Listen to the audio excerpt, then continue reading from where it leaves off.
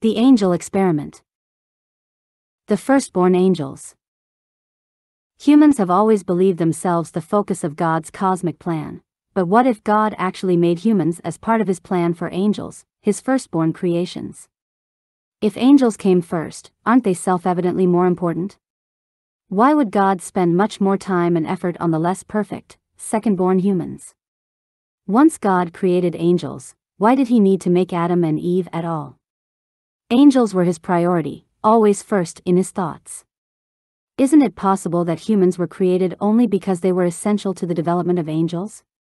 We, the members of the human race, are all intimately involved with angels, not in any spooky sense, but in a manner fundamental to the way our minds work. As will be shown in this book, we became conscious thanks to angels. They are now hidden from us in our unconscious, but are destined to emerge again in the near future to herald a new reality, that of super consciousness, paving the way for God consciousness. Angel human hybrids will rule the world and usher in a golden age. Most people are familiar with the concept of a higher self that acts as our guardian angel. According to some mystics, the task of this higher self is to raise us up to enlightenment. But what if the real task is for the angelic higher self to come to enlightenment via mastering the troublesome, primitive, human lower self? We assume that the higher self is complete and we are incomplete, but what if the higher self is also incomplete and coming to perfection through us, through overcoming all of the obstacles to perfection and enlightenment that we throw up? Plato depicted the soul as a chariot, with a charioteer and two winged horses, one white and one black. The charioteer represents the rational aspect of the soul, the white horse represents spirit and energy, and the black horse represents desires and appetites. If we consider the charioteer as the higher self and the two horses as the lower self, then the higher self cannot travel to heaven unless it can work out how to direct the two wild horses. The charioteer's rational faculties are not sufficient. He must learn to master the irrational, to step out of his comfort zone in his natural logical terrain. So it is with angels in their interactions with humans. Angels are ruled by their intellect, humans by their body. Plato said that it was the natural tendency of the soul to strive upwards towards heaven, but the black horse was determined to pull the soul downwards into carnality and lust, into the material world. The white horse could support either reason or desire. If it supported the black horse, the soul fell to earth, became trapped in a physical body and its wings were destroyed, i.e., it lost its angelic character. If it supported the charioteer, the soul would soar into the heavens. The whole of nature is dominated by the two conflicting forces of rising and falling, the heavenly and the earthly, the spiritual and the appetitive, intellect and stupidity. Gravity pulls us down. Levity raises us up. The Cosmic Experiment. People imagine that we live in God's creation. In fact, we inhabit God's experiment. God created and destroyed a number of prototype Earths because they did not satisfy him. The Jewish legend Haggadah says, Nor is this world, inhabited by man, the first earth created by God. He made several earths before ours, but he destroyed them all, because he was pleased with none until he created ours. God is said to be perfect. If a perfect being created this world, why isn't it a perfect world? Haggadah supports the idea of God as a scientist, an experimenter, someone who makes and unmakes worlds, in order to learn from his mistakes and arrive at better results. God does not create perfection. Rather, he experiments with it. He retains his best experiments, and gets rid of his worst. God is dialectical. God's first living creations were the angels. However, they disappointed him because they were too perfect, made too much in his own image. Their free will was limited. They did not know how to be bad, to have a personality, to be individual. They were boring. God found it impossible to love his firstborn, and that caused him great distress. What should God do with creatures that displeased him? Wipe them out, just as he wiped out bungled worlds. Having created immortal souls, God couldn't then kill them, even if he wanted to. Therefore, he devised a new plan, to make the angels more interesting, to give them meaningful free will. As his instrument, he chose us. Human beings were designed as the vehicles through which angels could be corrected. Humans are an emergency repair kit for angels. To make his experiment even more special, God did not produce humans as a brand new life form. Instead, he made humans from creatures he had prepared earlier, from brute animals without consciousness. Out of all the animals on which he might perform the divine experiment, God selected a particular group of apes, the fifth ape. God was interested in accomplishing two tasks making his chosen apes into conscious humans, and perfecting angels via humans. This is the remarkable story of God's grand, cosmic experiment. It's an experiment still in progress. And we are all its active participants. The era of angels. Two souls, alas, dwell within my breast. Goethe, Faust. Was there a time in human history when humans routinely interacted with angels? Religions are full of references to angels and demons. Are we to assume that all of the humans who believed without hesitation in angels and demons were insane, or delusional, or had enormously more vivid and fantastical imaginations than humans do now?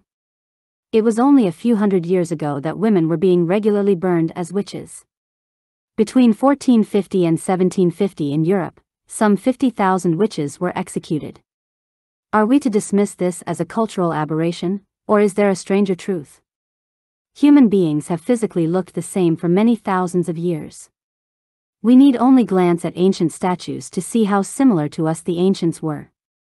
There is very little sense that humanity has physically evolved since ancient times. But what about mentally? How would we be able to tell from looking at Greek and Roman statues if the human mind was much the same then as it is now?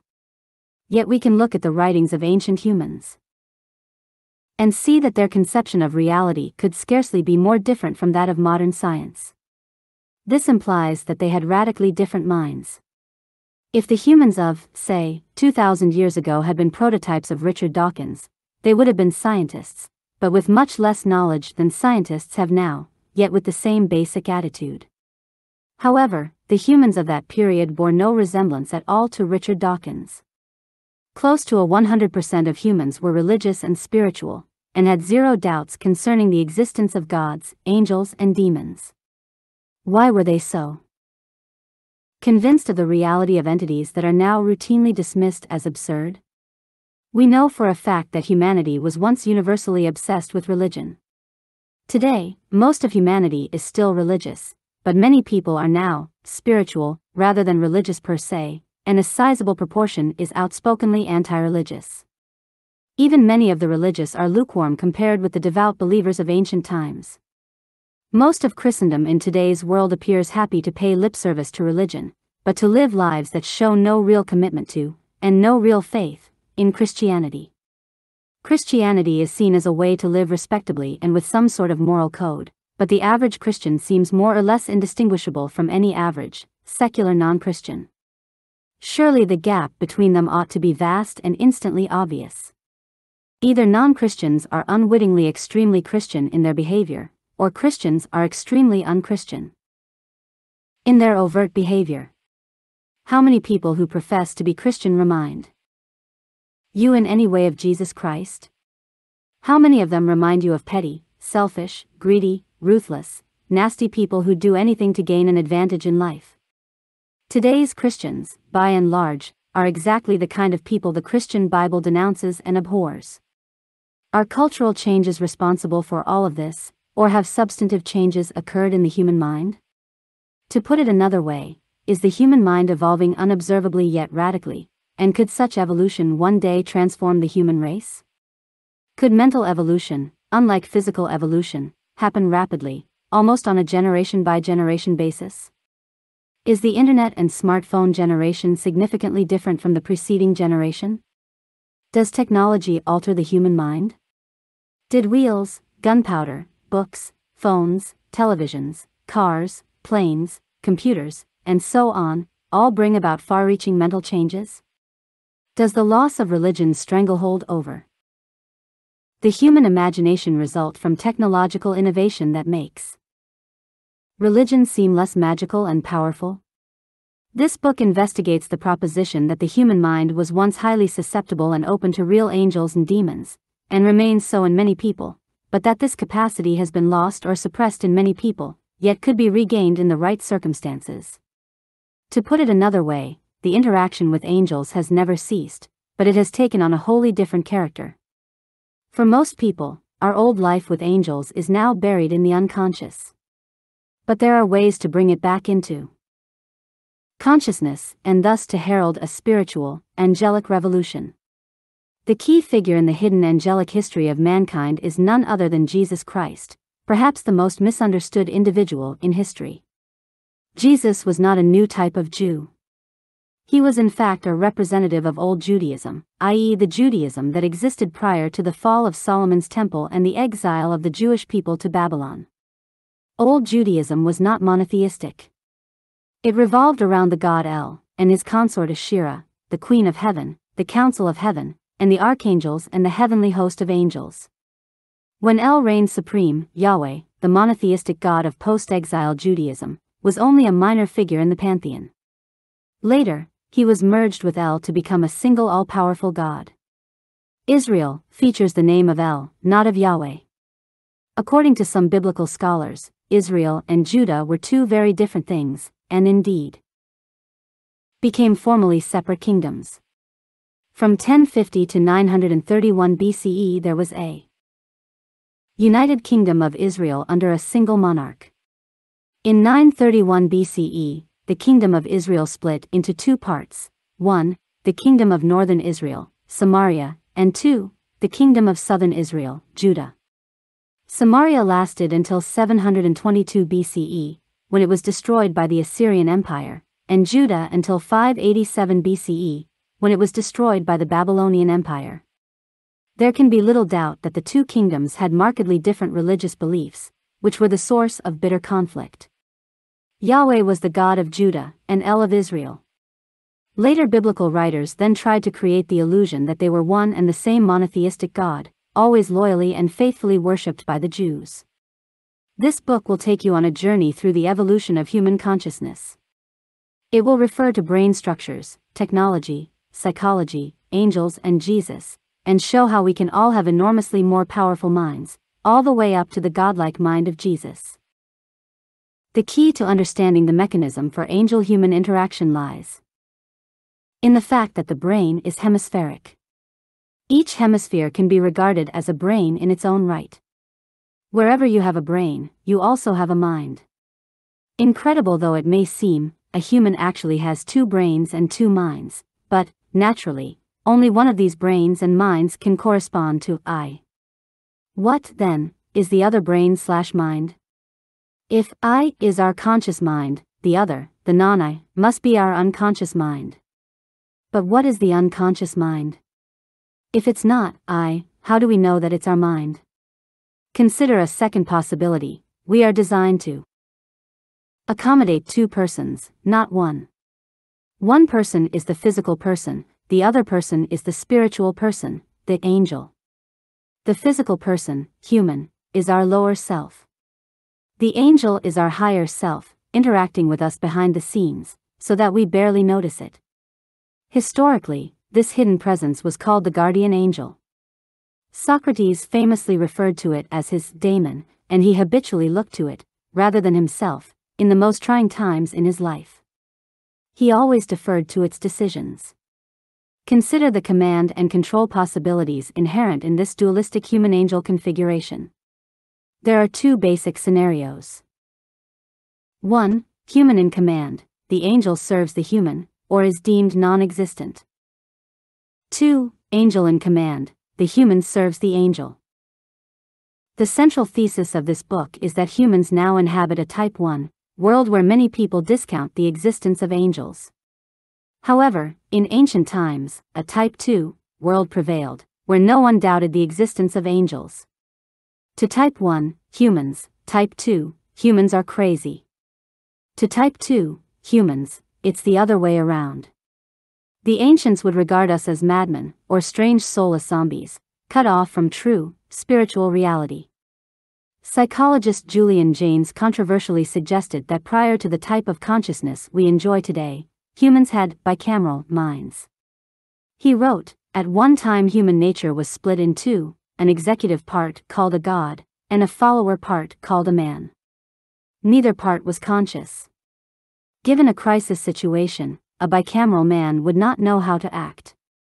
He would have to wait for his bicameral voice, which, with the stored up admonitory wisdom of his life, would tell him non consciously what to do.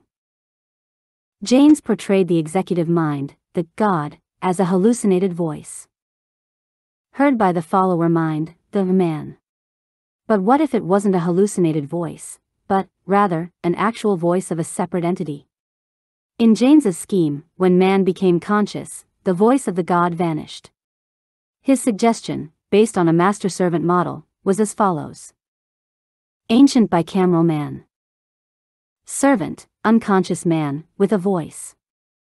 Master, unconscious God, with a voice. The God speaks to the man and controls him. Man worships God. Modern conscious man, master, conscious man, with a voice. Servant, unconscious God, without a voice. The God is silent. Man controls himself. Man denies God. This scheme raises two other evolutionary possibilities superconscious man, servant, conscious man, with a voice. Master, conscious God, with a voice. God speaks directly to us, and we follow his instructions. Man is the protege of God. God man, servant, conscious God, with a voice. Master, conscious man, with a voice. We speak directly to our inner God, and he does our bidding, which means that we have become gods ourselves. God is the apprentice of man. We have suppressed the God slash angel inside us and made it silent. But what if we could make it speak again? Everything would change. We would have access to incredible, life changing power and wisdom. Humanity would undergo the most dazzling metamorphosis. We could create heaven on earth. Jesus Christ is an example of superconsciousness. Here, in one body, was a man acting as the direct servant and agent of God. God and man were present at one and the same time. Jesus Christ had two consciousnesses operating in tandem. It must be emphasized that, in Jesus, the God consciousness was not always active. In fact, it usually wasn't. It expressed itself only at important times. It wasn't God that went to the temple and overturned the tables of the money changers. That was plainly an angry human. When Jesus called himself the Son of God, he was talking as a man who knew he was under God's direct, personal supervision. When, just before he died, he desperately cried, My God, my God, why hast thou forsaken me? It's obvious that the God consciousness had removed itself, leaving the man bereft, all on his own. Jesus must have felt himself abandoned at the greatest crisis in his life. Since God can't die, God had to be absent in order for the man Jesus to physically die, so this detail, about Jesus seeming to have been forsaken at the point of death, is the most telling detail in favor of the reality of what happened. The dead man was then placed in the tomb, but was immediately reanimated, resurrected, as soon as the God consciousness returned to the body. At this stage, the man consciousness, as an independent entity, no longer existed, it had been fully absorbed into the God consciousness. This is what can happen to all of us. The resurrected Jesus still had his physical body, which he was able to show to his followers, even to the extent of allowing doubting Thomas to touch his physical wounds. However, when Jesus ascended into heaven, he of course couldn't take a physical body with him. Instead, it was his spiritual body that ascended, leaving behind his physical body, which was then entombed by his followers in a secret location. The ancient Egyptian depiction of the nature of a human being is relevant to this point. According to the Egyptians, a human was composed of a ka, physical body, a ka, spirit body, which was the immaterial body of the higher self, and ba, the man consciousness. When the ka died, the ba and ka survived and their task was to enter into union to form the ak, the entity that gloriously lived on in the afterlife. Jesus Christ had a human ka, physical body, a divine ka, spirit body plus God consciousness, and a human ba, man consciousness. At death, his human ba was absorbed into his divine ka. At the ascension, the ka left behind the ka. Resurrection is not about a physical body coming back to life, it's about the soul escaping to the spirit body, the immaterial, double, of the physical body.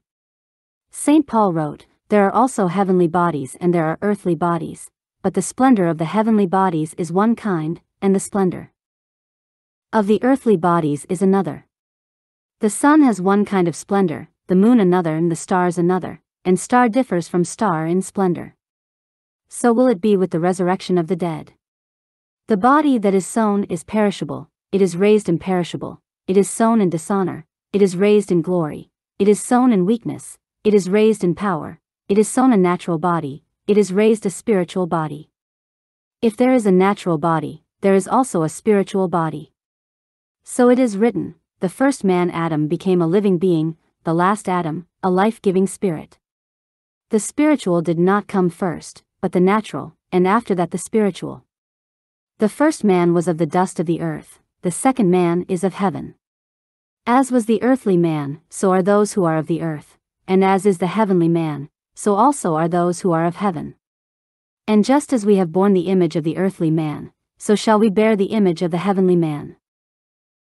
We have a perishable body for mortal life on earth, and a different, imperishable body for immortal life in heaven. We are earthly man destined to become heavenly man. Sir Arthur Conan Doyle, creator of the famous fictional detective Sherlock Holmes, wrote, The physical basis of all psychic belief is that the soul is a complete duplicate of the body, resembling it in the smallest particular, although constructed of some far more tenuous material. In ordinary conditions, these two bodies are intermingled so that the identity of the finer one is entirely obscured. At death, however, and under certain conditions in the course of life, the two can divide and be seen separately. The Ka is the physical body, and the Ka is its spirit double. The Ka is the man body, the Ka the angel body. When the mortal human dies, his consciousness, Ba, transfers to the Ka, where it merges with the consciousness of its higher self, the angel. Jesus said, The kingdom of God is within you. This is literally true in the sense that we have an angel or God inside us, with whom we can enter into union. All of us have a heavenly version of ourselves, whose job is to perfect the earthly version make it eligible for immortality. Due to our stubbornness and stupidity, we may not listen to our higher self. Even worse, our higher self may have become corrupted and malignant, and we may listen to it all too eagerly. It might be a fallen angel, a devil or demon, seeking to have its evil fun through us as its worldly vehicle. Jesus was often called on to drive out devils that had possessed people. Why was Jesus able to perform miracles? Because an enormously powerful, God consciousness, was available to him, capable of exhibiting extraordinary mental control over matter, to the extent of allowing him to change water into wine, walk on water, and so on. He was able to bring Lazarus back to life by commanding Lazarus' angel to return to him. God and Jesus. Picture by Gustave Doré. The Nephilim. The concept of angelic consciousness residing in one hemisphere and human consciousness in the other helps to explain one of the most bizarre stories in the Bible, that of the Nephilim, the giant offspring of the sons of God and daughters of men. Who were these sons of God? They were angels. In the book of Enoch, they were called egregoroi, watchers, sent to earth to watch over humanity and be their mentors, guides and sages. However, some of them watched a little too closely and became obsessively enamored of their wards. Their lust caused them to succumb. These were none other than the fallen angels. It wasn't a case of the angels being a separate species from humans. Rather, they were humans, but with a right hemisphere mind belonging to a guardian angel. In fact, all human beings were of this kind, but some had far more powerful angelic minds than others. These were the dominant angels, and thus they were associated with dominant humans. There was no problem. with angels and humans intermarrying since they all had human bodies, and were all of the same species. Their children, the Nephilim, were often arrogant and aggressive, hence their bad reputation. You can see something of the same phenomenon today in the behavior of super-rich, spoiled, pampered, narcissistic heirs and heiresses, with their distasteful sense of entitlement. The Fallen Angels. Picture by Gustave Doré. The Fifth Ape. What's the difference between humans, the so-called fifth ape, and the other four apes, orangutans, gorillas, chimpanzees, and bonobos? Why are we conscious while they are not? Is it because God chose to make us conscious, but not them? Were we led to consciousness not via our own efforts but by those of God's pre existing conscious race, the angels? Neurologist Paul MacLean proposed that humans have a triune brain, i.e., a brain with three distinct evolutionary parts. 1. A primitive brain concerned with self preservation and aggression, with the four FS fight, flight, feeding, and fucking. 2. An intermediate brain dealing with emotions. 3. A rational brain dealing with thinking. MacLean referred to the oldest structure as the reptilian brain, comprising the brain stem and cerebellum, the second brain as the limbic system, the old mammalian brain, and the third as the neocortex, the new mammalian brain. Although the three brains are connected to each other by nerves, to a high degree they act as distinct, autonomous units with their own specialized duties. Each brain might be said to have has its own intelligence, its own perspective. We could even say that each has its own mind. Although it might seem as if the most recent brain should control the older two, this is far from the case. The latest brain hasn't bedded in properly. The real controller is the oldest, most primitive brain, the reptilian human. Just look at the world around you. Don't humans seem much more like slimy lizards than shining angels? Moreover, in most people, the limbic system, the emotional brain, can easily hijack the higher mental functions. Reason and logic are swept away by an emotional outburst. Most people are ruled by primitivism and emotionalism, certainly not by rationalism. The reptilian brain is inflexible, obsessive, ritualistic, robotic, machine like, instinctive, and deeply paranoid, always having an eye to potential dangers. This part of the brain is necessarily permanently active, even during deep sleep. If it shut down, you would be dead. Most brutish, stupid, aggressive men operate at this level. The reptilian brain doesn't. Think, it just acts according to its hardwired programming. It's manically competitive, a real, jungle, creature. It deals only with me me me behavior. In other words, it's the home of the Freudian ID and the anarchic law of the jungle. The limbic system is concerned with emotions and social adaptation, whether you feel positive or negative towards something. To the emotional system, everything is either agreeable or disagreeable. This system is obsessed with seeking to avoid pain and to repeat pleasure. Since it recognizes the needs of others, it has empathy and sympathy, it reflects the Freudian superego. In a sociopath, the empathy and sympathy are absent, so the sociopath cares only about his own pleasure and pain. This system has a flexibility and adaptability entirely lacking in the reptilian brain. MacLean argued that feelings elude the grasp of the intellect, because their origins lie in primitive, evolutionary structures that long preceded the intellect and are not expressible in verbal terms.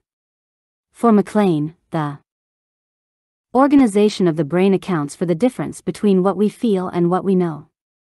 He wrote that the greatest language barrier lies between man and his animal brains. The neural machinery does not exist for intercommunication in verbal terms. According to MacLean, the neocortex is a prisoner of the limbic system. The latter decides how it feels about something, and the neocortex is then required to rationalize that value judgment rather than arrive at its own rational values. The neocortex, the outermost layer of the brain, enables us to plan and engage in complex, abstract thought.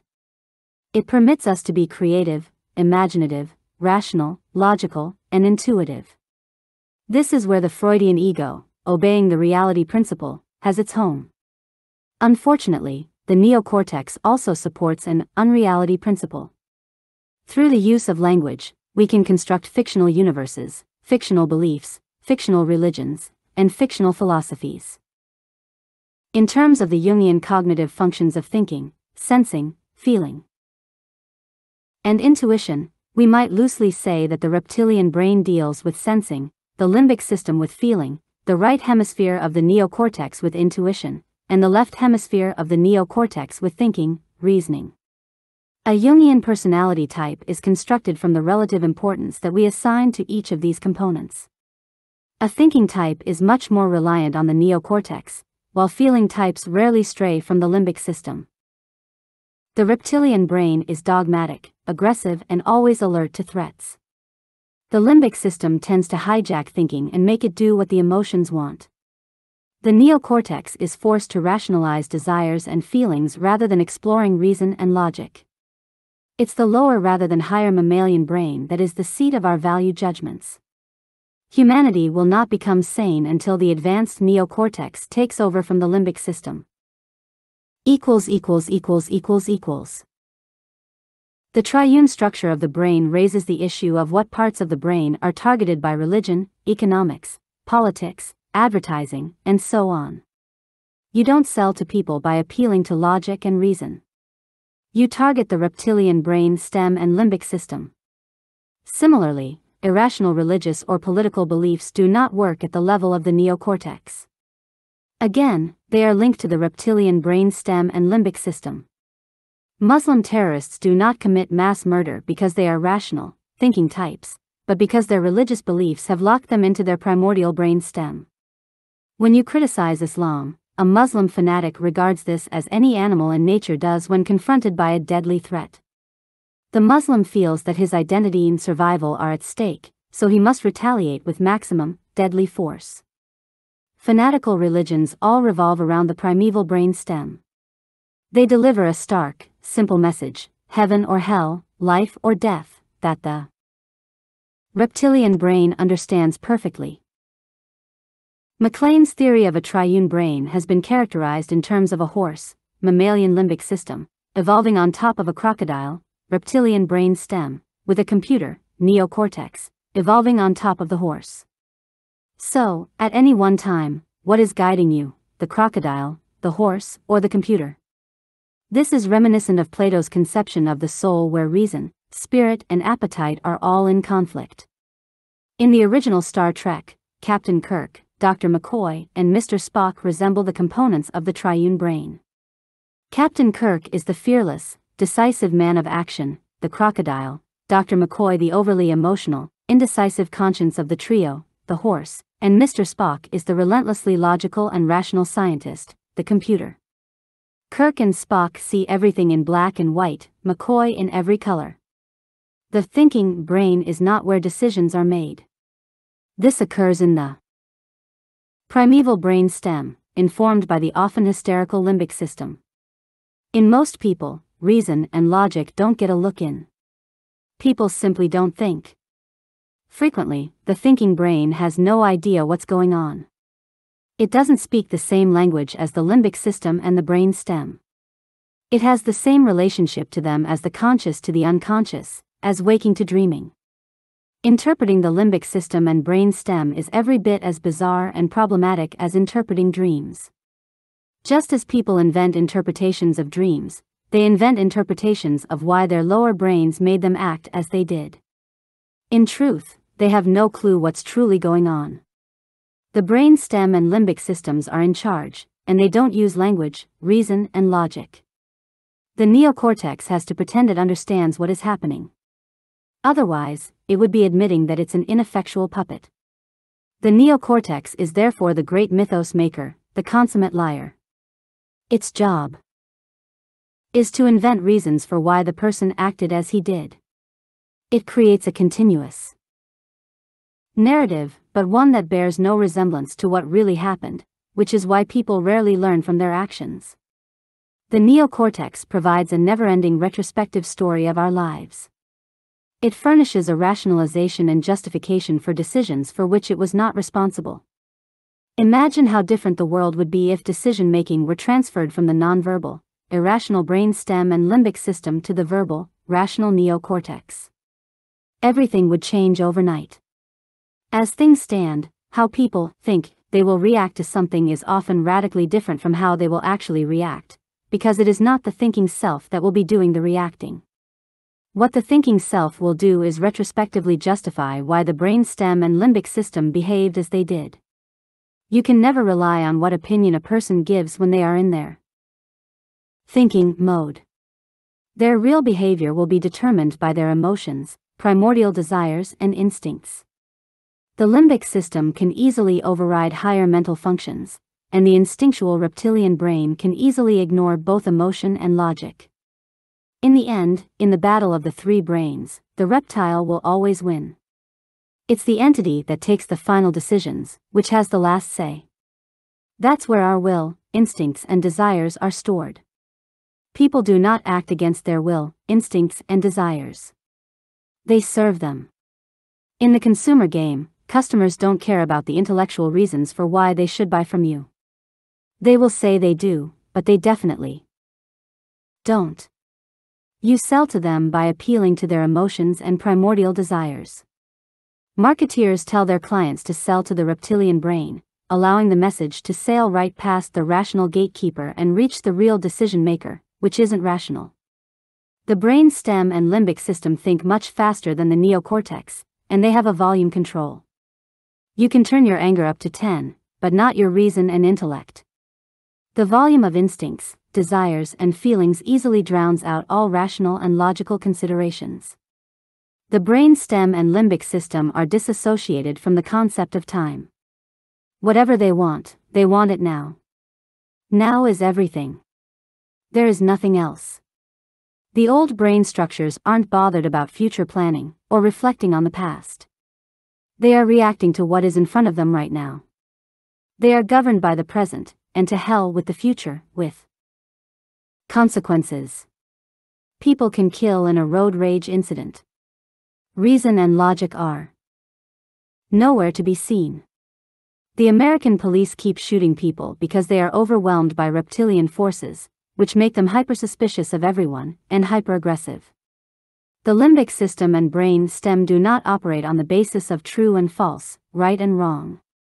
Instead, they are ruled by pleasure and pain, safety and fear, and the increase or decrease in the feeling of power. These constitute an entirely different way of interfacing with the world.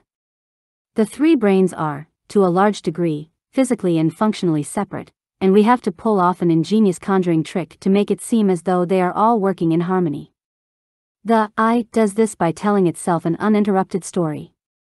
When something bizarre happens, which the I can't explain, it then says, I wasn't feeling myself, I don't know what came over me, that's not the real me, and so on. It doesn't dwell on it since the implications are horrific.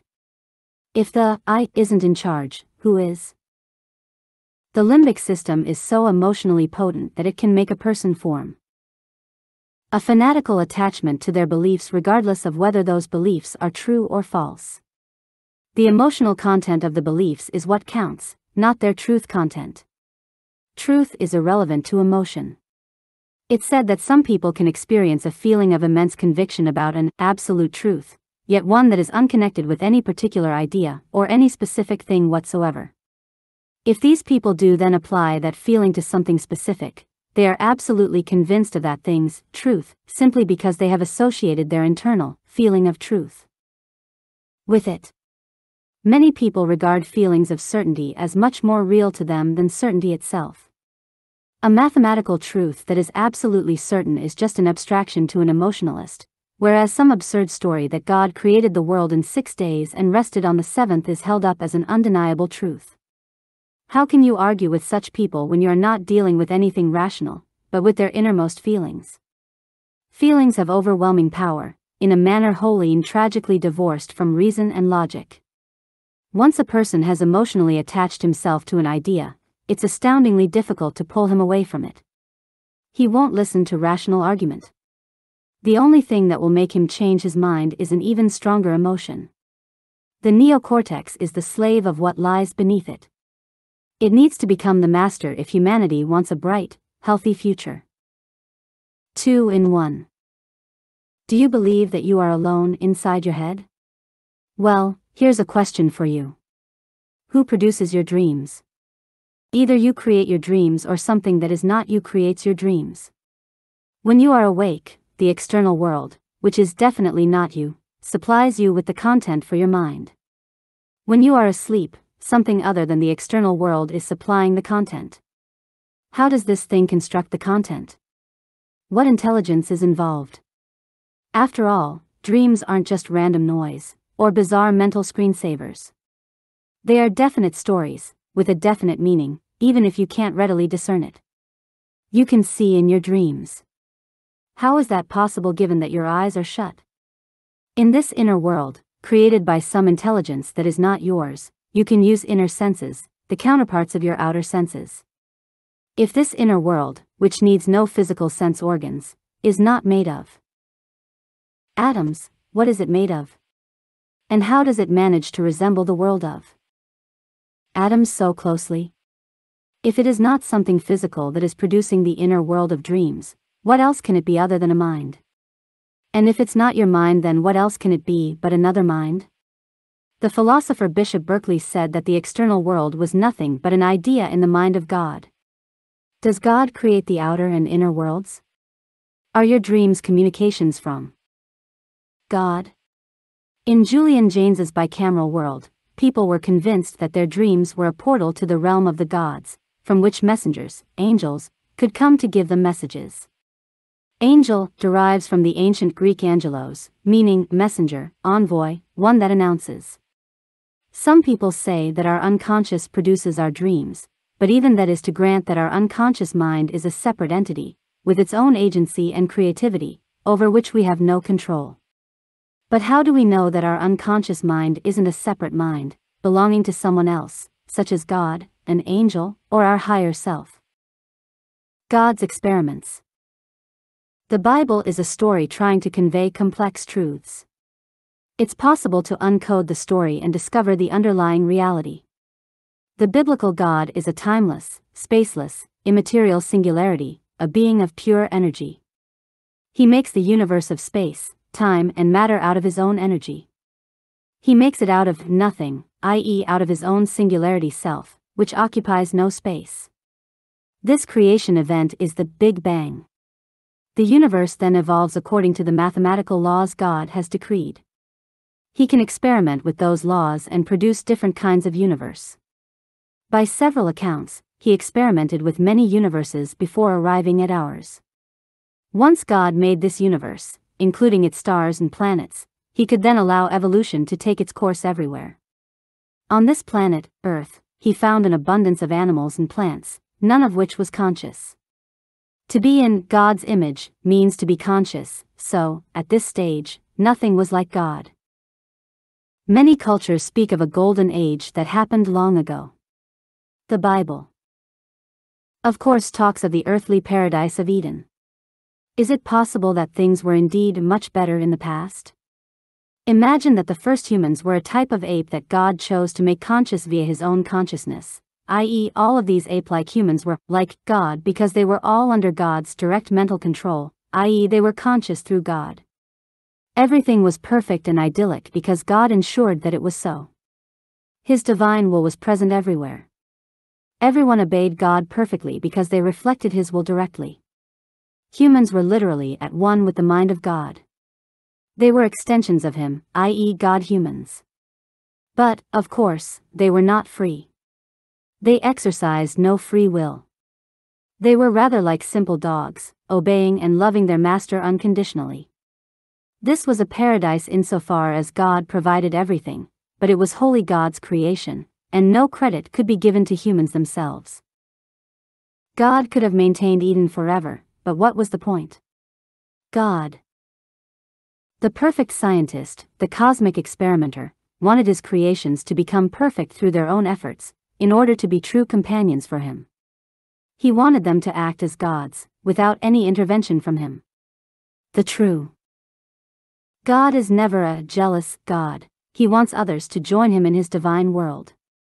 How could his creations be perfect unless they arrived at perfection through their own will, rather than his? God had already created perfect beings, incorporeal angels. These too lacked any meaningful free will. God then took the momentous decision to allow the angels, rather than himself, to control the community of humans in Eden, and thus to exercise their own will as they saw fit. There were far more humans than just Adam and Eve, of course. The right cerebral hemisphere is the portal to the divine world of God and the angels. Imagine the ka, the double, attaching itself to the ka, the physical body. The ba, the human mind, speaks through the left hemisphere of the brain, leaving the right hemisphere available to the mind of the Ka. If we simply equate the Ka to an angel, a guardian angel, we might say, we have turned a mere human being into a human-angel hybrid. This hybrid arrangement afforded the angels their first opportunity to directly experience the physical world, and all the pleasures and temptations that come with it. God's initial plan was to carry out a test. He left 95% of humanity in their natural state, and allowed only 5% to become human angel hybrids. He wanted these angels to be watchers, i.e., those who watched over, supervised, and guided humanity. His idea was that angels would become perfected through this process, and they would in turn lead humanity to perfection. Of course, even the best plans can fall foul of the law of unintended consequences. It transpired that one third of the watchers fell hopelessly in love with the new reality that had opened before them. They coveted the power they enjoyed over humans. They loved making humans do their bidding. And they lusted after the most beautiful humans. They ceased to reflect God's will and moral code and instead implemented their own. This is the root of the story of one third of the angels of heaven rebelling against God. They succumbed to their ego and selfishness and fell from their lofty divine station. They cared only for themselves, and not about God or humans. They were led by the brightest angel, Lucifer, later rebranded as Satan. They set up their own power base on earth. Eden was no longer godly. Because of the bad angels, the serpents, humanity was banished from the paradise it once enjoyed. The tale of Adam and Eve and their disobedience in the Garden of Eden is a garbled version of these events. Adam and Eve stand for ordinary human beings. The serpent that tempts Eve represents Satan and his watchers, human angel hybrids. They offered ordinary humans secret knowledge and power if they joined and served them. These events were transformed into the famous mythos of Adam and Eve being tempted to eat of the forbidden fruit of the tree of knowledge. The Tree of Knowledge. Picture by Gustave Doré. The fallen watchers seduced humans and had children with them, i.e., the sons of God, mated with the daughters of men. Their offspring were neither humans nor watchers. They were the hybrid race of superhumans, called the Nephilim. They were much taller, smarter, and more dominant than ordinary humans. The Bible says that under their influence the world became utterly corrupted, to God's horror.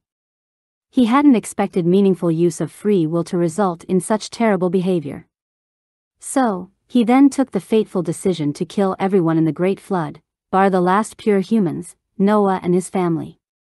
The last of the human race were placed in the Ark of Humanity, and saved from the catastrophe, ready to build a new world. The Ark. Picture by Gustave Doré.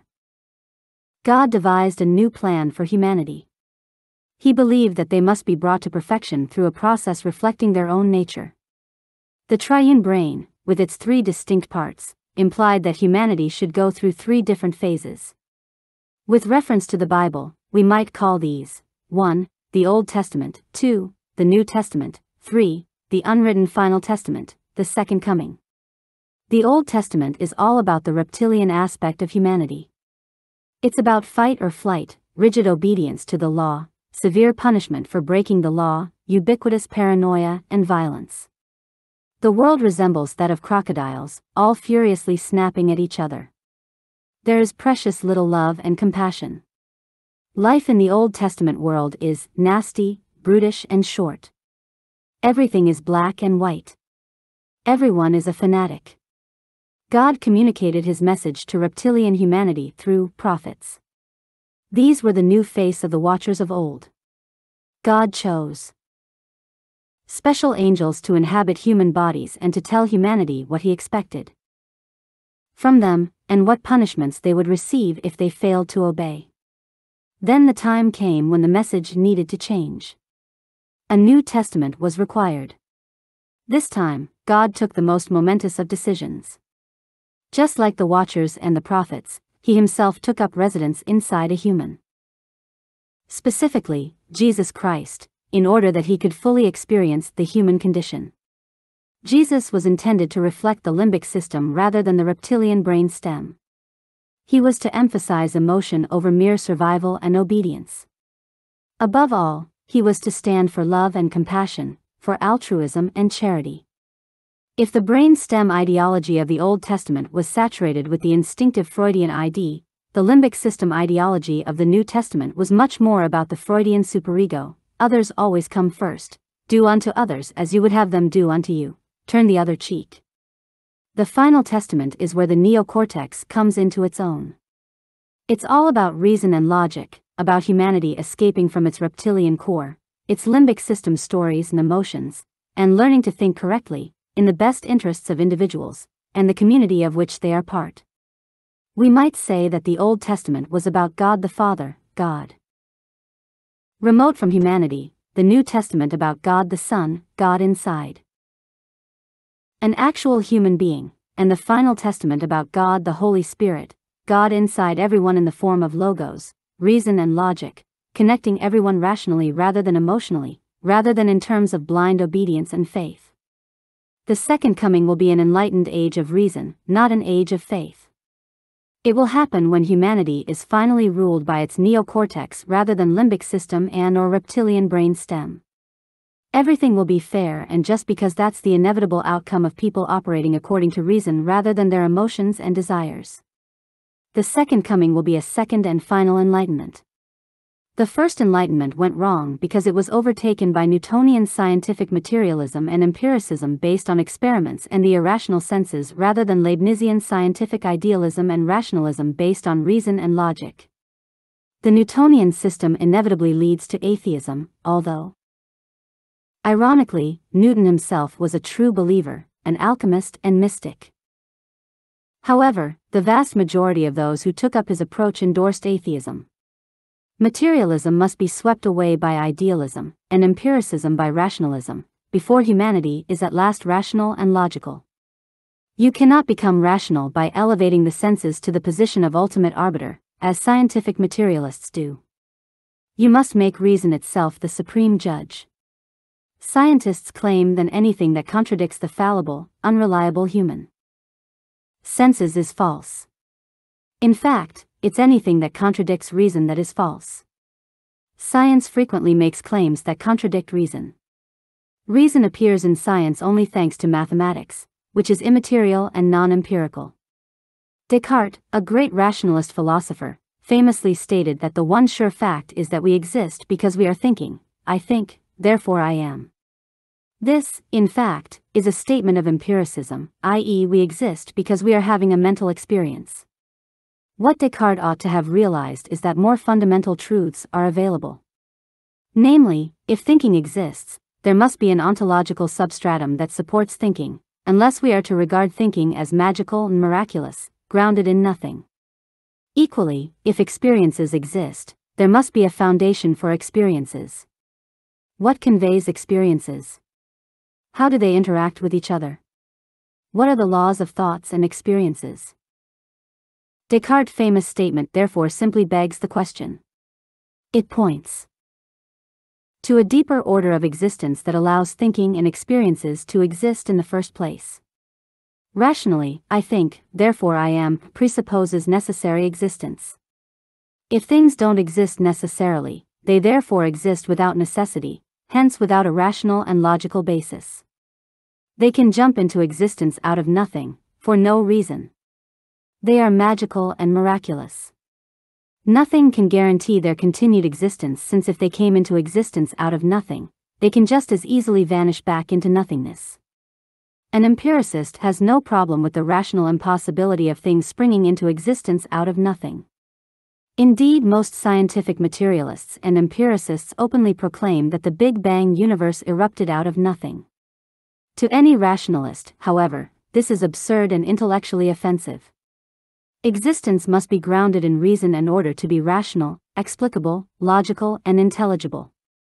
Miracles and magic are strictly forbidden. Any argument that relies on rational impossibilities is ipso facto false. Scientists like to say that anything not forbidden is compulsory. Well, for the universe of existence to jump out of non existence is forbidden in every conceivable way, hence, it cannot happen under any circumstances. Only two things are capable of having necessary existence God and mathematics.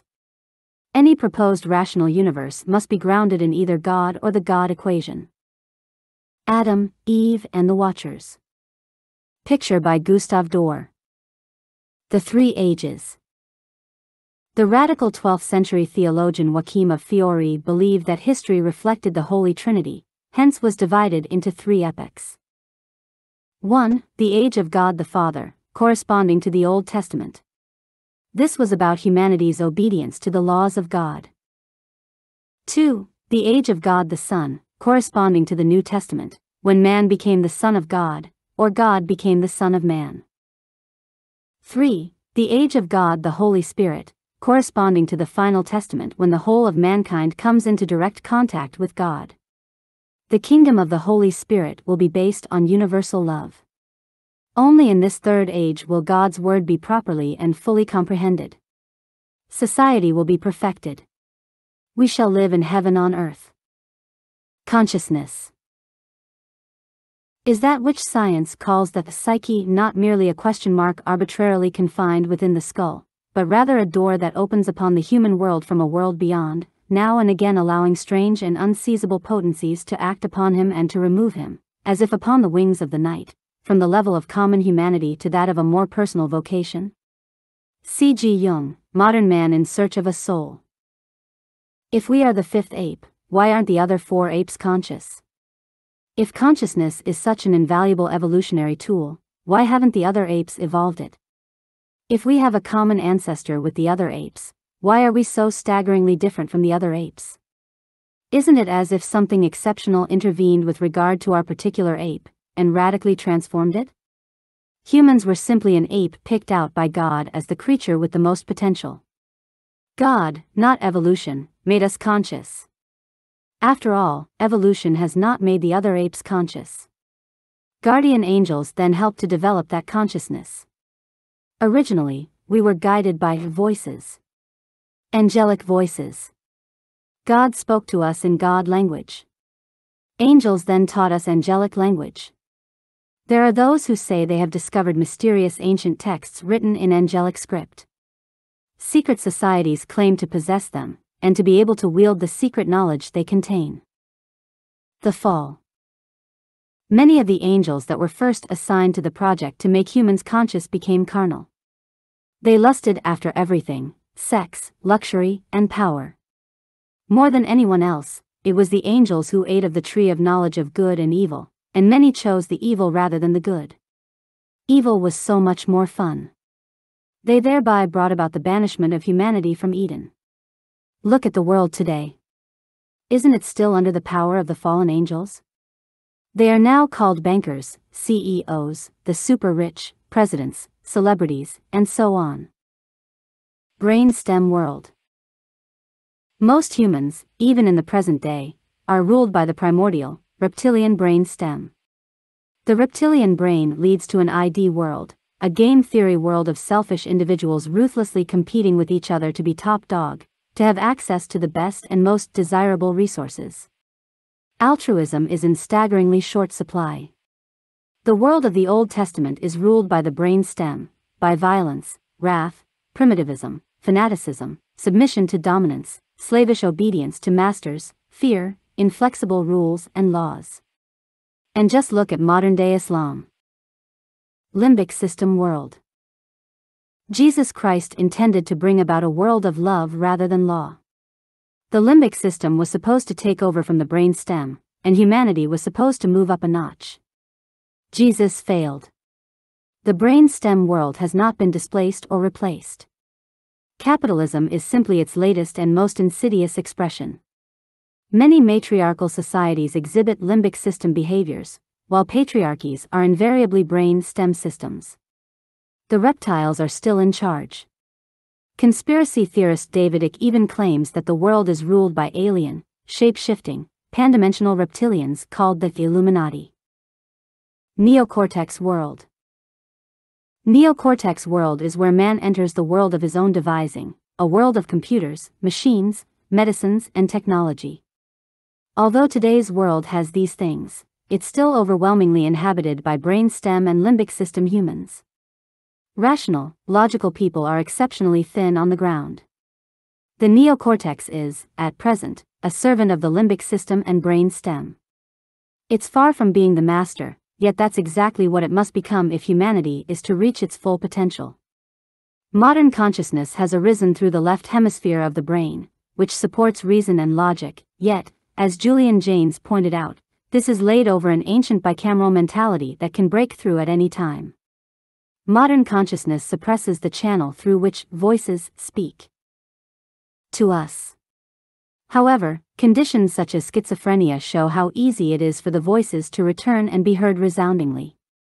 Even a hypnotist can readily suppress consciousness and put a subject fully in bicameral mode, obeying his master's voice. Only via the neocortex is genuine consciousness possible. Animals can't be conscious because their neocortex is so poorly developed. Stupid, overly emotional human beings, driven by their desires and instincts, also have retarded neocortexes, and are little different from animals.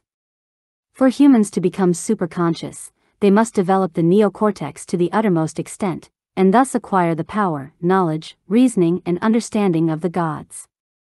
In the first phase of its escape from the emotional limbic system and the primeval brain stem, the neocortex allies itself to the senses, and thus we see the rise of atheistic scientific materialism and empiricism, since all non sensory factors, of which religion is full, are rejected. Religion and spirituality are denied and derided. However, as the neocortex becomes more advanced, it embraces reason, logic, and mathematics, and, amazingly, discovers that these are the rational basis of religion and spirituality, they can easily and naturally accommodate non-sensory factors.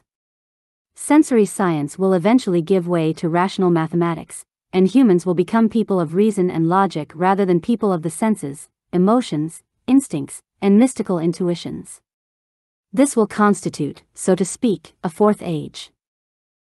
The Enigma In the time of Jesus, people were either fantastically imaginative compared with the people of today, much more willing to accept the reality of magic, miracles, gods, devils, angels, and demons, or something has fundamentally changed in the human mindset, i.e., the nature of consciousness has profoundly altered over the years. Scientific materialism is perfectly willing to contemplate physical evolution of the human body, but it has never once directed any attention to mental evolution and the evolution of consciousness. Consciousness is taken as a given, i.e., all humans have always been conscious, not as something that has a history, a genealogy that we can study just as we can study old archaeological ruins. Science is unable to investigate mental evolution since it fundamentally rejects the mind as a real entity in its own right. The mind is regarded solely as an epiphenomenon of matter. It could not exist, so the materialist argument goes, without a material substrate. Therefore, all that counts are changes in the organization of matter. Hence, if material organization does not change, i.e., there is no physical evolution, there can be no mental evolution as far as science is concerned. In terms of scientific rationalism and idealism rather than scientific empiricism and materialism, it's mind, not matter, that is the primary reality, and evolution is fundamentally mental rather than physical. A mind can evolve in an instant, by absorbing an immensely powerful new idea that fundamentally changes its worldview.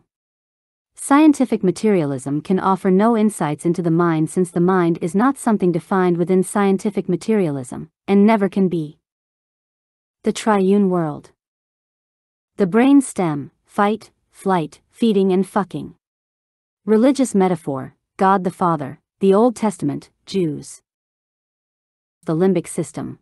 Love, hate, pleasure, pain, happiness, sadness, content, discontent, hope, anxiety, heaven and hell, faith and nihilism. Religious metaphor God the Son, the New Testament, Christians. The neocortex, reason, logic, mathematics, metaphysics, philosophy, and science.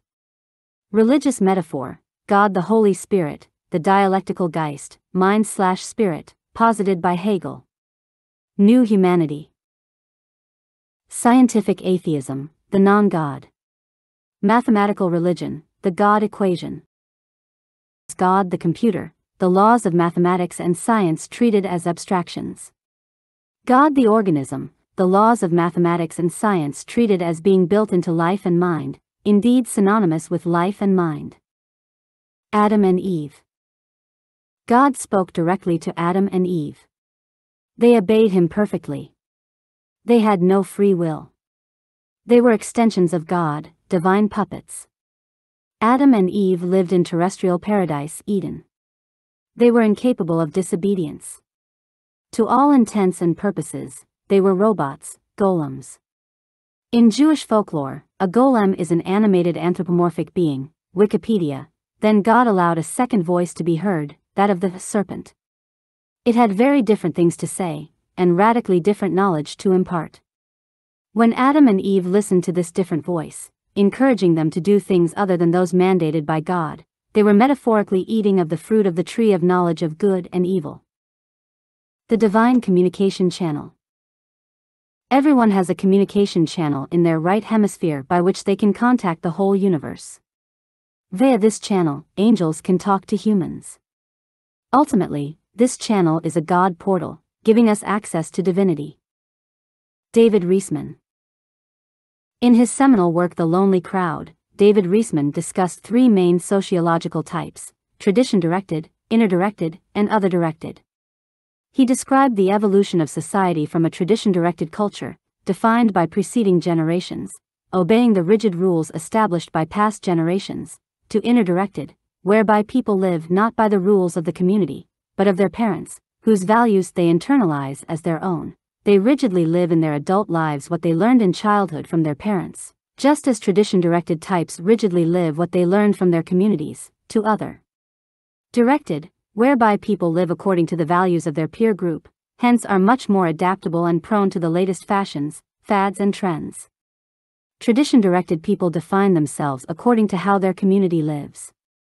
Inner-directed people live according to how their family lives, and other directed people ignore community and family and instead are shaped by their peers, especially their friends, and those with whom they aspire to be friends.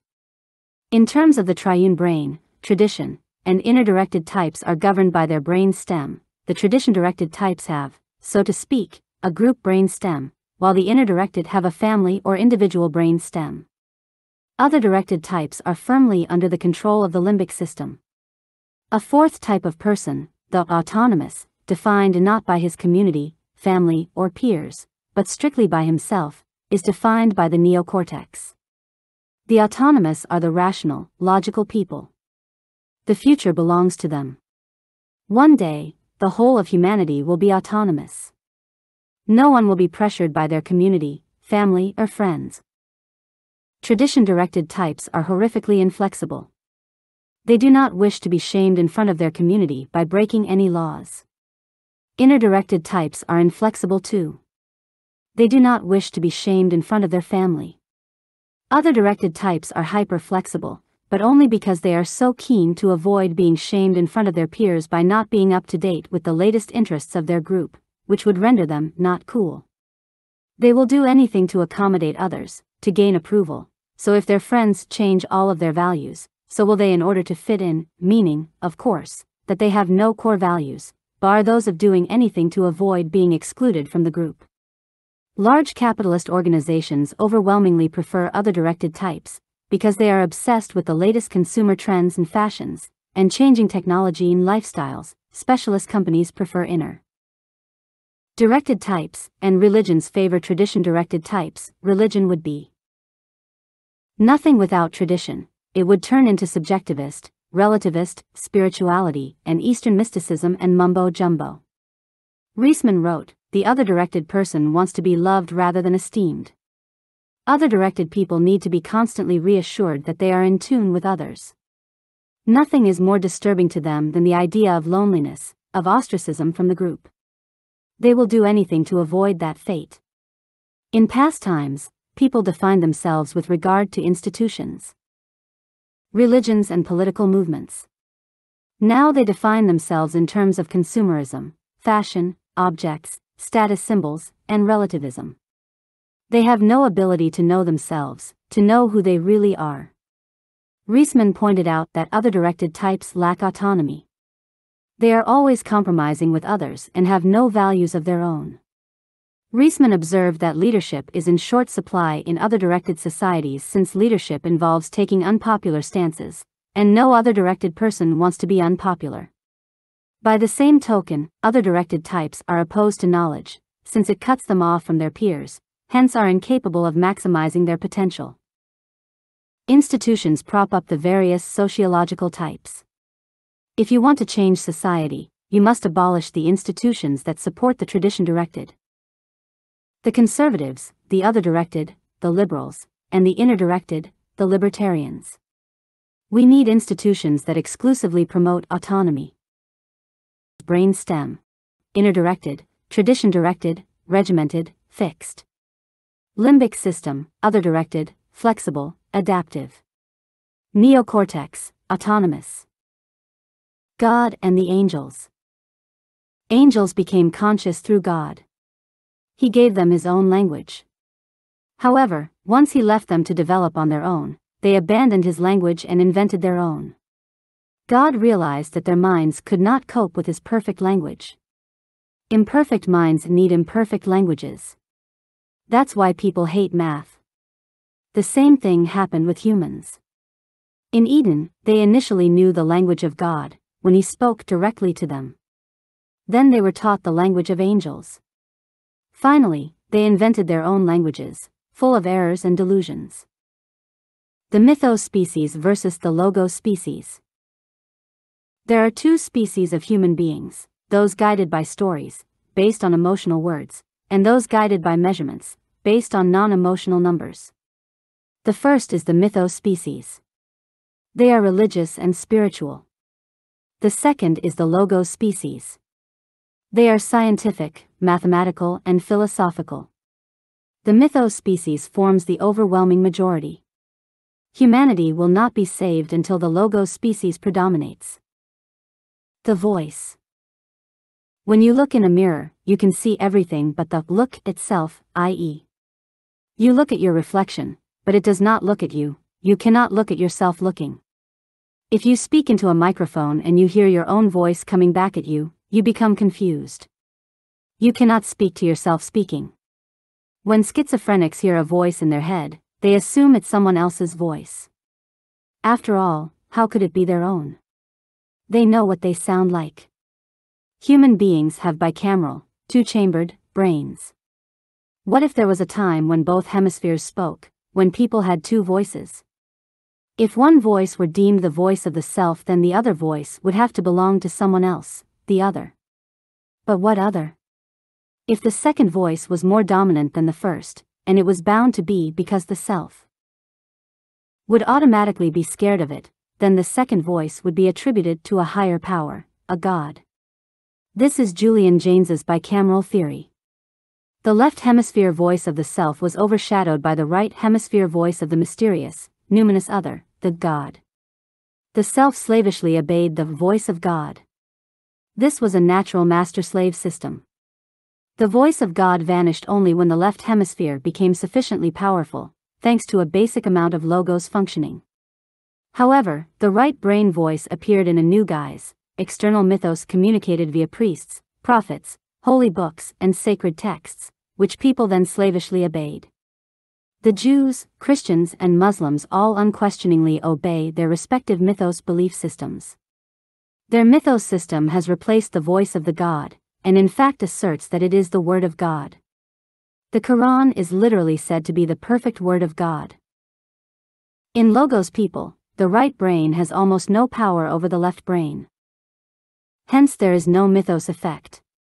The central difference between Logos and Mythos people is that the Logos contingent are overwhelmingly left brain dominant while the Mythos contingent are barely left brain dominant, and their right brain is capable of seizing control, particularly in times of stress.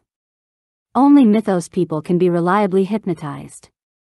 Hypnotism is a means of transferring control from the left brain to the right.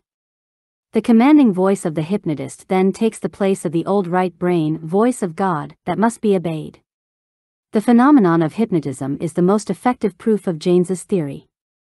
Logos and mythos people are radically dissimilar because their left and right brains have a profoundly different relationship. Logos people execute command and control exclusively from the left brain. In mythos people, command and control is located in both hemispheres and can easily switch. Logos people have much higher IQs, but mythos people have higher EQs. Human history is the tale of the bicameral brain, and the struggle for dominance between the two hemispheres. Negative hallucinations. In hypnosis, a negative hallucination causes patients to not believe in the existence of a person or object right in front of their eyes. Imagine a room full of furniture. Now imagine hypnotizing someone and telling him that the room is empty of furniture. Command the subject to fetch a painting from the other corner of the room. Now, if the subject really believed the room was empty, he would go straight to the painting. Of course, that would mean he would walk into the furniture between the painting and him. So what happens in practice? In fact, he walks round the furniture as if aware of its presence. However, when asked to account for his weaving route, he makes no reference at all to any furniture and invents all sorts of false statements about his movements. He devises a retrospective rationalization, i.e., the subject is faithful to the hypnotized suggestion that there is no furniture in the room, while subconsciously aware that there is furniture in the room, and comically attempts to accommodate both realities. The question is this do human beings routinely invent narratives that bear no resemblance to what they did and why they did it? Are people continually deluding themselves? Are they compulsively lying to themselves? Human beings are designed to create a seamless narrative. If they didn't, they wouldn't perceive themselves as being in control of their own conduct, and they'd go mad.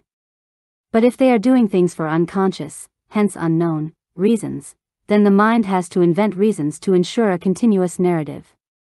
It's second nature for humans to tell stories to explain things, even though the narratives they construct may have no connection to why they actually did things, exactly as in the case of negative hallucination. The Hidden Observer Stanford psychologist Ernest Hilgard believed that we all share our life with another being that he called the hidden observer. In experiments with hypnotized subjects, Hilgard determined that there was an aspect of the self that seemed to remain independent of the hypnotic state, and to have a greater level of awareness than normal waking consciousness. This would be the part of us not deceived by negative hallucination. In one experiment, Hilgard hypnotized a blind student, who, while in a trance state, was told that he would become deaf. The student subsequently failed to react to high volume sounds placed close to his ears. He also failed to respond to any questions he was asked. Hilgard was interested in whether there was anybody else, inside the student, able to hear, so he said to the student, Perhaps there is some part of you that is hearing my voice and processing the information. If there is, I should like the index finger of your right hand to rise as a sign that this is the case. The student's finger duly rose. The student then abruptly requested that he be brought out of his hypnotically induced deafness. Afterwards, the student explained that when he felt his finger lift, without any willed action on his part, he was disconcerted. The implication was that somebody else had responded to an external request unheard by the hypnotized student. For Hilgard, this was the hidden observer. If we go back to bicameralism, we might say that the right hemisphere voice, God, is the hidden observer, while the left hemisphere man is the follower. In fact, we might say that in the past the follower was permanently under hypnosis by the god, which would account for Abraham's strange behavior when he agreed to murder his son for no reason. The rise of consciousness broke the hypnotic trance. The follower became the active agent taking decisions, and the god fell silent, turning into the hidden observer. A modern hypnosis session hypnotizes the bicameral follower, but not the God, who is able to observe everything that happens to the hypnotized subject. The key point is that hypnosis appears to demonstrate the existence of two independent minds. Only one mind is subject to hypnosis. One mind obeys the hypnotic commands and suggestions. The other does not. The second mind functions separately and experiences things of which the hypnotized person appears to be wholly unaware. If you inflict a sharp pain on a person under hypnotic analgesia, he may report no pain and appear unperturbed. However, the hypnotist can then address the hidden self. Typically, the hypnotist will say something like, when I place my hand on your shoulder, I shall be able to talk to a hidden part of you that knows things that are going on in your body, things that are unknown to the part of you to which I am now talking. This may prompt the hidden observer to emerge, at which point the person reports strong pain sensations. Psychologist William James observed this phenomenon in 1899, but it wasn't studied experimentally until 1973, by Hilgard. Isn't it extraordinary that our conscious self can be made oblivious to pain, while the hidden self experiences pain? We might speculate that pain registers in both hemispheres, and even if we suppress it in one, the other will experience it, yet the first hemisphere will have no knowledge of the pain. Our hidden observer could be in constant pain while we know nothing about it. Is this the origin of nightmares? There is an implication that we can simply turn off pain. Congenital analgesia is a rare condition in which a person cannot feel, and has never felt, physical pain. We can perhaps imagine an equivalent scenario when someone constantly feels pain. This would be unbearable, unless the pain could be redirected to somewhere where it was not consciously experienced. Yet the distress caused by the pain would have to emerge somewhere, in our unconscious behavior. One of Hilgard's test subjects regarded the hidden observer as her higher self. She said, The hidden observer is cognizant of everything that is going on.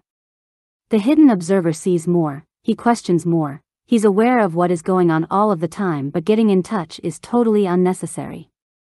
He's like a guardian angel that guards you from doing anything that will mess you up. The hidden observer is looking through the tunnel, and sees everything in the tunnel. Unless someone tells me to get in touch with the hidden observer, I'm not in contact. It's just there. The hidden observer can act as a censor, preventing us from doing anything under hypnosis that we would not normally do, such as murdering someone. It's a kind of Freudian superego. Wikipedia says, this idea of the basic duality of human personality is culturally and historically almost universal. The ancient Chinese called these two independent consciousnesses Hun and Pa, the ancient Egyptians the Ka and the Ba, and the ancient Greeks the daemon and the eidolon. In each case, the two entities shared their senses and perceptions of the external world but interpreted those perceptions with regard to their own history, knowledge, and personality. For the Greeks, the relationship was an unequal one. The higher self, the daemon, acted as a form of guardian angel or higher self over its lower self, the eidolon. The Stoic philosopher Epictetus wrote, God has placed at every man's side a guardian, the daemon of each man, who is charged to watch over him, a daemon that cannot sleep, nor be deceived. To what greater and more watchful guardian could he have entrusted each of us?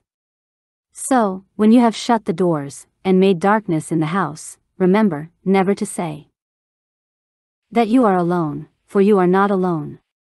But God is there, and your daemon is there. It was believed that the daemon could see the future, and give warnings to the eidolon. In some sense, it was as if the daemon had already lived the life of its eidolon, and was now affording the eidolon the chance to escape its fate.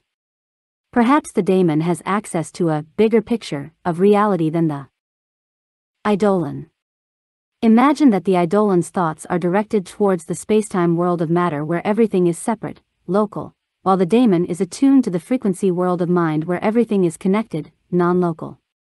Alternative thinker Rupert Sheldrake claims that memories can exist outside the physical body in a morphic field of extended consciousness.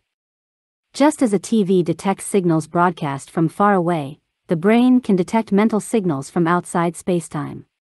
This would account for psychic experiences, whereby people access information they couldn't possibly know otherwise. A mountaineer reported an experience where both he and his female climbing partner were in serious trouble on a mountain. The woman subsequently died, but the man said that her spirit then guided him to safety. In the zone between life and death, we can break through into other states of consciousness. We can even speak to the dead. We all belong to a spiritual commonwealth, and we are capable of lifting the veil between the living and dead. Some of us have special TVs, so to speak, that allow us to detect channels that others, the overly sensing types, too locked into spacetime, can never see. Scientists refuse to accept mind slash soul slash spirit as a separate reality from matter. They are incapable of dropping out and tuning in. Eidolon Daemon. Picture by Gustave Doré. Image, feeling, logic. Logos thinkers tend to see the world in terms of logical propositions, binary divisions, and equations. Mythos people tend to perceive the world in terms of resonant images, powerful feelings, and story segments. Heart, gut, and the senses are where they're at. The Logos thinkers, on the other hand, are firmly bound to the rational mind. Logos and mythos individuals belong to different species. How they understand the world is radically different. They have no empathy and no sympathy with each other. How Adam came from Eve. Freud and Jung believed that the early human embryo is bisexual and later selects one sex or the other. It is now known that all embryos are in fact female, and male sexual characteristics develop from a female template. Although modern biologists are now aware that we were all female at the beginning, it will probably be a long time before the influence of these discoveries filters down to the level where theologians will be ready to consider an Adam out of Eve version of Genesis. June Singer. So much for Eve being made from Adam's rib. More like the other way around. The key male sex hormone testosterone plays a vital role in the sexual development of the fetus. Left-handedness, for example, is the result of excess testosterone slowing the growth of the left hemisphere in the developing fetal brain, meaning that the right hemisphere becomes dominant, and the right hemisphere controls the left side of the body. It has been speculated that autistic individuals suffered left brain trauma in the womb due to an abnormal response to testosterone, which then led to right brain dominance. People who have suffered strokes in the left brain have been known to undergo remarkable transformations and discover high level artistic, musical, or mathematical skills that were not in any way previously evident. The left hemisphere is normally considered the seat of language and logic, while the right hemisphere is the province of art, mathematics, and music. Autistic savants can show bewildering technical expertise in art, mathematics, and music while often being regarded as backward in language, logic, and empathy. The left brain is characterized as selective, focused, and methodical. It filters information to allow the big picture to be seen. The right brain, on the other hand, deals with all of the raw detail that is ignored or heavily filtered by the left brain. Ours is a left brain, big picture, society, but that doesn't mean it was always so. Julian Jaynes's radical hypothesis is that what we regard as modern consciousness is intimately connected to the evolving dominance of the left brain, and, particularly, to the development of language and writing. Before that, the right brain was in charge and what we regard as consciousness didn't exist. In fact, Jaynes speculated that human consciousness as we now understand it has existed for only about 3,000 years. In men, the right hemisphere is larger than the left. In women, both hemispheres are of equal size. Gay men have symmetrical brains like those of straight women, and homosexual women have asymmetrical brains like those of heterosexual men, i.e., their right hemispheres are larger than the left, but not quite to the same extent as in heterosexual men. Language circuits are thought to be more symmetrical in straight women than in straight men, hence women's generally superior language skills, and also their greater emotional intelligence, if we make a direct link between emotion and narrative and language skill. The wiring of the emotional brain centers of gay men more closely resembles that of heterosexual women than heterosexual men. Conversely, Lesbians have emotional wiring more like heterosexual men. Differences in prenatal concentrations of testosterone are thought to cause these sorts of brain alterations. It's often said that women are better at multitasking than men. This may well be true. Studies have shown that female brains engage both hemispheres in problem solving tasks, while male brains typically use one hemisphere or the other. Therefore, men can't seamlessly switch from one task to another. Depending on the task, they might actually have to switch hemispheric control entirely. Male infants are more interested in objects than in people, female infants are more interested in people than objects. Autism, a predominantly male condition, often involves an obsessive interest in objects and complete disregard for people. Female infants respond more readily to the human voice than do male infants, and they seem more interested in faces. In other words, women are more interested in people, hence have a higher emotional intelligence, while men have a higher interest in objects, which can translate into higher IQ, although other factors, aggression in particular, conspire to lower the IQ of many men. In general, males have better spatial and mathematical skills than females. Males typically have a superior ability to visualize a three-dimensional object. Then do females, and this naturally tends to lead to superior abilities in mathematical and geometrical reasoning. Males are also more skilled in motor movements than females, hence their superior skill at many sports. Females generally perform better than males in reading and vocabulary tests. They have superior language skills and are far better in all matters involving emotion and harmony. All diplomats ought to be female or gay. Many scientists are now starting to believe that almost all of our mental activity is unconscious, and consciousness is therefore just a surface phenomenon, the icing on the cake, or the tip of the iceberg. If this is true, then it's absurd to think of the world being guided by conscious forces. It's not. It's overwhelmingly driven by unconscious forces. That being the case, humans are actually more like autopilot creatures than conscious agents. They sleepwalk through life, much like animals. It's easy to imagine the bicameral past of humanity when humans weren't conscious at all and responded only to the grunted commands and directions of the alpha males of the group, when the alphas were physically present, and to various auditory and visual hallucinations concerning the alpha males, when the alphas were physically absent. If we want to consciously shape our world and direct our destiny, we have to switch as much processing as possible to our conscious minds. Logos is the primary tool of consciousness while mythos is full of unconscious content. If we want to become gods, we must become a logos human race, and leave behind our mythos inheritance. In Julian Jaynes's bicameral theory, the right hemisphere is dominant and the left hemisphere submissive. Consciousness, when it eventually appears, is associated with left brain dominance, mediated by language and logic, and the right hemisphere is submissive. Consciousness thus reverses the relative dominance of the hemispheres. We have associated logos thinking with the left hemisphere and particularly with the rational subjects of philosophy, science, and mathematics, and mythos thinking with the right hemisphere, and the irrational subjects of religion, art and music, and geometrical rather than algebraic mathematics also appears here. However, it's not quite that straightforward. In terms of the Myers-Briggs classification of personality, we can assign the following attributes to the left and right brain hemispheres. Left hemisphere, right hemisphere, thinking, feeling, sensing, intuition, judging, perceiving, extroversion, introversion, dominant, submission, analysis, synthesis.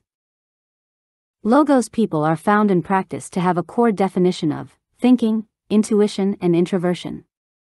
Mythos people, on the other hand, have a core definition of feeling, sensing, and extroversion. Therefore, the Logos mind is certainly not exclusively about the left brain. In many Logos people, the mind might reflect a greater right brain than left brain influence. Many aspects of mathematics belong to the province of the right brain, but virtually no one other than professional mathematicians gets emotional about mathematics. Mathematics, in many of its facets, is actually a right brain intuitive phenomenon. In fact, mathematics is the intuitive subject par excellence, because the whole of existence is mathematical. Every part of us is unconsciously and intuitively mathematical. It's the feeling part of the human psyche that dislikes mathematics because mathematics seems to have nothing to say to the emotions, although, feelings are mathematical signals. And functions like everything else. Mathematics is syntax and feelings are semantics. It would be valid to refer to logos humans as INT, and mythos humans as ESF, rather than logos humans as left hemisphere dominant and mythos humans as right hemisphere dominant. Or, using the triune brain model, logos humans are brain 3, neocortex, dominant while mythos humans are brains 1, brain stem, and 2, limbic system, dominant, i.e. logos humans are cerebral, and mythos humans are emotional and instinctual. The core difference, however, is always between reason, logos, and feelings, mythos slash pathos. Mythos people subordinate language to feelings and create emotional narratives. Logos people subordinate language to reason and turn to philosophy, science, and mathematics. Logos is full of numbers.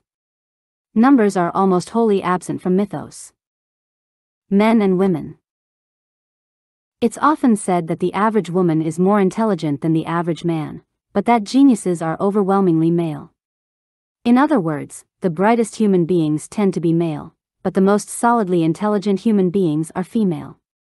Many men are astoundingly unintelligent. With women, you get a far more uniform experience.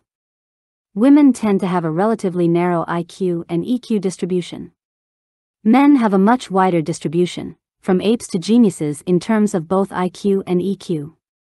A small number of men, the roll call of philosophical, scientific, mathematical, artistic, and literary geniuses, are almost godlike in their abilities.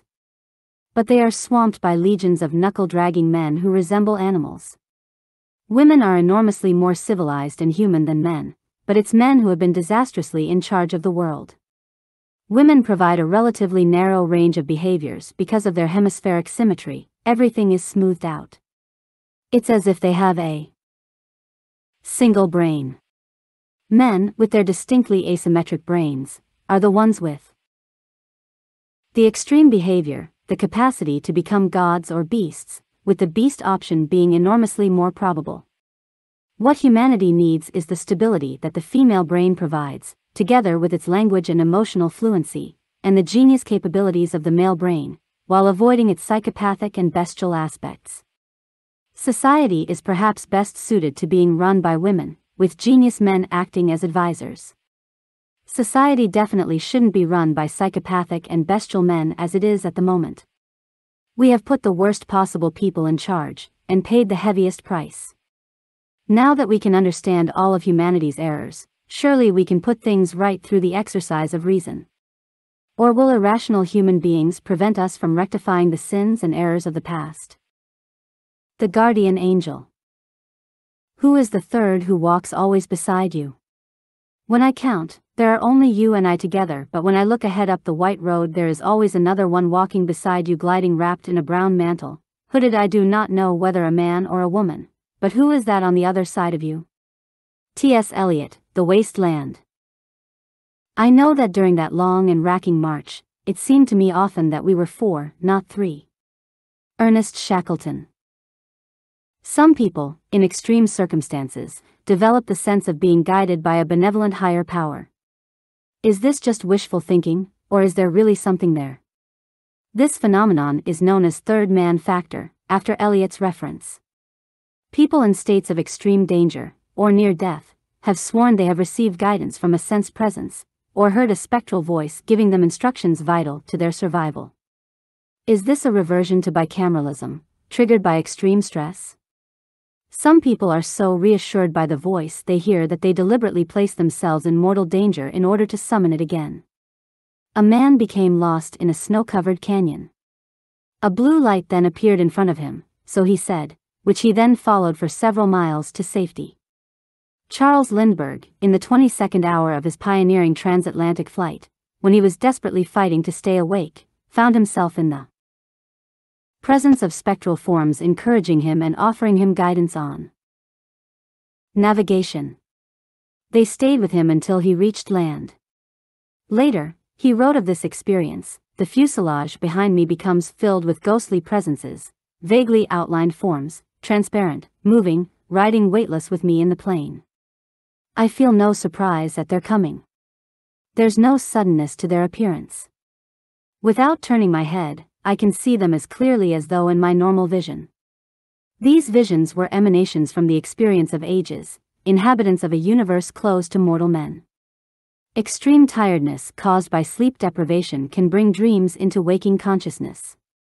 Was Lindbergh simply experiencing a waking dream? Are schizophrenics those who enter a state of continuous waking dreaming, where they can't distinguish reality from the dream state?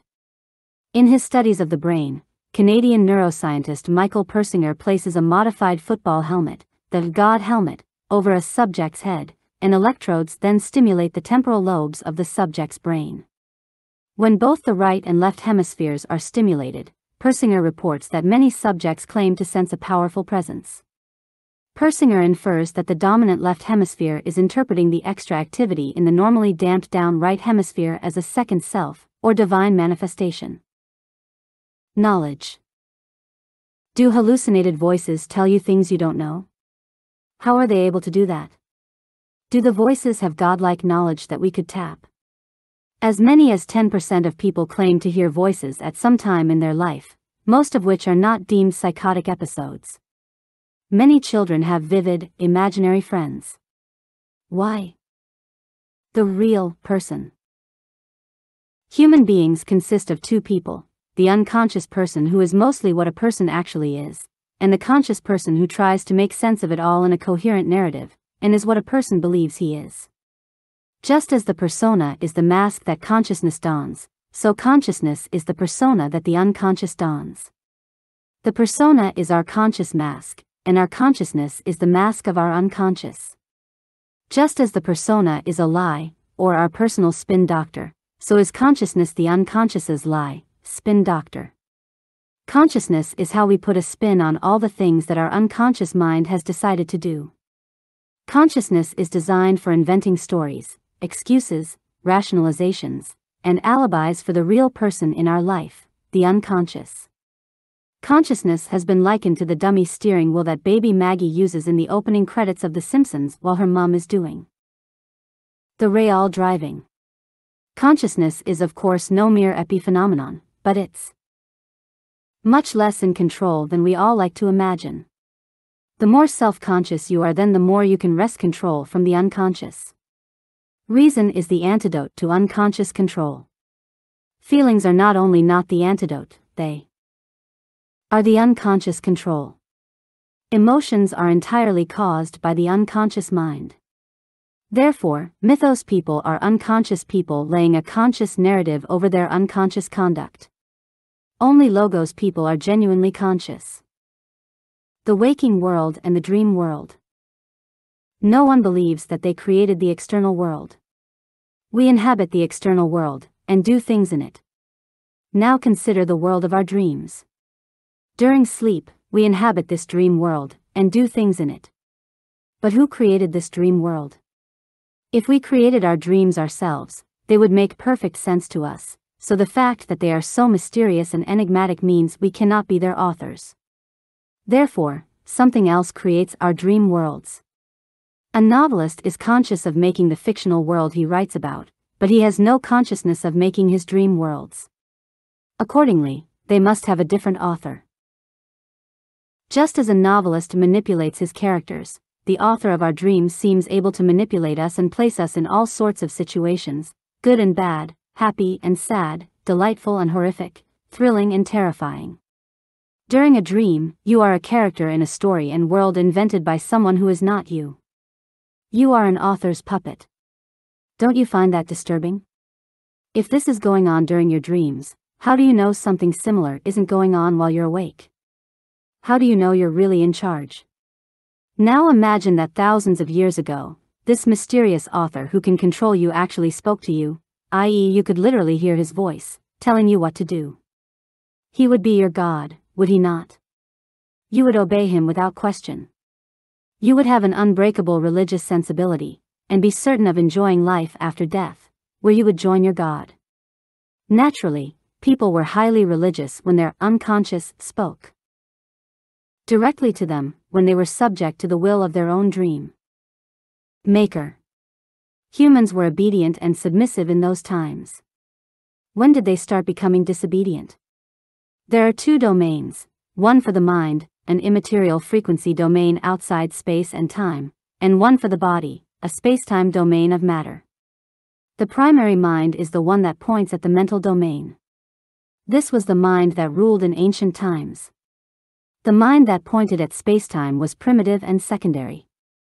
It was much more sensory, and much less intuitive. As humanity evolved, its relationship with the spacetime domain became stronger and stronger, and its relationship with the frequency domain weaker and weaker. Eventually, dominance switched from the frequency mind to the spacetime mind, and the frequency mind fell silent, becoming the unconscious. That's where we are today. 3D versus 2D.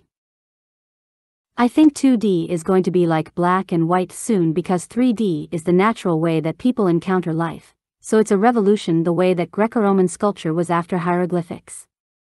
Sigourney Weaver. The point of cinema is not to replicate real life, how tedious that would be. But to create the perfect mythos space, i.e., the ideal inner space, story. Space, hyperspace, where we are taken out of our humdrum daily lives and immersed in a perfect story that elevates us, inspires us, motivates us, renews our energy, and sends us out into the real world on our quest for our own holy grail. It is by no means apparent that 3D enhances the mythos world, except in rare and particular circumstances where the medium matches the message. In fact, 3D can easily get in the way. Having to wear 3D spectacles is an imposition, a distraction. We are aware of being watchers in an artificial environment. Our ability to suspend our disbelief is undermined. And, let's face it, most 3D movies, like most 2D movies, are dreadful. It's a mistake to imagine that more and perfect reproduction of reality leads to a better and better movie experience. We're not there, in the cinema, for reality. We're there for fantasy, for mythos. Narcolepsy. Sleep transfers dominance from the spacetime mind, consciousness, to the frequency mind, the unconscious. The conscious mind becomes passive. It enters the world of the other mind, and has no control over what happens, except if it is highly trained to engage in lucid dreaming. People believe that the brain is taking a rest when it sleeps, but measurements show that at certain periods during sleep, the brain is more active than during waking. People suffering from the condition of narcolepsy fall asleep many times a day, often at the most inconvenient and embarrassing moments. Some victims are prey to paralyzing attacks. They fall to the ground and are unable to move. They suffer a total loss of muscle control, causing complete paralysis. They can see and hear everything, but can't move a muscle. These are called cataplectic attacks. Bizarrely, these attacks are often brought on by shows of strong emotion, so some victims strive to avoid laughing and crying, being angry, happy, or sad. Sleep for these people is restless and often punctuated with vivid nightmares. One victim reported that he could hear his surroundings while seeing terrifying hallucinations. He said he was awake yet still dreaming. The neurotransmitter orexin is vital in keeping you awake, keeping you alert. A neurotransmitter is a chemical signal that a cell releases to communicate with another cell. There are many neurotransmitters. They are the signals the brain sends out to switch on and off all of our various functions. Different neurotransmitters enable the brain to control speech, movement, and even emotions. Orexin is a neurotransmitter found only in the hypothalamus. It has been found that narcoleptics have just one tenth of the cells that produce orexin compared with normal people. At night, our body clock stops our hypothalamus producing orexin, and thus we go to sleep. In the morning, orexin production starts up again, and we awake. If we had a constant supply of orexin, we might never go to sleep. With no orexin, we would be asleep all the time. With insufficient amounts of the vital neurochemical, narcolepsy is the result. Sleep isn't about rest if the brain can often actually use more energy than when awake. But, of course, it's not the brain that is going to sleep. In fact, nothing is sleeping. What is happening is that primary mental processing is being switched from the spacetime mind to the frequency mind. Both minds are active at all times. Sleep means that the spacetime mind is no longer engaged with the external world of spacetime. Instead, it is now interacting with the internal mental world created by the frequency mind. When the spacetime mind was much less powerful than it is today, the frequency mind had a much more prominent role, in the manner envisaged by Julian Jaynes. Our spacetime mind in the waking state could, back then, easily have been as passive and obedient as it is when we are dreaming. Without orexin, people cannot control their sleep. When orexin floods into our brains, it wakes us up. But what happened before orexin arrived on the scene? All life must have been asleep, like plants. Dr. Jerry Siegel said, Orexin controls a broad spectrum of wake promoting systems in the brain. It has direct connections to many different systems and it excites them very strongly and at the appropriate time orexin is released in higher amounts and this causes arousal. Orexin is able to activate all your arousal systems, so it's an important component of keeping you awake, keeping you alert and preventing you from having any lapses in attention. It's orexin that keeps you awake. Without it, you would never wake in the first place. Production slows down at night and speeds up in the morning. We can think of orexin in other terms, as the chemical that wakes our spacetime mind. Without it, our body would be asleep, and our frequency mind would be in total control. In death, there is no orexin. Saving the world? If an alien species threatened to exterminate humanity unless we could prove our worth to the universe, we would present them with all of our greatest logos achievements, and our highest art. But the aliens would nevertheless immediately wipe us out, for being such shameless liars. Humanity is not truly represented by its logos achievements and high art.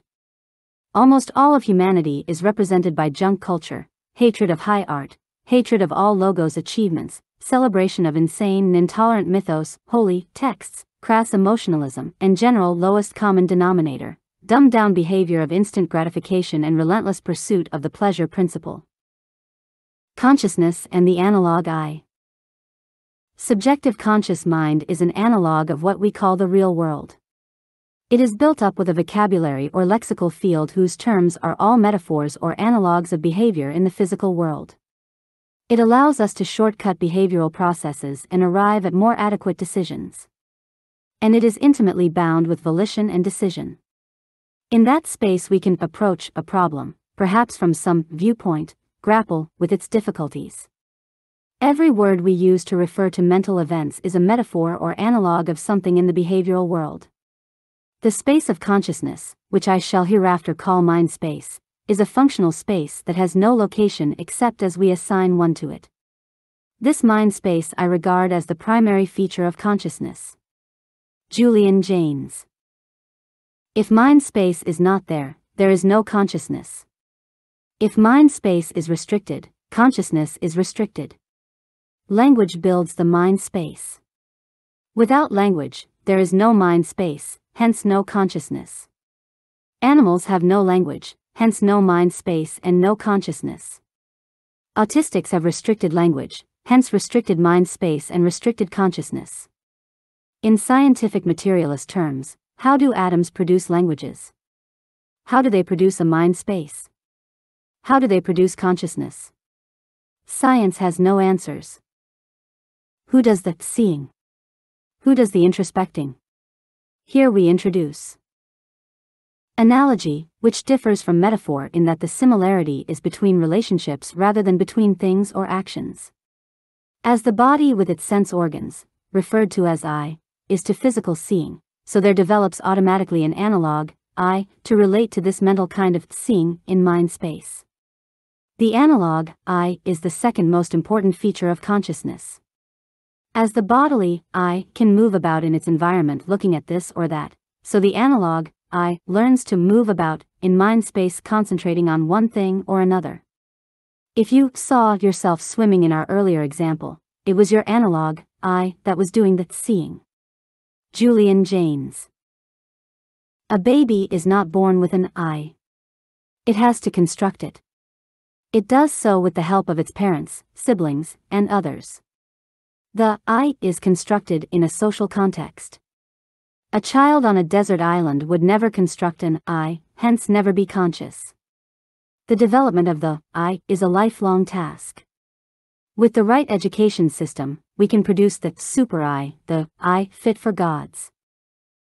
A third feature of consciousness is narratization, the analogic simulation of actual behavior. It is an obvious aspect of consciousness, which seems to have escaped previous synchronic discussions of consciousness. Consciousness is constantly fitting things into a story, putting a before and an after around any event. This feature is an analog of our physical selves moving about through a physical world with its spatial successiveness, which becomes the successiveness of time in mind space. And this results in the conscious conception of time, which is a spatialized time in which we locate events and indeed our lives. It is impossible to be conscious of time in any other way than as a space. Julian Jaynes Autistics have profound difficulties with language, communication, empathy, and theory of mind, the notion that other people have their own minds, with their own thoughts. It's fascinating to apply Jaynes's mind space scheme to autistics. They seem to suffer from an enormously shrunken, or non existent, mind space. The Sally-Ann test is one way of diagnosing autism. A child is told that a girl called Sally put a marble in a basket, then left the room. While she was gone, another girl called and removed the marble from the basket and put it in a box, at which point Sally returned to the room, not having seen the switch. The child is asked, Where will Sally look for her marble? Normal children know that Sally will expect to find it where she left it, so they say the basket. Autistic children say, In the box, because that's where the marble literally is. They are unable to appreciate that Sally did not know that the marble had been moved. They could not put themselves in her shoes and see the world from her perspective. Autistics do not seem to have a mind space where they can carry out these exercises. They are locked into the literal world of physical space. In the Sally-Ann test, we see that the autistic is fixated on where the object actually is in physical space, and is unable to conceive that in the mind space of Sally, the object is where she last left it, not where it is now. They are unable to deal with the two spaces, physical and mental, which have no necessary connection. We can easily imagine activities in our mind space, such as flying, that cannot happen in physical space. Objects can be located in one place in someone's mental space, but somewhere else entirely in physical space. We can create objects, such as unicorns and elves, in mind. Space that can never exist in physical space. Mind space can reflect physical space, but can also be radically different. For autistics, mind space is treated as exactly the same as physical space, so whatever is true of physical reality must be true of mental reality too. Therefore, if the object Sally wants is located in the box, Sally must know this, so the autistic reasons. But, of course, Sally does not know this. Can you imagine how weird the world must be for autistics when they try to communicate with normal people? Because autistics have no comprehension of mind space, and how radically different it can be from physical space, they are permanently baffled when people do not know things that, in the autistic's opinion, they ought to know. They can't comprehend normal people referring to unobservable things in mind space. It's as if all normal people are conspiring against them, and speaking some weird, alien, cryptic language, all talking in an unbreakable code. Autistics thus become more and more withdrawn and difficult. They like routine and can't stand things changing. They hate meeting strangers. They have extremely little imagination and intuition. They can't narratize effectively, because that requires a mind space and adequate language skills.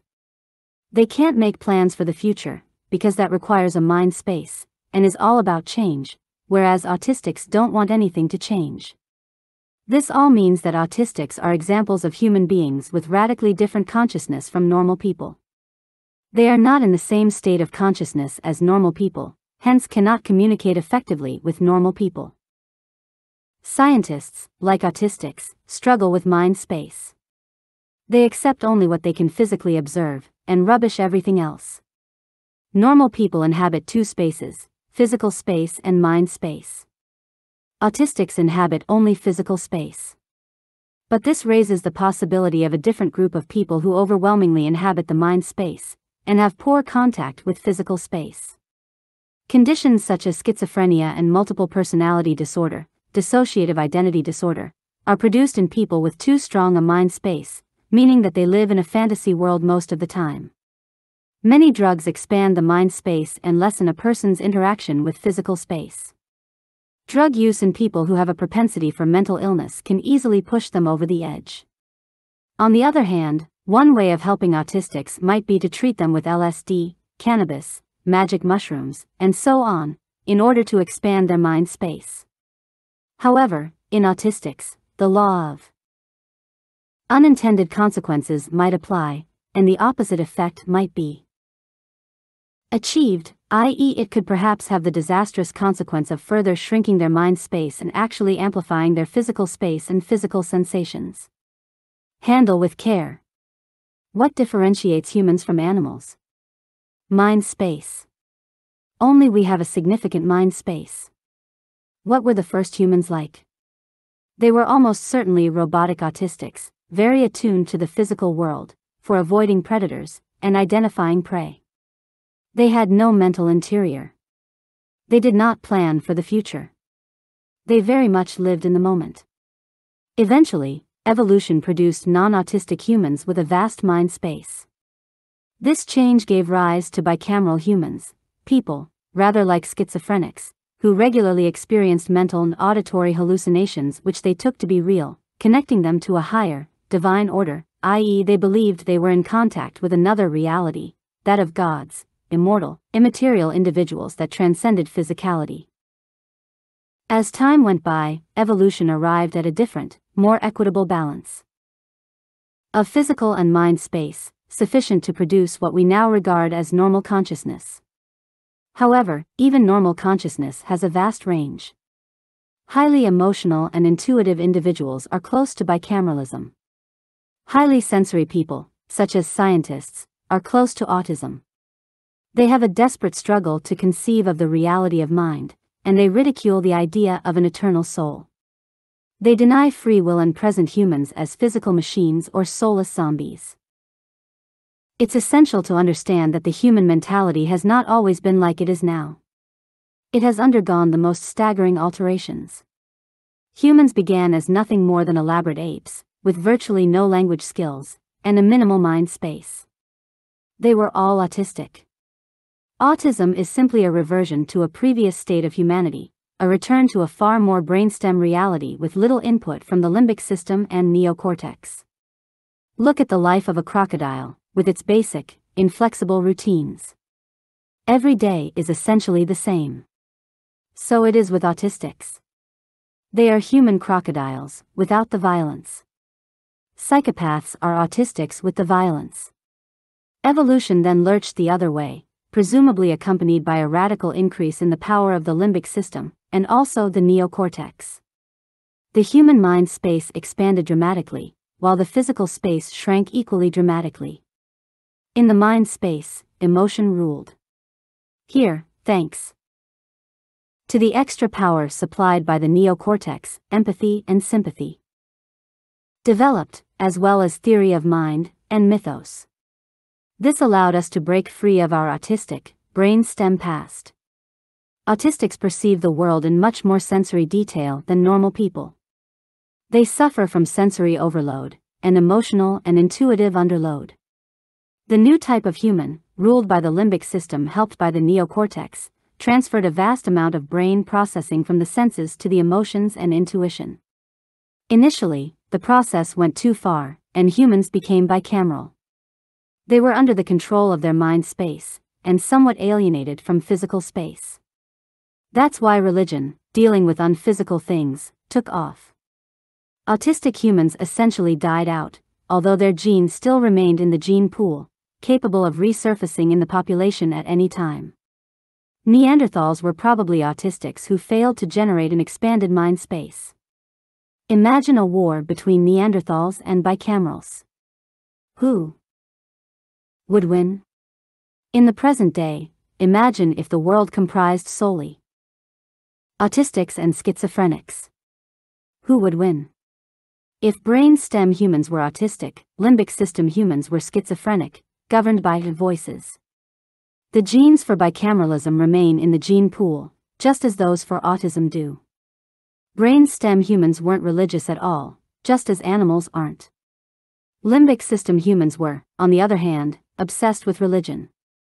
Then came the third radical change the rise and increasing dominance of the neocortex, no longer the mere servant of the limbic system, and the birth of reason, logic, math, science, and philosophy. Ancient Greece was ground zero for new humanity. However, the Greeks were overly theoretical and lost out to the Romans, who adopted Greek culture, but with a far more practical bias. The Roman Empire spread the new neocortex mentality around the world. By now, the bicameral voices could no longer be heard, but the gods were not forgotten. It wasn't until the Enlightenment that some people felt they could do without gods entirely. Science became the new god, but this was something of a return to the old autistic mentality. Again, physical space became dominant while mind space was regarded as absurd. Mind space went missing for many years, then was brought back as the unconscious and studied by psychologists. When the Spaniards encountered the Aztecs and Incas in the 16th century, they were effectively neocortex humans versus bicameral humans. All of human history has been a clash of different mentalities, whether autistic, bicameral, or modern consciousness. Today, we have scientific atheism, a reflection of autism, versus religious fundamentalism, a reflection of bicameralism. Muslims seem extraordinarily bicameral.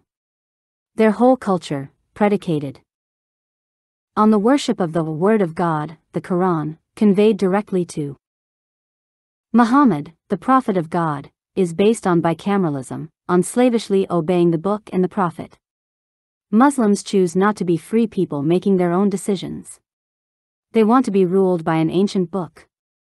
The same is true of Jews, Christians, Sikhs, Hindus, Buddhists, and Taoists. Humans find it so hard to understand each other because they are literally in different, incompatible mind states.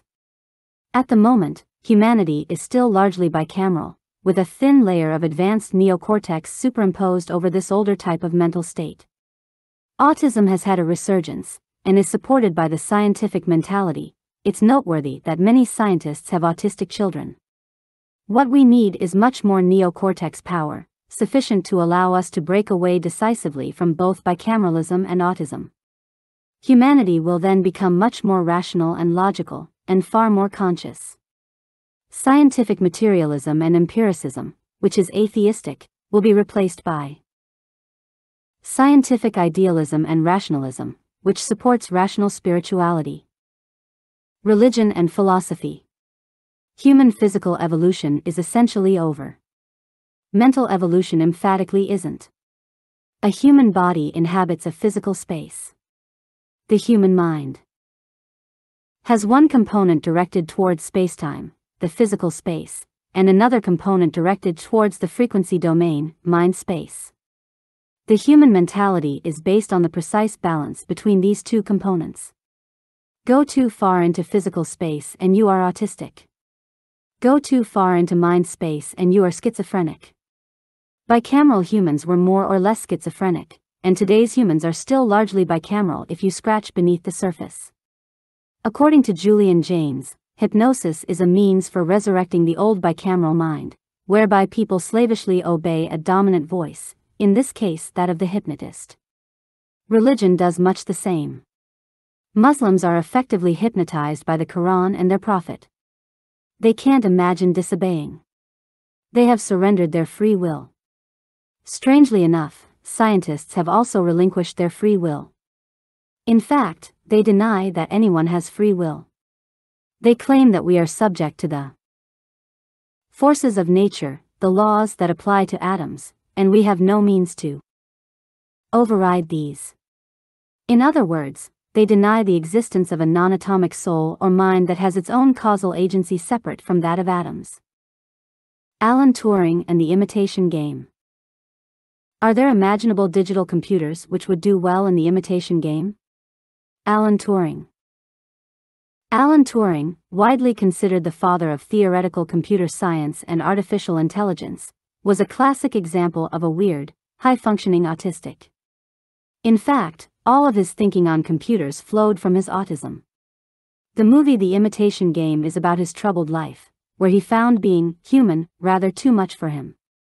In a scene set at Sherborne Private School, his only school friend Christopher Morcom describes cryptography to him as concerning messages that anyone can see, but no one knows what they mean, unless you have the key. Turing asks, How is that different from talking? When people talk to each other, they never say what they mean. They say something else. And you're supposed to just know what they mean. Only, I never do. How's cryptography different? This is a classic statement by an autistic. Normal humans communicate via a mind space that they all understand. Autistics do not have any access to this neurotypical mind space, or any understanding of it.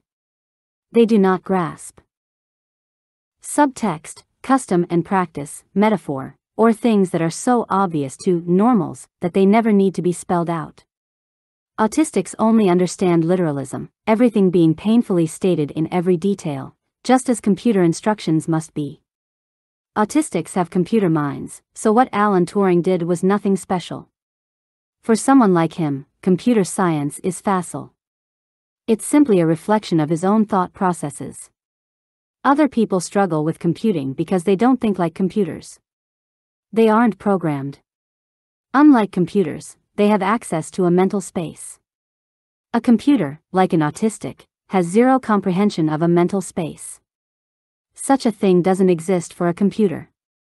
No computer could ever imitate a human being because no computer could ever have access to a mental space. However, a computer could certainly imitate an autistic, and vice versa.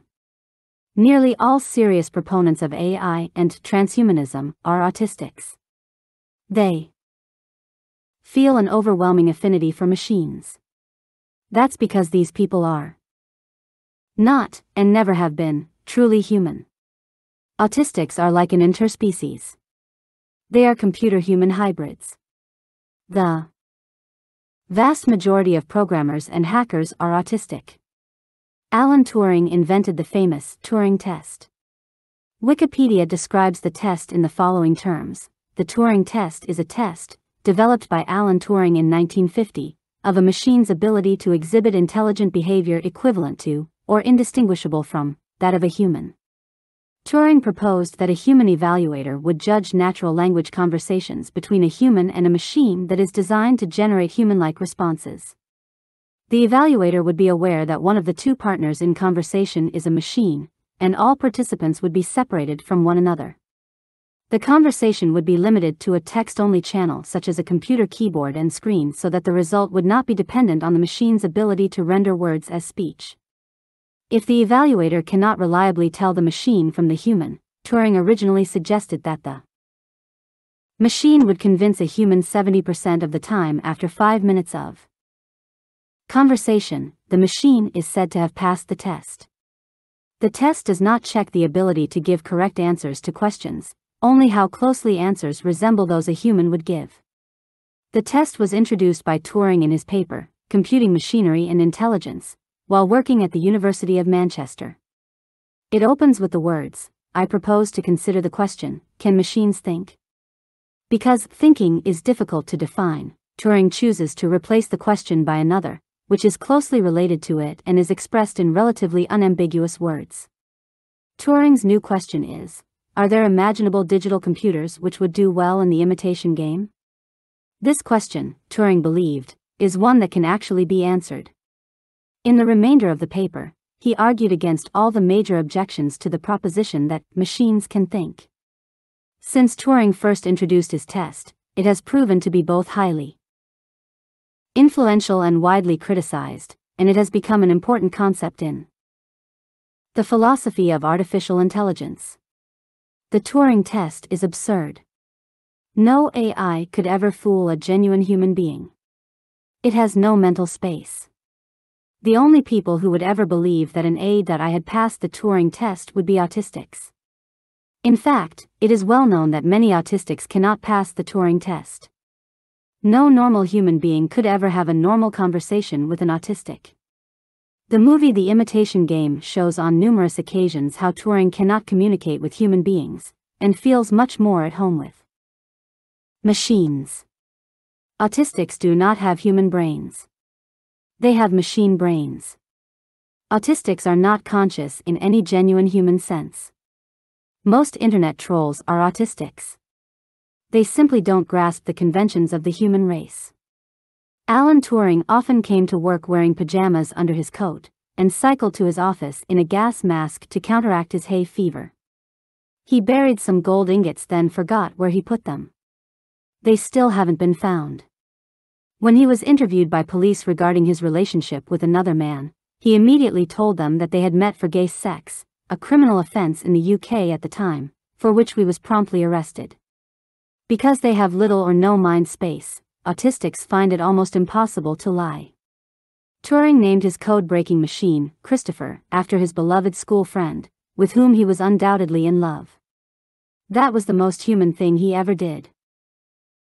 Turing proved that his universal computing machine would be capable of performing any conceivable mathematical computation if it were representable as an algorithm. Wikipedia Humans are not universal computing machines. Humans can think without using algorithms. Autistics can't. Autistics are as baffled by normal human beings as an algorithmic machine would be. It's supremely ironic that Turing should have conceived of the imitation game, whereby machines can supposedly imitate humans, but not so as to convince any actual human. After all, as an autistic, Turing himself was a human imitator. Autistics are not human. They are biological humans, but they are not mentally human, and the mind, not the body, is what is most characteristic about humans. Autistics have machine minds. They might be considered as people who have had their limbic system, imagination, and intuition surgically removed. They are nothing but a brain stem connected to a neocortex. There's a great deal of speculation about why Turing killed himself. Normally, his homosexuality is implicated. In fact, he probably realized the futility of trying to imitate a human when you are not human. The angel experiment is about converting humans into angels, i.e., beings with an even bigger mental space. The Turing experiment is about converting humans into machines, entities with no mental space at all. Modern science despises the mind, the mind space, and the concept of free will. Science has bought Turing's agenda hook, line, and sinker. Science is inhuman, anti-human, and the enemy of humanity. It supports a machine society full of machine people. We must overcome science. We must overcome Turing and his ilk. The autistics will never rule our world. Equals equals equals equals equals. It is the very people who no one else imagines anything of who do the things that no one else can imagine. Alan Turing, The Imitation Game. For sure, no one would expect an autistic to do anything a human could not imagine, except in the field of computing in AI where imagination is redundant, and algorithmic thinking rules all. Humans can't imagine the machine world. Autistics can. They're already part of it. Thanks to Turing, the second half of the 20th century and the beginning of the 21st century have seen an enormous amount of power and influence being transferred away from humans and towards autistics, human machines. Globalization is an autistic project. Most of the leaders of the technology movement that is disastrously redefining our world are autistic. Their rise is a catastrophe for genuine human beings. When is humanity going to wake up to the danger? We are sleepwalking into the Terminator world. The autistics will one day start planning the extermination of normals. Turing, to borrow a phrase from Shakespeare, was hell's black. Intelligencer. Turing wasn't a hero. He was a monster, and his work threatens us all. The quality of human life is being destroyed by technology that is converting humans into machines right in front of our eyes. humans have stopped physically interacting. All they do now is stare into screens all day long, and carry around smartphones as if they were the most precious objects on earth. Where is their humanity? We must resist the machine world and embrace the angel world. We must expand the mind space until we are gods. We shall never do so via machines, which have no mental space at all. The bizarre interpretations of reality produced by scientists are those conceived by autistic minds. They have no connection to true reality. The real world is mental, not physical, i.e., the exact opposite of what scientists claim. This is not a materialist universe, it's an idealist universe. Everything begins and ends with mind, not matter. However, autistics will never grasp this. That's their tragedy. Science, like computing, is a primary bastion of autism. We cannot continue to allow autistics to misinterpret reality as if it were a dead machine rather than a living organism. Nietzsche wrote, The snake which cannot cast its skin has to die. As well, the minds which are prevented from changing their opinions, they cease to be mind. Machines can't change their minds. That's why they're machines. Autistics can't change their minds either. The overthrow of religion by science was simply the overthrow of bicamerals by autistics. Is that an improvement? We need a new world, ruled by the autonomous, by the angels. The Autism Wars. The Autism Wars are coming. Humanity will have to decide if it wants to follow the transhumanist, machine agenda of scientific materialism, computer science, and AI, or the mind expanding pursuit of our angelic and divine heritage. We are not humans masquerading as machines. We are angels in the guise of humans. Autistics are those without any angelic component. The gods have abandoned these people. That's why autistics love machines so much. Autism campaigner Suzanne Wright stated that families dealing with the condition are not living, they are existing. Autistics destroy families. They wreck lives. Autism is on the rise everywhere. Gadgets designed by and for autistics are changing the nature of humanity. Humans are merging with their technology. Machines can't become angels and gods. Put away your gadgets and toys. Find your spiritual wings. It's not a deficiency of matter you suffer from, it's a deficiency of mind. Your mind is infinite. Only mind is divine. The Language Game Rabbi Jonathan Sacks, in his book The Great Partnership God, Science, and the Search for Meaning, made a number of fascinating suggestions. He observed that all languages that do not include symbols for vowels in their alphabets, Hebrew, for example, take a right to left path across the page, while languages written in an alphabet that does include symbols for vowels, Greek, for example, go in the opposite way, from left to right. Sacks suggests that there are right brained languages, Arabic, Hebrew, and all Semitic languages, which are written without vowels, and left-brained ones, Greek and all other European languages, which have vowels. As for Chinese, characters are written from top to bottom and from left to right. Although language abilities are normally located in the left hemisphere, it seems fair enough to conjecture that left to right languages activate the cortical hemispheres in a different way from right to left languages, just as Sacks suggests. Imagine if every human being were brought up with two languages, a left to right and right to left language. Would that bring about better hemispheric balance? It's said that the grammar, syntax, and vocabulary of any language are the province of the left hemisphere, while intonation and figurative meanings are the province of the right. Sacks maintains that Hebrew is a right brained language, because to understand the meaning of the word you have to understand the total context in which it occurs. Greek, he says, was the first language to be written left to right, which activates the left brain which allows you to understand word by word what each word means. It's fascinating that almost exactly the same moment as this left brain alphabet appears, 5th, 6th century before the Christian era, so does the left brain thinking, namely the philosophy and the science of the pre-Socratics, and you get Greek developing this very analytical atomistic way of thinking which is very similar to Richard's, Dawkins, culminating in Epicurus who believes in only material realities and testable entities. The trouble is, that didn't last very long, whereas the Jewish people and the Hebrew religious values which it gave rise to have lasted now for 4,000 years. Sacks goes on to say, and what made Europe happen, and made it so creative is that Christianity was a right-brained religion, its founder was a Jew living in Israel, translated into a left-brained language, because all the early Christian texts are in Greek. So for many centuries you had this view that science and religion are essentially part of the same thing, the same way of thinking. The most ancient languages are bicameral languages, reflecting right hemispheric dominance. More recent languages are conscious languages, reflecting left hemispheric dominance. Human was bicameral while it used right to left languages. When it adopted left to right languages, it became conscious. Left to right languages silence the gods. Right to left languages reawaken the gods. Science is a subject heavily geared towards physical space and atheism.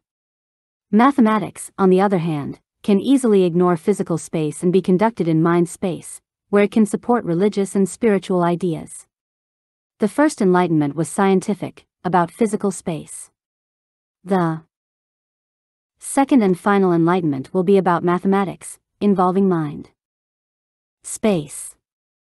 Mind space. Are the characters in the Iliad narratizing with an analog, I, in a mind space and making decisions in this way? If you take the generally accepted oldest parts of the Iliad and ask, is there evidence of consciousness? The answer, I think, is no. People are not sitting down and making decisions. No one is. No one is introspecting. No one is even reminiscing. It is a very different kind of world. Then, who makes the decisions? Whenever a significant choice is to be made, a voice comes in telling people what to do. These voices are always and immediately obeyed. These voices are called gods. To me, this is the origin of gods. I regard them as auditory hallucinations similar to, although not precisely the same as, the voices heard by Joan of Arc or William Blake. Or similar to the voices that modern schizophrenics hear similar perhaps to the voices that some of you may have heard. While it is regarded as a very significant symptom in the diagnosis of schizophrenia, auditory hallucinations also occur in some form at some time in about half the general population, Posey and Losch, 1983. I have also corresponded with or interviewed people who are completely normal in function but who suddenly have a period of hearing extensive verbal hallucinations, usually of a religious sort. Julian Jaynes. You are a person that inhabits the physical space. Your I exists in the mind space. In the mind space, you make your plans, you consider your options, you think of other people, who are not physically present, you have dreams, hopes, fears, and so on. None of these things is happening in the physical world. Only when you have made your decision, in mind space, about what action you are going to take, does your action get translated into the physical world, thus banishing all of the other mind space options that you chose not to carry out. Autistics, lacking mind space, spend far less time pondering what to do than normals. Animals don't spend any time choosing what to do. They simply do. Verbal hallucinations are common today, but in early civilization I suggest that they were universal. This mentality in early times, as in the Iliad, is what is called the bicameral mind on the metaphor of a bicameral legislature. A metaphor is composed of a metaphrand, the thing to be described, and a metaphier, a familiar thing you can use to describe the metaphrand, dot. It simply means that human mentality at this time was in two parts, a decision-making part and a follower part, and neither part was conscious in the sense in which I have described consciousness. Human beings can speak and understand, learn, solve problems, and do much that we do but without being conscious. So could bicameral man. In his everyday life he was a creature of habit, but when some problem arose that needed a new decision or a more complicated solution than habit could provide, that decision stress was sufficient to instigate an auditory hallucination. Because such individuals had no mind space in which to question or rebel, such voices had to be obeyed. Julian Jaynes. Your I is a mental construct operating in a mental space. This is what carries your consciousness. An animal doesn't have a mentally constructed I, so isn't conscious. An autistic person has a radically restricted, so has very different consciousness from a normal human being. Above all, autistics are not able to place representations of the I of other people in their mind space and reflect on these others in order to solve problems such as the Sally-Ann test. The reason they can't do this is that they are dealing with a vastly expanded physical space in comparison with normal people, i.e., they see enormously more physical detail than normal people, and this has the effect of nullifying their mental space. There just isn't enough brain processing power for handling a large physical space and a large mind space. The latter is shrunk to make way for the former. In normal people, the former is reduced to allow for an expanded mind space. Normal people stare at faces much more than autistic people do. So that they can better simulate the I of the other person in their mind space. They are alert to every gesture and what it might signify. An autistic doesn't care. He's no more interested in a face than a table or chair, it's just another object in the physical world. It's not a portal to mind space as it is for a normal person. Shakespeare said, The eyes are the window of the soul. Those who do not gaze into eyes are soulless, and have no interest in souls. This is one of the reasons why autistics are so poor at communication and have such difficulties in social situations. When you are asked to remember the details of your life, it's not your physical self that's doing the remembering, it's your constructed, I, in mind space. It remembers what it did in the past, and it contemplates what it will do in the future. It builds a continuous narrative around itself. In terms of Jungian personality types, sensing types are on the autistic spectrum, while intuitives are on the schizophrenic spectrum. Thinking types are on the autistic spectrum if they ally their thinking to sensing, as scientists do, and are on the schizophrenic spectrum if they ally their thinking to intuition, as many philosophers and mathematicians do. The same is true for feeling types. A feelings person who allies his feelings to his senses is very different from a feelings person who allies his feelings to intuitions. The former are nature lovers who thrive on interacting with the physical world, the latter are poets and mystics who love contemplating interior worlds. With the analog I, we are looking out at the world from the mental construct that carries our consciousness.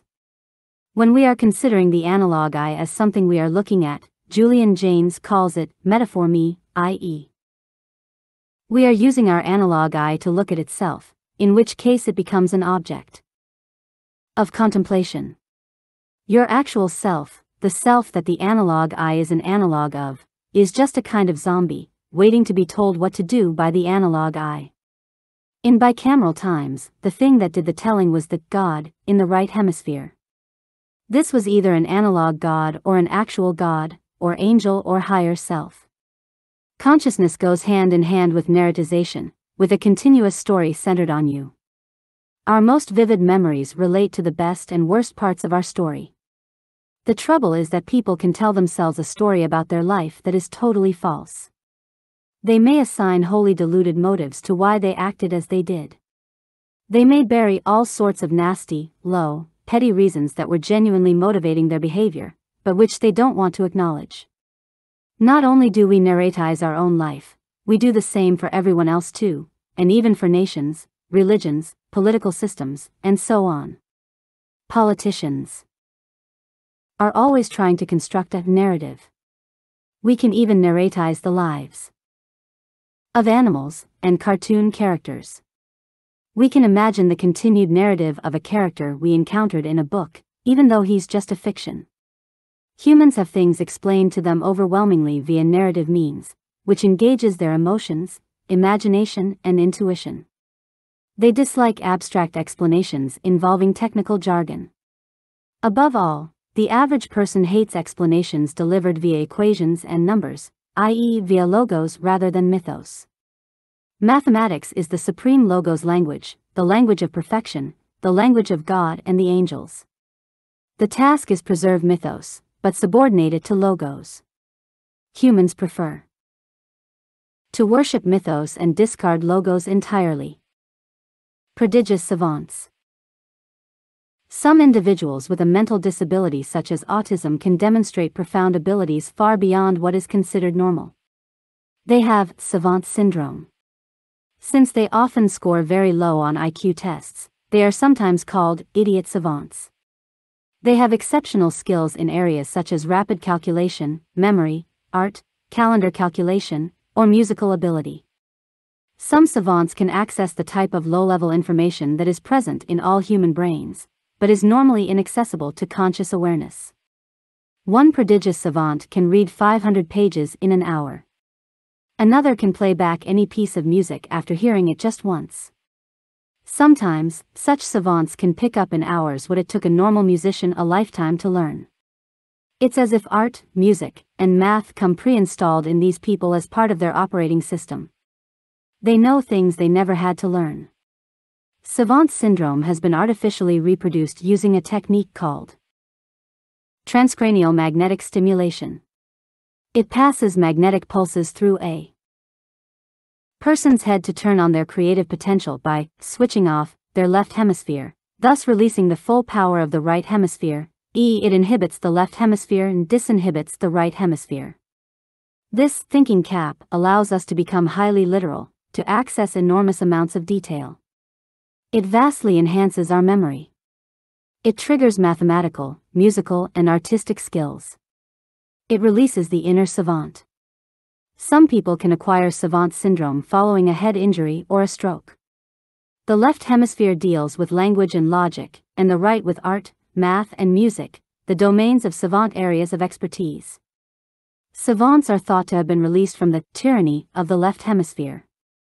In the fetal brain, the right hemisphere finishes its development ahead of the left. Because the left takes longer, it remains susceptible for longer.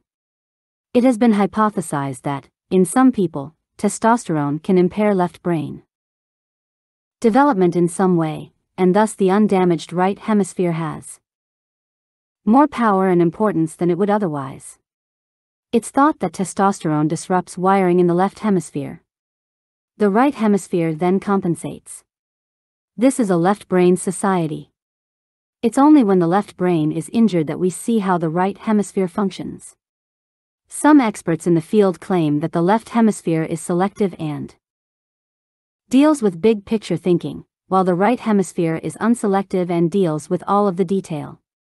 The left hemisphere inhibits, filters, and processes the detail. If we could shut off the left brain temporarily, so the hypothesis goes, we could release right wing creativity in anyone.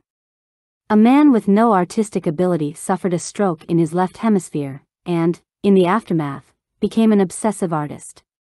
Could we find a reliable, convenient technology that makes normal people far more artistic and mathematical by stimulating their right hemisphere and temporarily inhibiting their left hemisphere? The birth of the bicameral mind.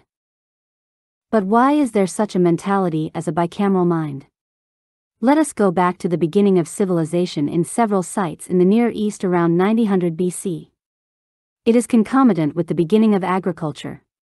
The reason the bicameral mind may have existed at this particular time is because of the evolutionary pressures for a new kind of social control to move from small hunter-gatherer groupings to large agriculture-based towns or cities.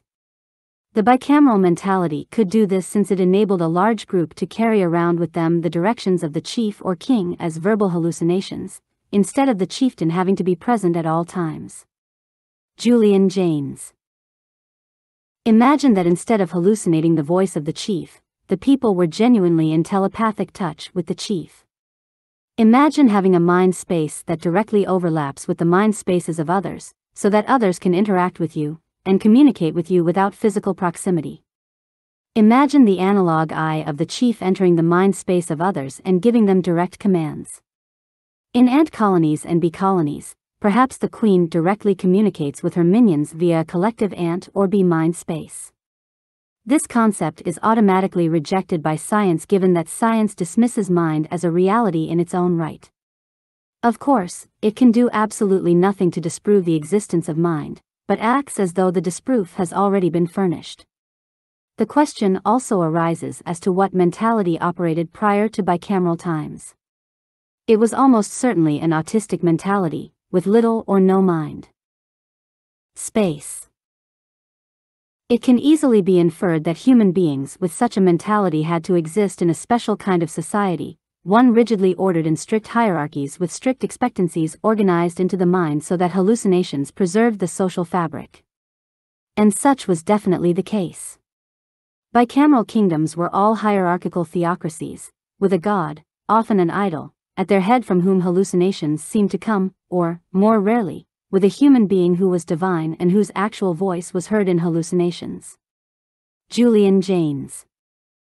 Is humanity really so different today? We are still tremendously hierarchical. We have kings and queens, popes and bishops, presidents and prime ministers, CEOs, and celebrities. People go to a workplace where they have a whole hierarchy of managers whom they feel compelled to obey. We internalize the values of society and conform to them even when no one is around.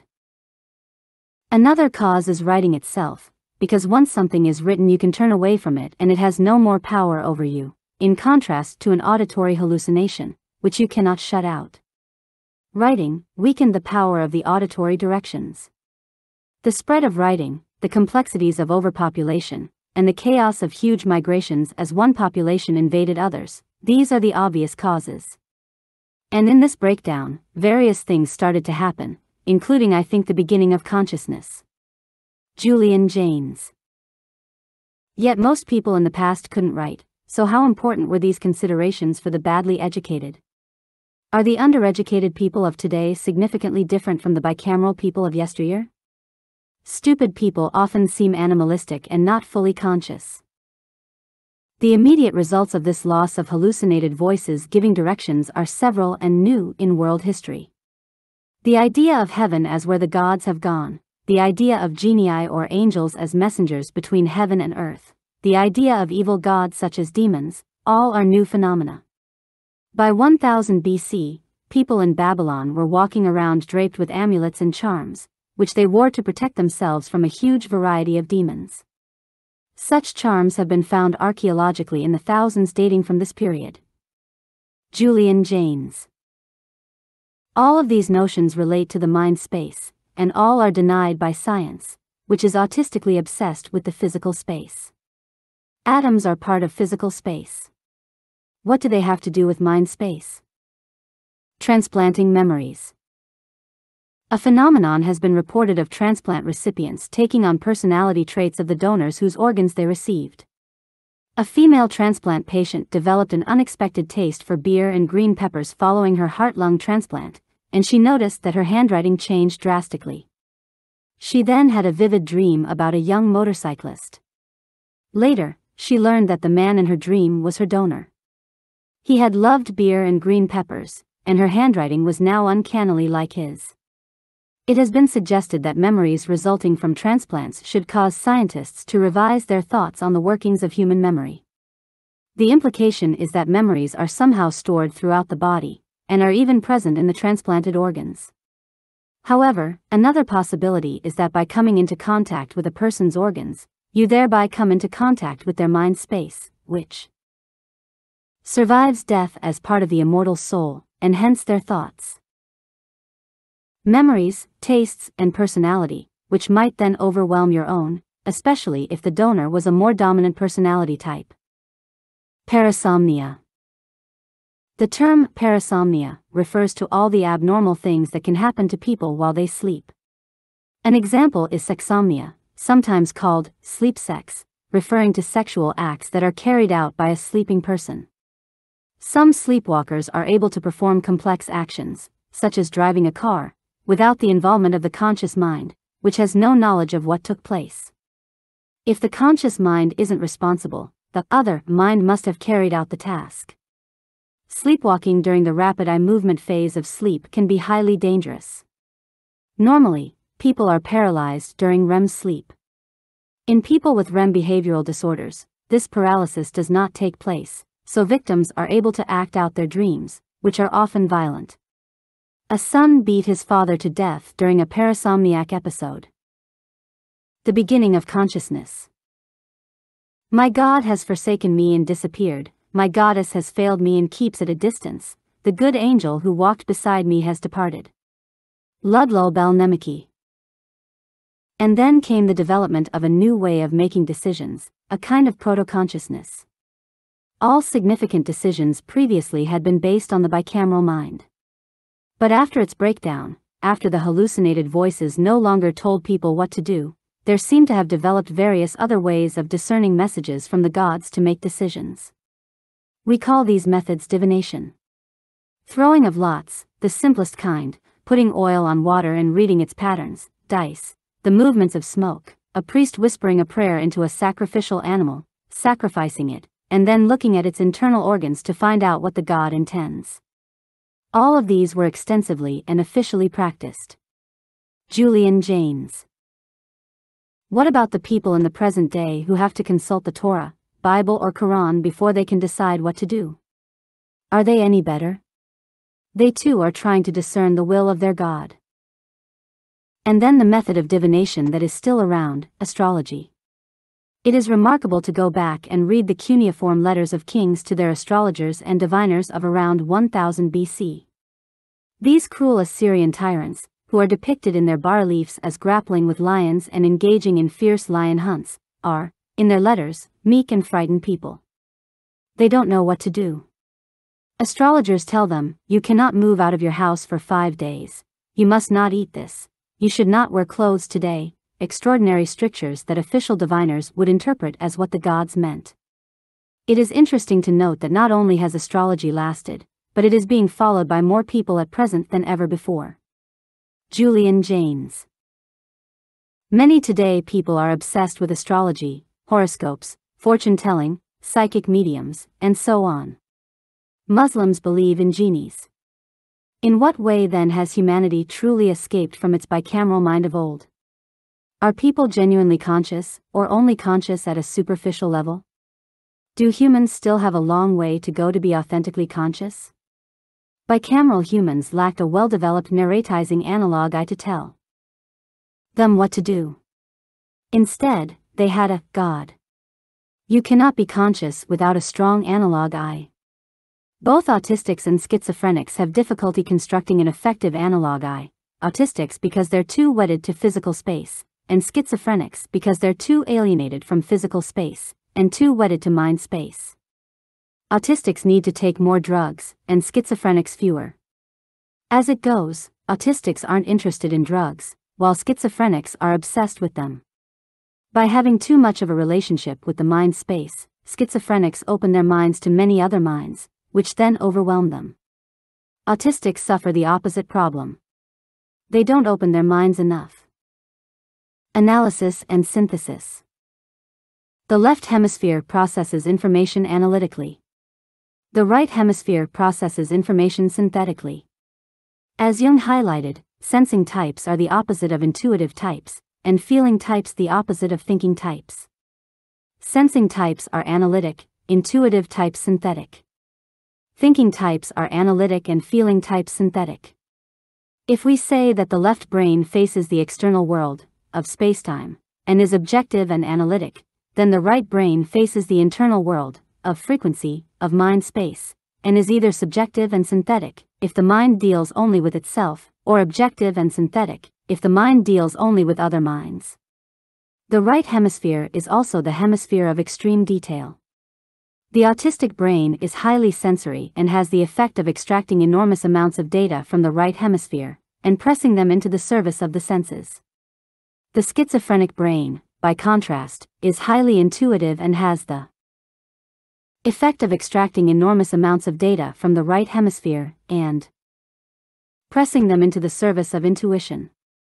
So, autistics are extremely good at reading the sensory world, while schizophrenics are extremely good at reading the non-sensory world of intuition, which means tuning into the minds of others.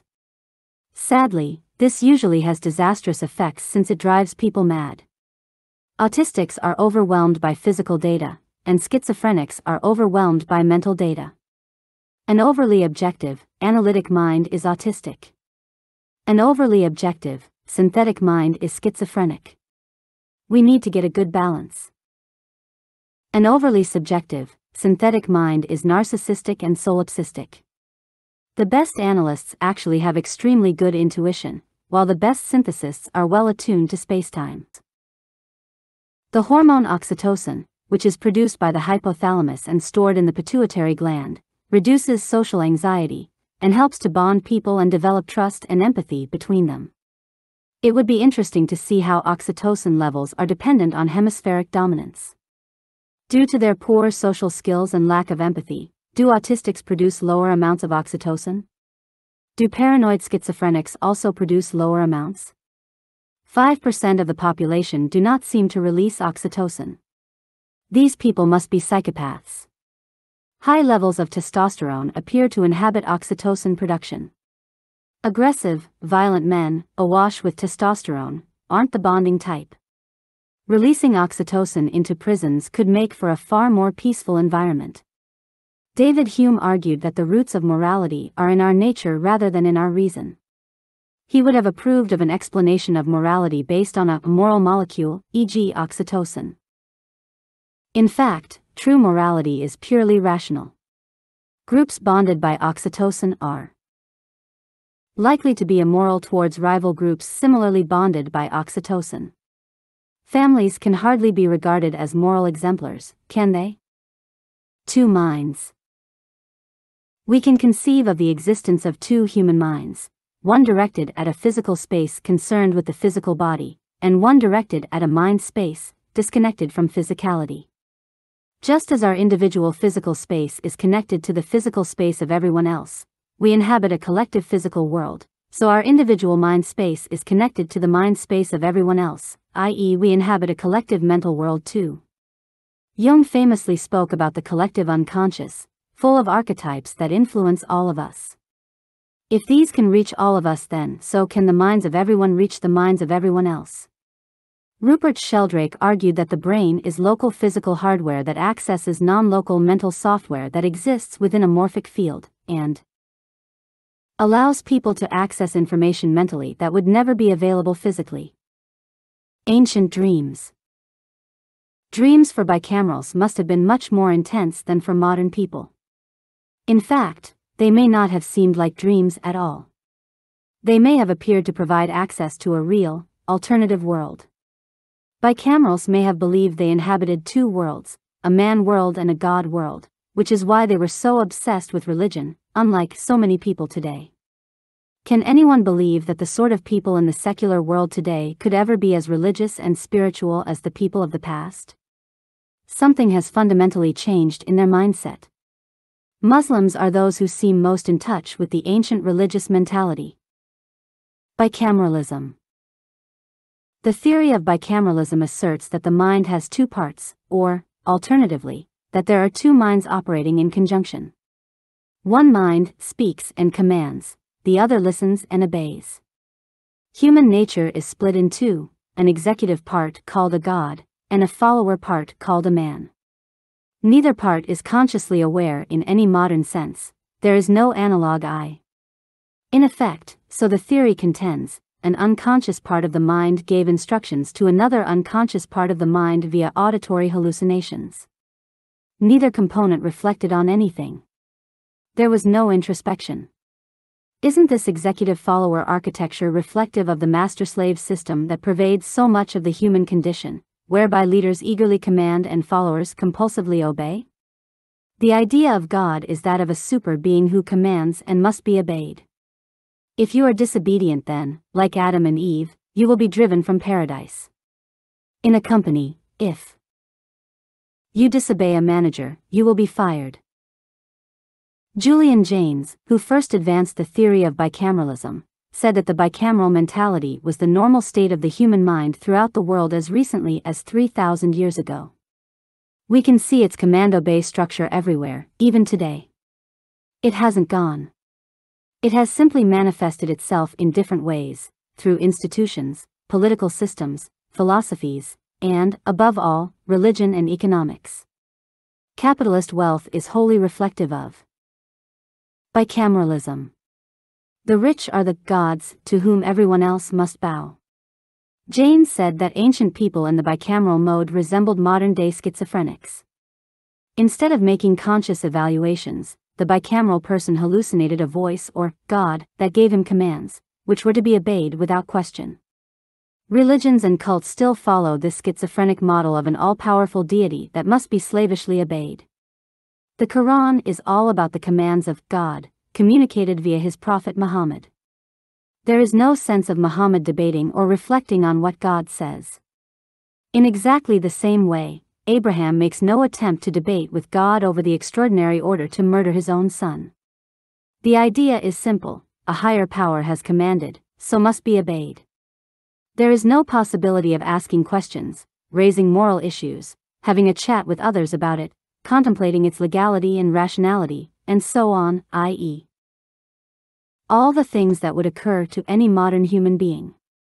Directives are followed, religiously, literally, and mindlessly. According to Jaynes, bicameral cultures were synchronized and held together by shared mass hallucinations of a religious and numinous nature. The right brain communicated with the left brain in bicameral man via verbal hallucinations, and sometimes dreamlike visual hallucinations would occur to grant them even more power. These hallucinations were taken to be real entities, higher powers, gods. That's why humanity is so religiously inclined. In ancient Egypt, the pharaoh was a god on earth. In European monarchies, the sovereign ruled by divine right. Jesus Christ and many others referred to themselves as the Son of God. In China, the gods were people's own ancestors. The common theme was that a higher order directed the activities of ordinary people. They were not free to take their own decisions. They had to obey without question, without deviation, and it was an enormous taboo to refuse to comply. Even today, we live in societies where inequality is rife. Allowing a few to have extraordinary power and command over the multitude. Since the bicameral mind was not conscious, it was impossible for individuals not to obey. Abraham was incapable of disobeying his God, no matter how appalling the thing that was demanded of him. Here's the fundamental problem. If Satan had spoken to Abraham and ordered him to murder his son, would it have made any difference to Abraham?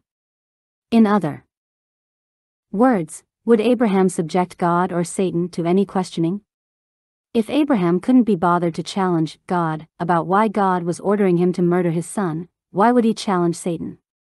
Moral questions simply didn't arise in Abraham's mind. How would Abraham even know the difference between God and Satan? Schizophrenia involves thought disorder, delusions, and hallucinations. The victim has a diminished capacity to think clearly and logically, and often uses disconnected, rambling, and nonsensical language. Victims therefore cannot communicate properly with others, and they become alienated from friends, family, and society.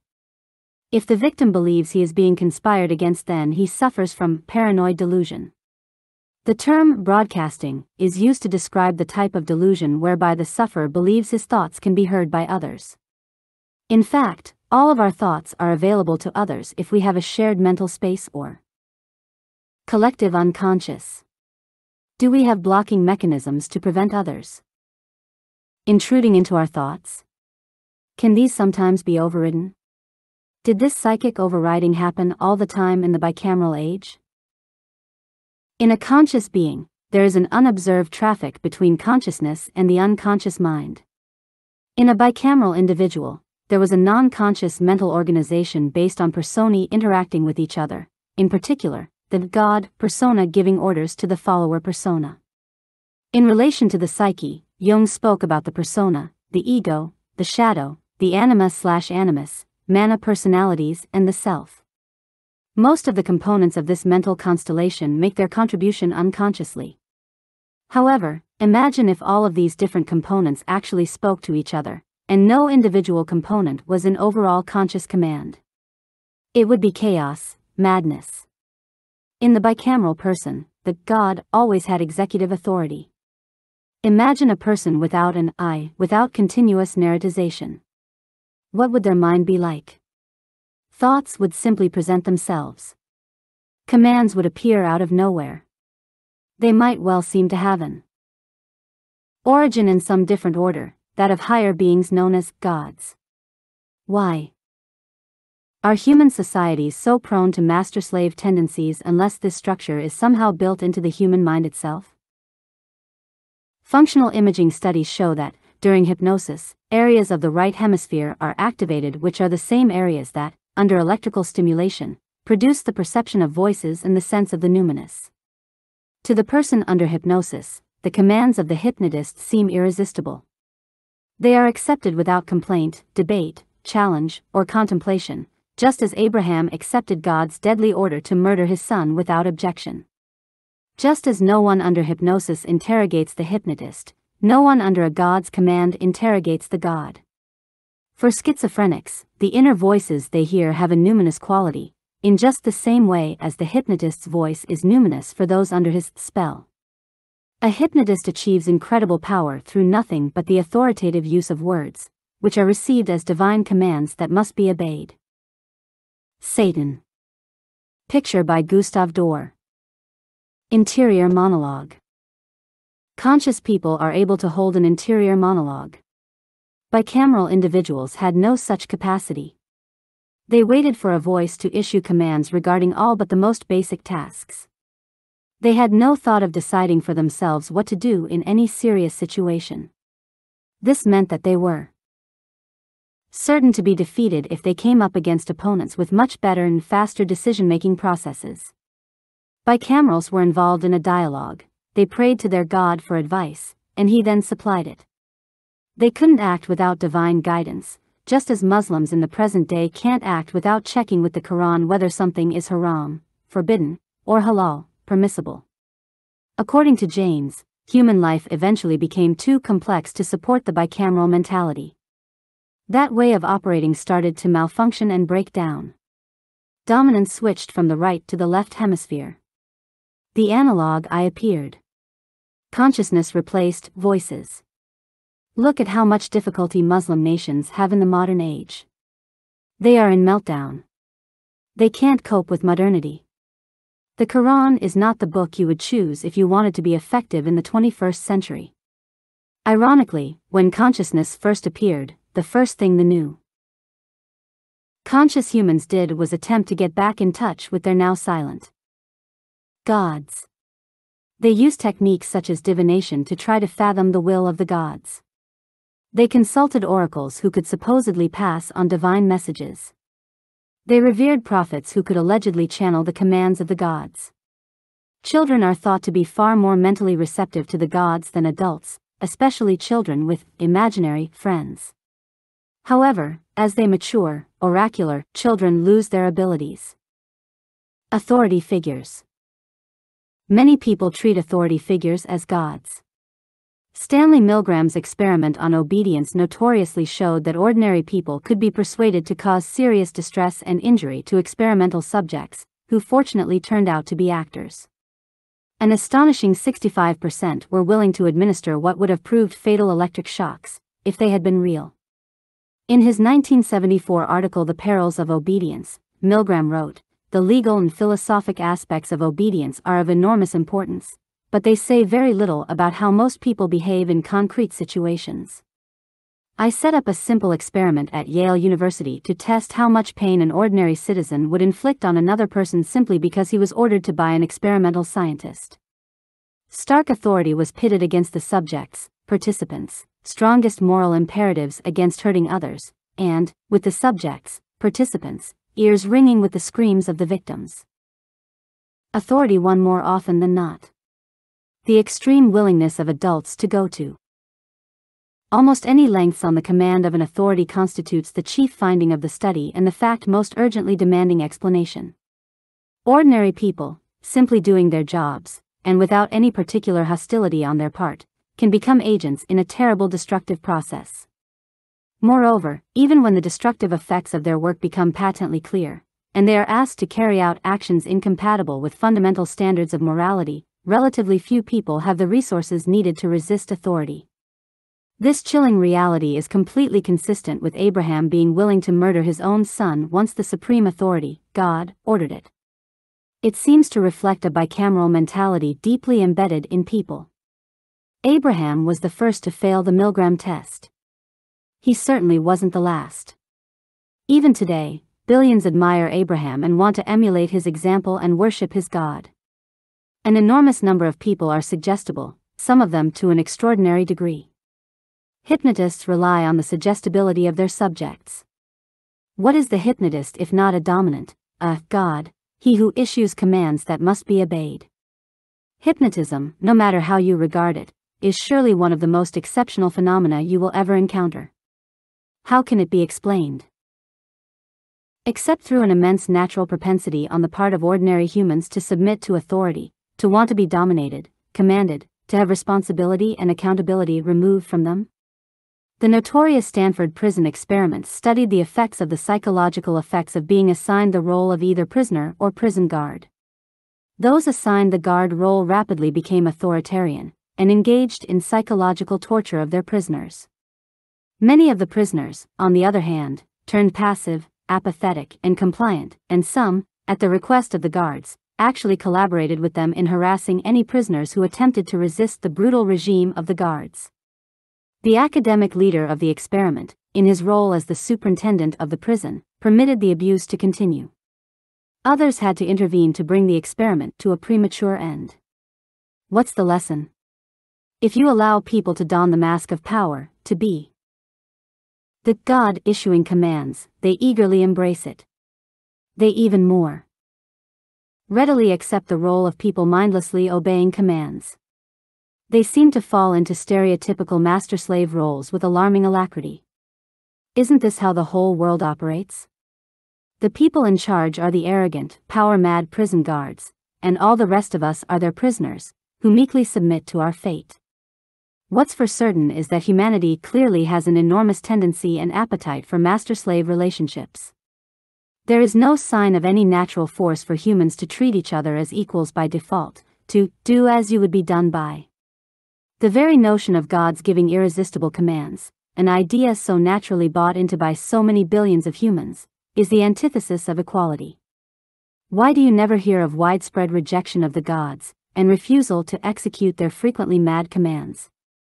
Why didn't Abraham seek out some friends and ask them what they thought of a God who orders a father to murder his child? Why do people so readily accept the unacceptable? Even today, billions call themselves Abrahamists, which means they agree with Abraham's psychotic, murderous decisions and his demented God. The Abrahamic God is the superintendent of prison earth. The popes, rabbis, priests, imams, presidents, prime ministers, chancellors, CEOs, monarchs, lords, nobles, celebrities, police and security chiefs are his prison guards, and all the rest of us are his prisoners, who go along with his psychological torture of us. This can't be any kind of accident.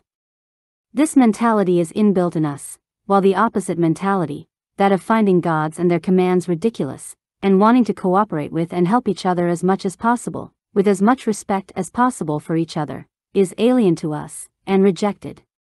Capitalism is eagerly embraced by the world even though it involves rich masters, those with capital, and dumb slaves, those without capital communism is laughed out of court. Why? Because it promotes equality and mutual respect. It seems wholly unnatural and unsuited to the ways of men. However, if ants or bees were constructing a political or economic system, communism would seem the most natural thing conceivable to them. The queen in these colonies is nothing like the megalomaniacal, narcissistic monarchs of the human world.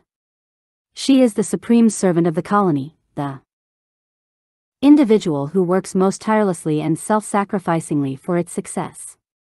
It's not about her, it's about the colony. This is the reverse of the situation where human monarchs are concerned. It's all about their vanity. Religious people talk about the fall.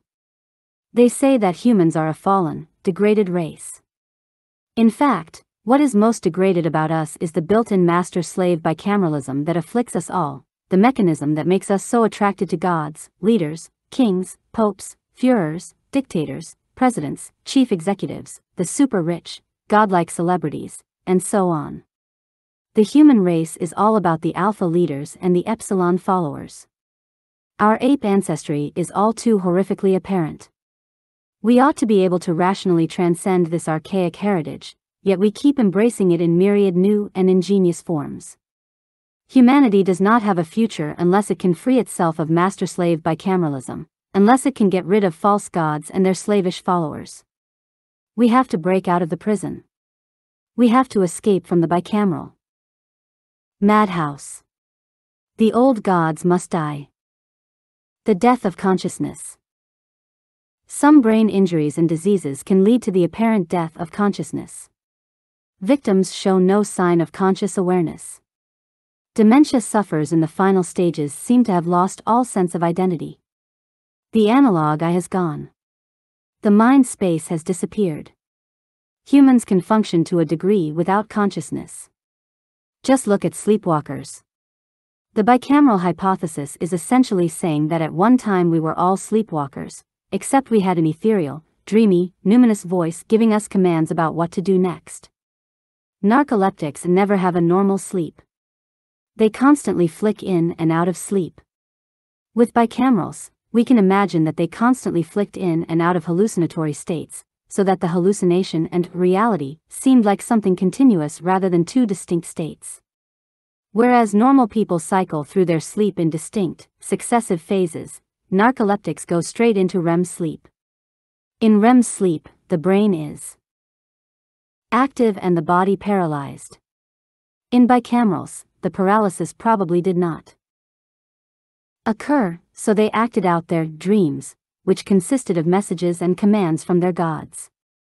Bicamerals probably had much lower orexin levels than modern humans. They did not get activated to the fully waking state associated with consciousness. They were not sufficiently awake to maintain an analog I that could construct a continuous narrative. Prophets. It's easy to dismiss prophets as lunatics. However, if the bicameral thesis is correct, then they genuinely were hearing the voice of a god. They were directly reporting what was said to them, so were not despicable charlatans. Of course, what is wholly unclear is the legitimacy of the gods who spoke to the prophets. Was God valid when he ordered Abraham to make a human sacrifice of Isaac? Or was that the voice of the devil? What attempt did Abraham make to resolve this question? None at all. If you can't challenge your God, how do you know if they are benevolent or malevolent? Simulation. Why are people so deeply affected by fiction, by characters that have been made up? We often react more powerfully to the fate of a fabricated person than that of a real person. We hurry past vagrants and don't give them a second thought as we rush to discover what happened to our favorite fictional soap character. A fiction is a contrived simulation of reality, and is often designed to exaggerate reality in a way that engages our emotions and thoughts far more powerfully than real life does, which often seems drab in comparison. Fiction allows the construction of a hyperreality that is much more appealing than regular life. Often, real life is incapable of living up to our fictionalization of it. Mainstream religion is another fiction that seems so much more attractive than everyday existence. Some fiction writers talk about how a character of theirs can behave in ways that take them by surprise. It's as if they have created an autonomous person with his own agency. They don't write down in advance what the character says. Rather, they merely record what the character says in response to whatever situation they put him in. Novelist Hilary Mantel spoke of creating a character from such a deep place, so what you have then is a working model, perfect in all its parts, and you can take it out of the situation you first put it in and put it into any situation. It seems to have acquired a life of its own. Did tribesmen create a mental construct of their tribal leader, in order to better to understand him and anticipate what he wanted? Did they then run this situation when he was absent? Their simulation was so perfect that it looked and sounded exactly like him. Even when he died, the tribesman could play the simulation as though he were still there, which would elevate him to the status of a god. In order to empathize with a person, we run a simulation of that person and try to imagine how they feel, and to predict how they will behave in particular circumstances. Autistics seem unable to generate these simulations schizophrenics seem too good at producing them. For most of us, our models and simulations operate silently, unconsciously, deep within our minds. However, for some people, particularly in stressful times, these models and simulations seem to rise all the way to consciousness and actually speak to us. Meteorologists forecast the weather via a virtual weather system, a simulation of the weather. The system can produce results the forecasters never anticipated. Now imagine prophets simulating God. They run the simulation and it produces outcomes they never anticipated either. It seems like a genuine God authentically communicating with them. Aliens, subjects, and objects. Why do so many people believe they have been abducted by aliens? Do they really mean they have been taken over by their mysterious other? In bicameralism, the follower is much more akin to an object than a subject. The follower does not have his own agency. He doesn't make up his own mind. He waits to be commanded by the God. The God is therefore the subject. When modern consciousness arose, humans were able to become subjects, capable of taking their own decisions. Sadly, most human beings still prefer to obey gods and gurus, hence remain closer to objects than subjects. Memes and genes. For science, evolution is all about the gene pool. No mental changes can take place without genetic changes. If Julian Jaynes is right, mental change has nothing to do with genetic change. The mind space is ruled by memes, not genes. The meme pool is what matters. The meme pool constitutes the culture of society. An inferior meme pool means inferior minds and an inferior society. If we can optimize culture, optimize language, optimize memes, we can optimize human minds and human society. We can make humans more conscious. We can aim for superconsciousness the human race could be utterly transformed in just one generation. Shame and guilt. Bicameral people belong to a shame culture, and conscious people to a guilt culture. Since a bicameral person is not an authentic subject, he cannot experience guilt. He is, however, acutely attuned to public shaming. Shame could lead to a loss of faith in his God, since he would feel he was badly advised by his God, or that his God had failed to warn him of trouble. On the other hand, others might re-intensify their faith in their God, in the belief that their God was displeased with them for some reason, hence why their God allowed them to be shamed. When the Jews lost their land, capital and temple to the Babylonians, and were taken in chains to Babylon, they did not blame Jehovah and abandon their faith. Instead, they blamed themselves and became much more fanatical followers of Jehovah. The New Dreamers. Modern dreams are profoundly different from bicameral dreams. In modern dreams, we find ourselves moving around in various situations, taking decisions and actions. In bicameral dreams, the dreamer is passive. He is visited by a spirit or God who delivers a message or issues a command. Cultural consciousness. Julian Jaynes argued that consciousness is a cultural construct rather than a physiological development or inherent property of the brain. Let's assume that no genetic changes in the brain were responsible for the transition from bicameral to conscious humans. In that case, an enormous and unprecedented change took place thanks to culture alone, which implies that if we can optimize culture, we can optimize consciousness. If we have a harmful, suboptimal culture, it will generate restricted, suboptimal consciousness. Look around. Does the world seem full of highly optimized, fully conscious humans, operating at their maximum capacity? Or the opposite? Are we destroying consciousness via modern culture? Do religions make people stupid? Does scientific culture turn them into materialists and atheists? Does social networking produce stupid narcissists? Are smartphones making people dumb? If culture alone can change the human mentality, then the implication is that schizophrenia and autism may be culturally determined, so, if we applied the right sort of culture to schizophrenics and autistics, we could mitigate or eliminate their conditions. Psychiatrist R. D. Laing speculated that schizophrenia was a rational response to crazy family situations, i.e., where the family culture was thoroughly toxic and destructive. He noted that many people got better when they were removed from the family environment, then relapsed when they were returned to their family. In these situations, you would have to treat the whole family and their collective culture if you hope to truly help the schizophrenic patient. Gods. Many cultures engage in ancestor worship. Imagine the most powerful and glorious of ancestors, those of whom effigies were made. Would they not be converted into gods when they died? Look at the pharaohs. They claimed they became gods at death. Food for the dead. Why did the ancients bury their dead with food and possessions if they did not think these would be of some sort of use? They must have imagined an analogy between our world and the world of the dead. Why did the ancients have such a fanatical devotion to gods, and total certainty that they existed, if they never once encountered a single particle of evidence for their existence? What made the ancients believe they were conversing with beings who simply weren't there, as far as modern atheistic thinking is concerned. Do humans regularly suffer from mass delusions on a daily basis? If not, why do we imagine that the ancients made it all up? Is the atheistic, materialistic, scientific mindset now the real delusion? The rhizome. Life has always seemed to me like a plant that lives on its rhizome.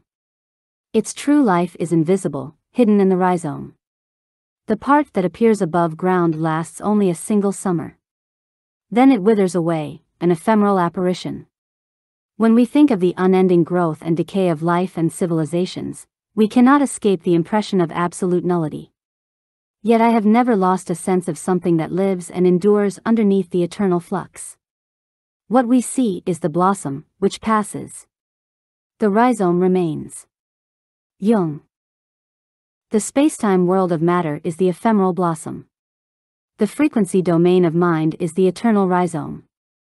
The higher self is attuned to the rhizome, the lower self to the blossom. The Internet. At school, people receive lessons from qualified experts. On the Internet, people receive lessons from unqualified, braying big mouths, know it alls, their equally uneducated peers, trolls, sycophants, mentally disturbed people, conspiracy theorists, activists, lobbyists, and so on. It has been said that on the internet you are having a conversation with a lunatic. Isn't it dangerous that so many people are in constant dialogue with the mad? Superman or Last Man? Zarathustra preaches the gospel of the Superman to the people, and the people are silent. He then tries to arouse them by an appeal to their pride and draws the picture of the most contemptible, of the last man, whom they will be unless they overcome their present state. The last man is the man without creative love, without creative imagination, without a desire for anything that is more than himself. What is a star? asks the last man, and he is satisfied with his little pleasures and the comforts of his existence. What he wants is some warmth, some neighborliness, not too much work, protection against disease, a sufficient measure of drugs to create pleasant dreams, liquor, movies, radio, no poverty. The last man is concerned about health and wants a long life. We have invented happiness, say the last men and Lear. Oh, give us this last man, make us these last men. You can have then your Superman, and they laughed. Eric Voegelin, Nietzsche, The Crisis, and the War. An interesting question arises in the comparison of conscious men and bicameral men. Were the latter, driven directly by the gods, far more noble, and far more preoccupied with glory and achievement, to please the gods, than modern humans? Were they much more magnificent, and far less selfish? Were they similar to Nietzschean supermen? Are modern humans self-obsessed, petty, cowardly and sneaky? Are we much more like Nietzsche's contemptible last men? Nietzsche feared that Western man would reject the Superman in favor of the last man, and a cursory look at the modern world fully vindicates him. C.S. Lewis said, If you look for truth, you may find comfort in the end. If you look for comfort, you will not get either comfort or truth. The last men always do the latter. Where are the supermen? The hallucinators. According to Julian Jaynes, the gods manifested to men via auditory hallucinations, and less commonly through visual hallucinations. The Judas goat. A Judas goat is trained to lead sheep or cattle to slaughter, while its own life is spared. Was Abraham a Judas goat, and his son the animal to be slaughtered? The Golden Race. Very well, and of those who die on campaign, if anyone's death has been especially glorious, shall we not, to begin with, affirm that he belongs to the Golden Race? And shall we not believe Hesiod who tells us that when anyone of this race dies, so it is that they become hallowed spirits dwelling on earth, averters of evil, guardians watchful and good of articulate speaking mortals? We will inquire of Apollo, then, how and with what distinction we are to bury men of more than human, of divine, qualities, and deal with them according to his response. And ever after we will bestow on their graves the tendance and worship paid to spirits divine. Socrates. According to Hesiod, there was once a golden race living in a golden age. They have all died, but their spirits live on and they now serve as guardians and guides of mortals. This, then, I think, is what he certainly means to say of the spirits, because they were wise and knowing Hesiod called them spirits and in the old form of our language the two words are the same. Now he and all the other poets are right, who say that when a good man dies he has a great portion and honor among the dead, and becomes a spirit, a name which is in accordance with the other name of wisdom.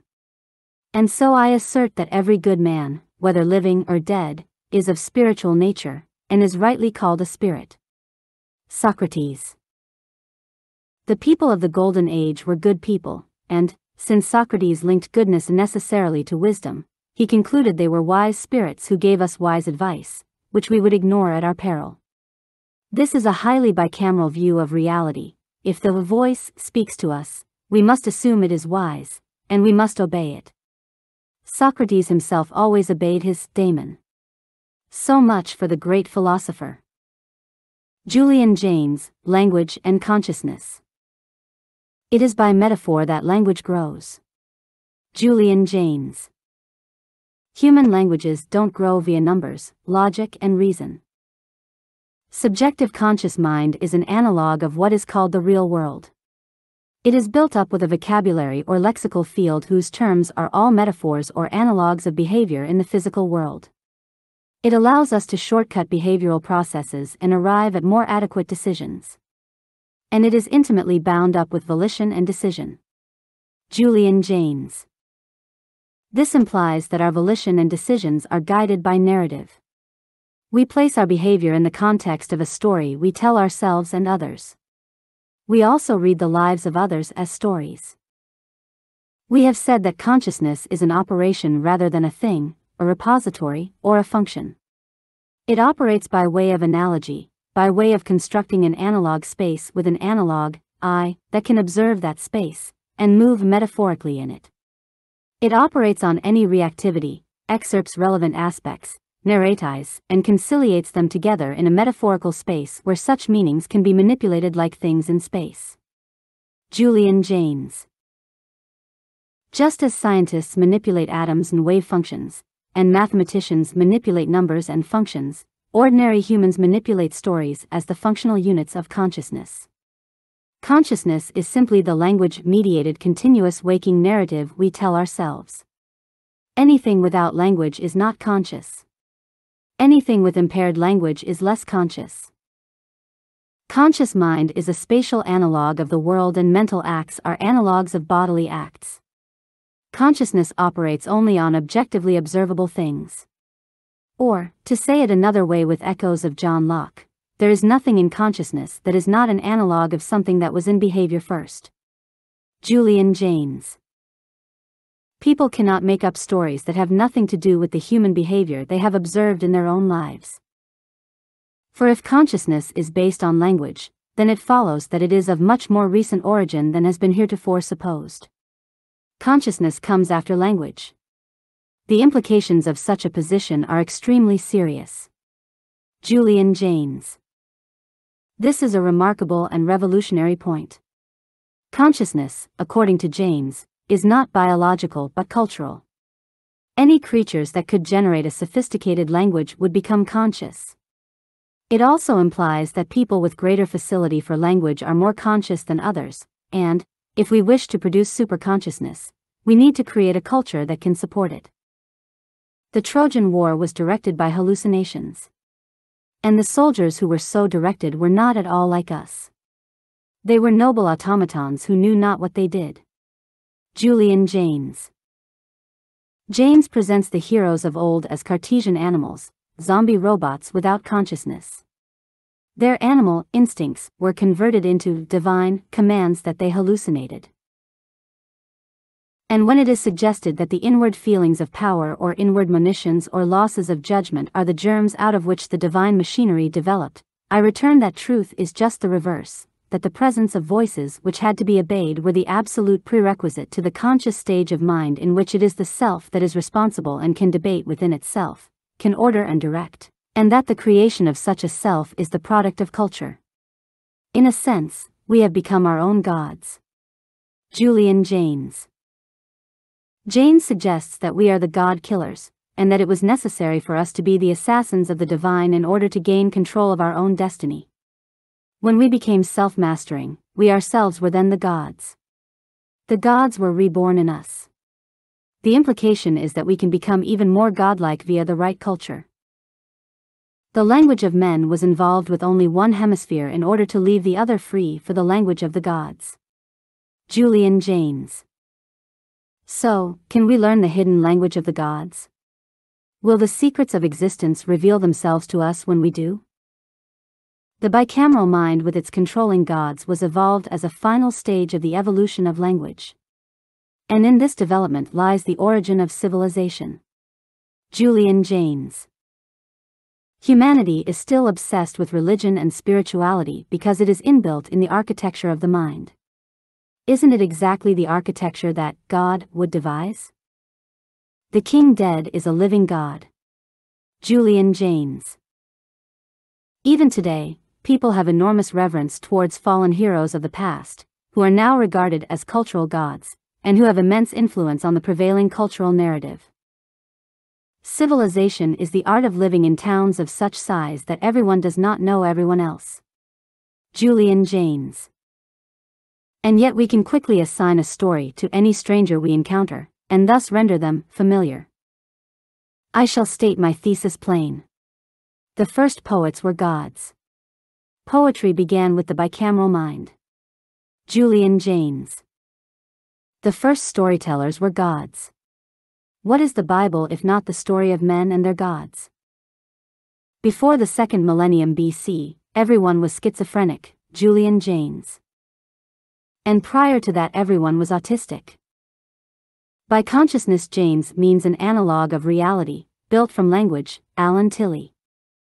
Yet if reality is not made of language, how can language make an adequate analog of it? Your own voice. Consciousness means listening to your own voice. Bicameralism means listening to someone else's voice. If you let your life be dictated by traditions, parents, family, friends, gods, managers, celebrities, and so on, you are not truly conscious. Anyone who needs a holy book to tell them what to do and how to behave is bicameral. Conscious people can work things out for themselves. They use reason and logic. People who only have a veneer of consciousness look to holy books, sacred scriptures, popes, priests, prophets, pundits, and gurus to tell them what to do. They pray and meditate, and never appeal to reason and logic. What is prayer?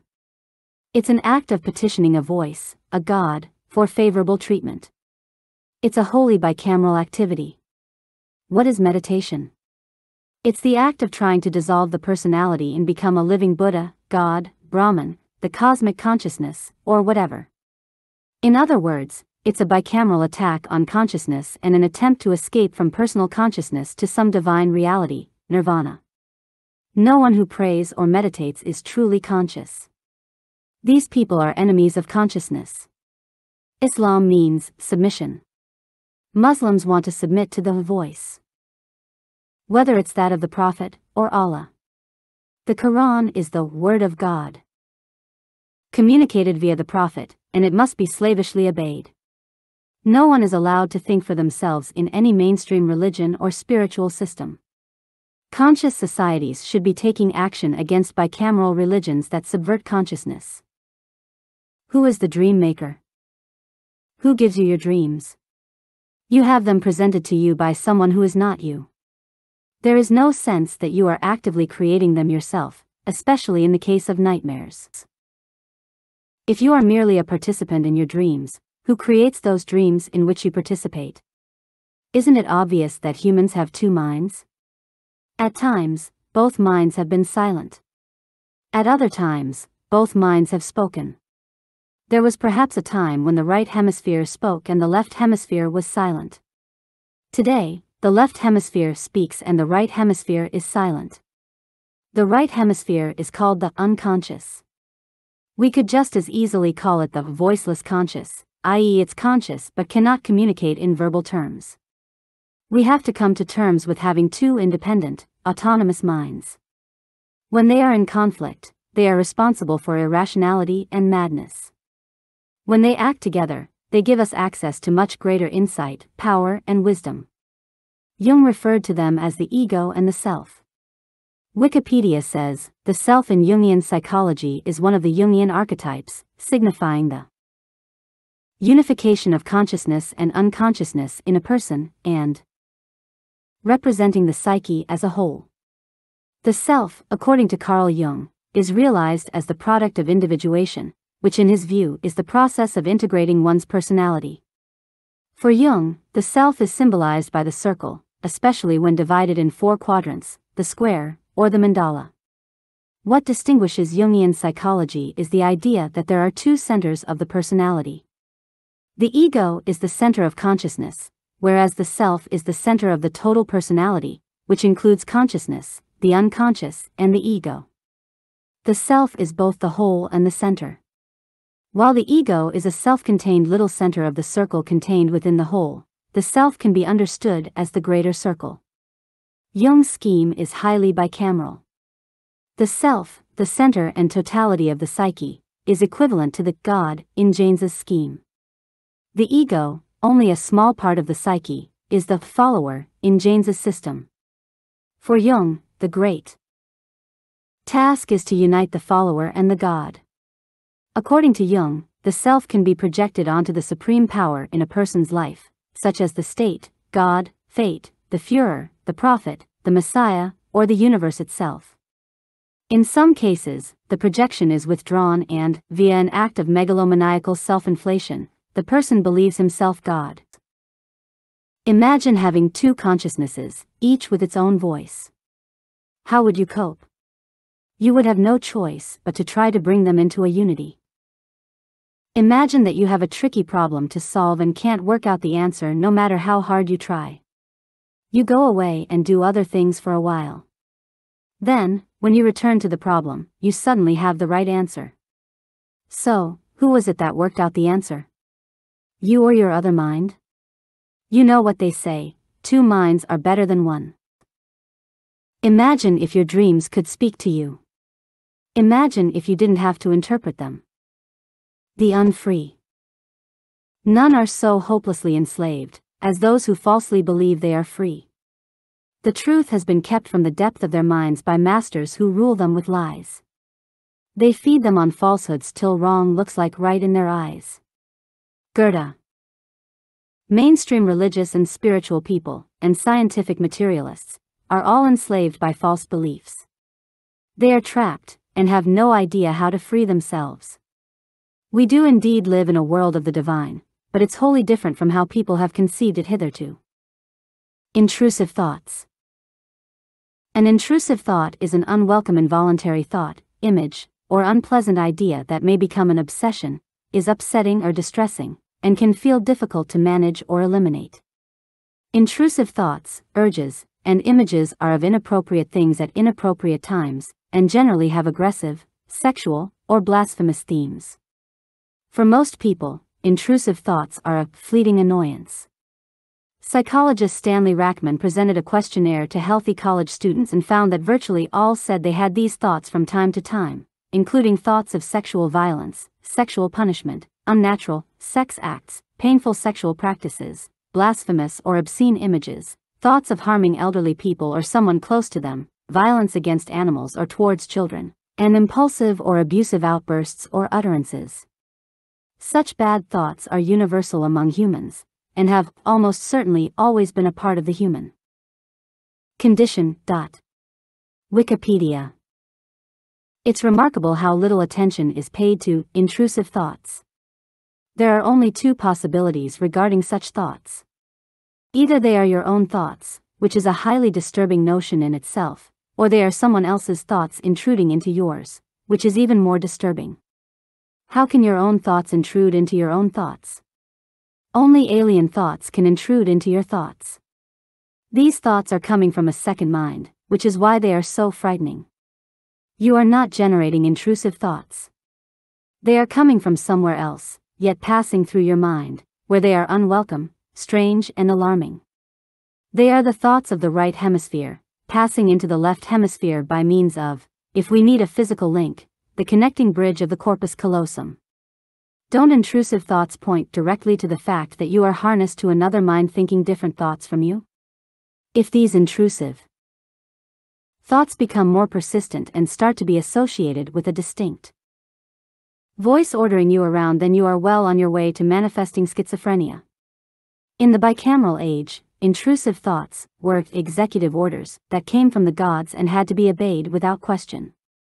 Abraham was the victim of an intrusive thought that he took as a divine command. Inside Out Inside Out is a 2015 American 3D computer animated comedy drama adventure film produced by Pixar Animation Studios and released by Walt Disney Pictures. The film is set in the mind of a young girl named Riley Anderson, where five personified emotions joy, sadness, fear, anger, and disgust try to lead her through life as her parents move from Minnesota to San Francisco and she has to adjust to her new life. Wikipedia Instead of your emotions leading you through life, why not your intuition, or, even better, your reason and logic? Inside Out reveals all too worryingly our contemporary age's sentimental preoccupation with emotionalism.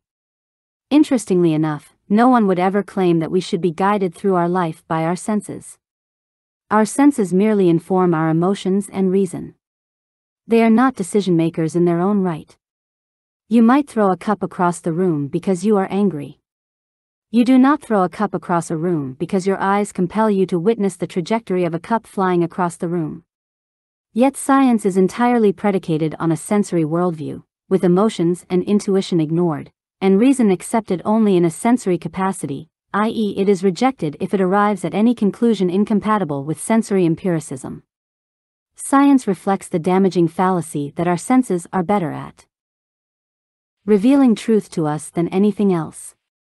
In fact, reason and logic are far superior to the senses. Most people, sadly, reject both reason and the senses and place their unshakable faith in their emotions and mystical intuitions. Imagine that instead of being guided by your emotions, as in Inside Out, you are steered by your higher self, or your guardian angel. Socrates always placed his supreme trust in his daemon, just as Abraham did in his God. Abraham's problem. It is no great accomplishment to hear a voice in the head. The accomplishment is to make sure it is telling you the truth. Terence McKenna. Bicameralism is all about assuming that the voice in your head is legitimate, all powerful, and telling you the unadulterated truth. When such a voice ordered Abraham to murder his own son, he assumed it was God speaking to him he didn't stop to question why God would command something so depraved, an act so manifestly morally unthinkable. God the engineer. Imagine if God were regarded as an engineer, technologist, scientist, philosopher, or mathematician rather than some moral paragon. Imagine if God were concerned with rational and irrational rather than good and evil as the basis of right and wrong. Imagine God stripped of his religious garb. Wouldn't the world be infinitely better and saner? Why is God associated with stupidity rather than intelligence, with story books rather than technical books, with prayers rather than philosophy, with beards and burkas rather than degrees and PhDs? One hemisphere awake, one asleep. Crocodiles can sleep with one eye open, according to a study from Australia. In doing so they join a list of animals with this ability, which includes some birds, dolphins, and other reptiles. Writing in the Journal of Experimental Biology, the researchers say the crocs are probably sleeping with one brain hemisphere at a time, leaving one half of the brain active and on the lookout. Jonathan Webb, science reporter, BBC News. Human beings engage in hemispheric sleeping or suppression. During the day, our left hemisphere is dominant, and our right hemisphere inhibited. During sleep, our left hemisphere is much less active, and now the right hemisphere is dominant. What would it be like if we went through life activating one hemisphere and then the other in succession, always keeping one eye open at a time, and switching eye according to which hemisphere is awake? It's a mystery how birds are able to travel for thousands of miles over vast oceans without being able to land and sleep. It has been suggested that birds in flight do in fact sleep by shutting down one hemisphere at a time, leaving the other waking hemisphere to control the flight. If humans could master hemispheric sleeping, we could be 24 7 creatures. Union with the demon. Therefore, as guardians are appointed for men who have to pass by an unsafe road, so an angel guardian is assigned to each man as long as he is a wayfarer. When, however, he arrives at the end of life, he no longer has an angel guardian, but in the kingdom he will have an angel to reign with him, in hell a demon to punish him. Thomas Aquinas. Here, Aquinas suggests that the virtuous unite with their higher self, their angel, in heaven, while the wicked unite with the lowest self, their demon, in hell. In Freudian terms, we would say that heavenly humans unify their ego and superego, while demonic humans unify their ego and ID. The language of life. What is the meaning of life? This question has no answer except in the history of how it came to be asked. There is no answer because words have meaning, not life or persons or the universe itself. Our search for certainty rests in our attempts at understanding the history of all individual selves and all civilizations. Beyond that, there is only awe. Julian Jaynes. Therefore, if life, or persons, or the universe are made of a language, then they do have a meaning. As it turns out, they are indeed made of a language, but the language of numbers, not of words, i.e., everything is made of mathematics. Mathematics, the ontological force inherently designed to find answers, is the meaning of life. Mathematics is seeking the perfect answer, God. God equals perfect, universal symmetry equals total mental optimization and absolute, effortless power. Every mathematical monadic soul, by finding the exact answer to itself, can be mathematically transformed into a god. Each new stage of words literally created new perceptions and attentions, and such new perceptions and attentions resulted in important cultural changes which are reflected in the archaeological record. Julian Jaynes If we can construct a God language then we can have God consciousness. When we look back at archaeology, we are seeing the evolution of language. Bicameral language leads to bicameral monuments. Modern language produces both functional houses and dreamy skyscrapers reaching for the stars. The mystery of consciousness. Julian Jaynes argued that ancient peoples were not conscious. If this is right, it ushers in a revolution. It points to the existence of a mental world that has nothing to do with biology, i.e., we can imagine ancient people who were biologically identical to modern people, yet had a wholly different mental apparatus, brought about by cultural rather than biological changes. Jaynes' thesis is so radical because it offers us the opportunity to transform the nature of humanity via culture. We can aim for a superconscious human race. Consciousness is a much smaller part of our mental life than we are conscious of, because we cannot be conscious of what we are not conscious of. Julian Jaynes. In fact, using this argument, consciousness could be close to nothing in terms of our overall psyche. The very reason we need logic at all is because most reasoning is not conscious at all. Julian Jaynes. If minds are in fact mathematical, we would not be remotely surprised that most reasoning is not conscious at all. Reading in the third millennium BC may therefore have been a matter of hearing the cuneiform that is, hallucinating the speech from looking at its picture symbols, rather than visual reading of syllables in our sense, Julian Jaynes. Ancient humans may commonly have had synesthesia, union of the senses. With this condition, stimulation of one sensory or cognitive pathway leads to an automatic experience in a second sensory or cognitive pathway. For example, auditory hallucinations may trigger visual hallucinations, and vice versa. Closely related to synesthesia is ideesthesia, sensing ideas. Here, concepts can evoke a sensory experience. Where synesthesia involves co perceiving, associating two sensory elements without reference to the cognitive level, ideesthesia involves linking a semantic, conceptual experience to a sensory experience. Where synesthesia involves one sensory experience triggering another, ideesthesia presumes a sensory experience. Being triggered by a semantic experience. Why do words and ideas have such a powerful effect on us? How can a poem move you to tears and a novel change your life? Can you imagine a computer scanning a book and deciding, as a result, to become a Muslim or a born again Christian? A computer can't experience ideesthesia. A mind space is a prerequisite for ideesthesia. Ideesthesia is essential to solving the mystery of conscious experience. Ideas and concepts are not mere abstractions, as they would be to a computer. They produce a sensory and emotional response in us, i.e., we don't just read words, we experience them in a bodily way. Imagine you could cause a computer to have different emotional experiences while executing different programs. Would it then become obsessed with running the programs that it found most pleasurable, and avoiding those it didn't like? If a computer couldn't behave in this selective way, but simply executed all programs as if they were identical, how could it? ever resemble a human, how could it ever be conscious? How we activate concepts, how we respond to them in emotional and sensory terms, is vital to consciousness. Language is not an abstraction. Language is built into the fabric of our lives. Words can cause us joy, or plunge us into despair. They can wound us to the core, inspire us, and even make us believe in God. Muslim terrorists kill themselves and slaughter others because the words of the Quran inflame them with astounding emotional and sensory anticipation of paradise. Words and ideas are the currency of the analog I. Ideas have been turned into instruments of pleasure and pain. Ideas change lives more powerfully and surely than anything else. Ideas are therefore objects in the world. They are much more potent than atoms.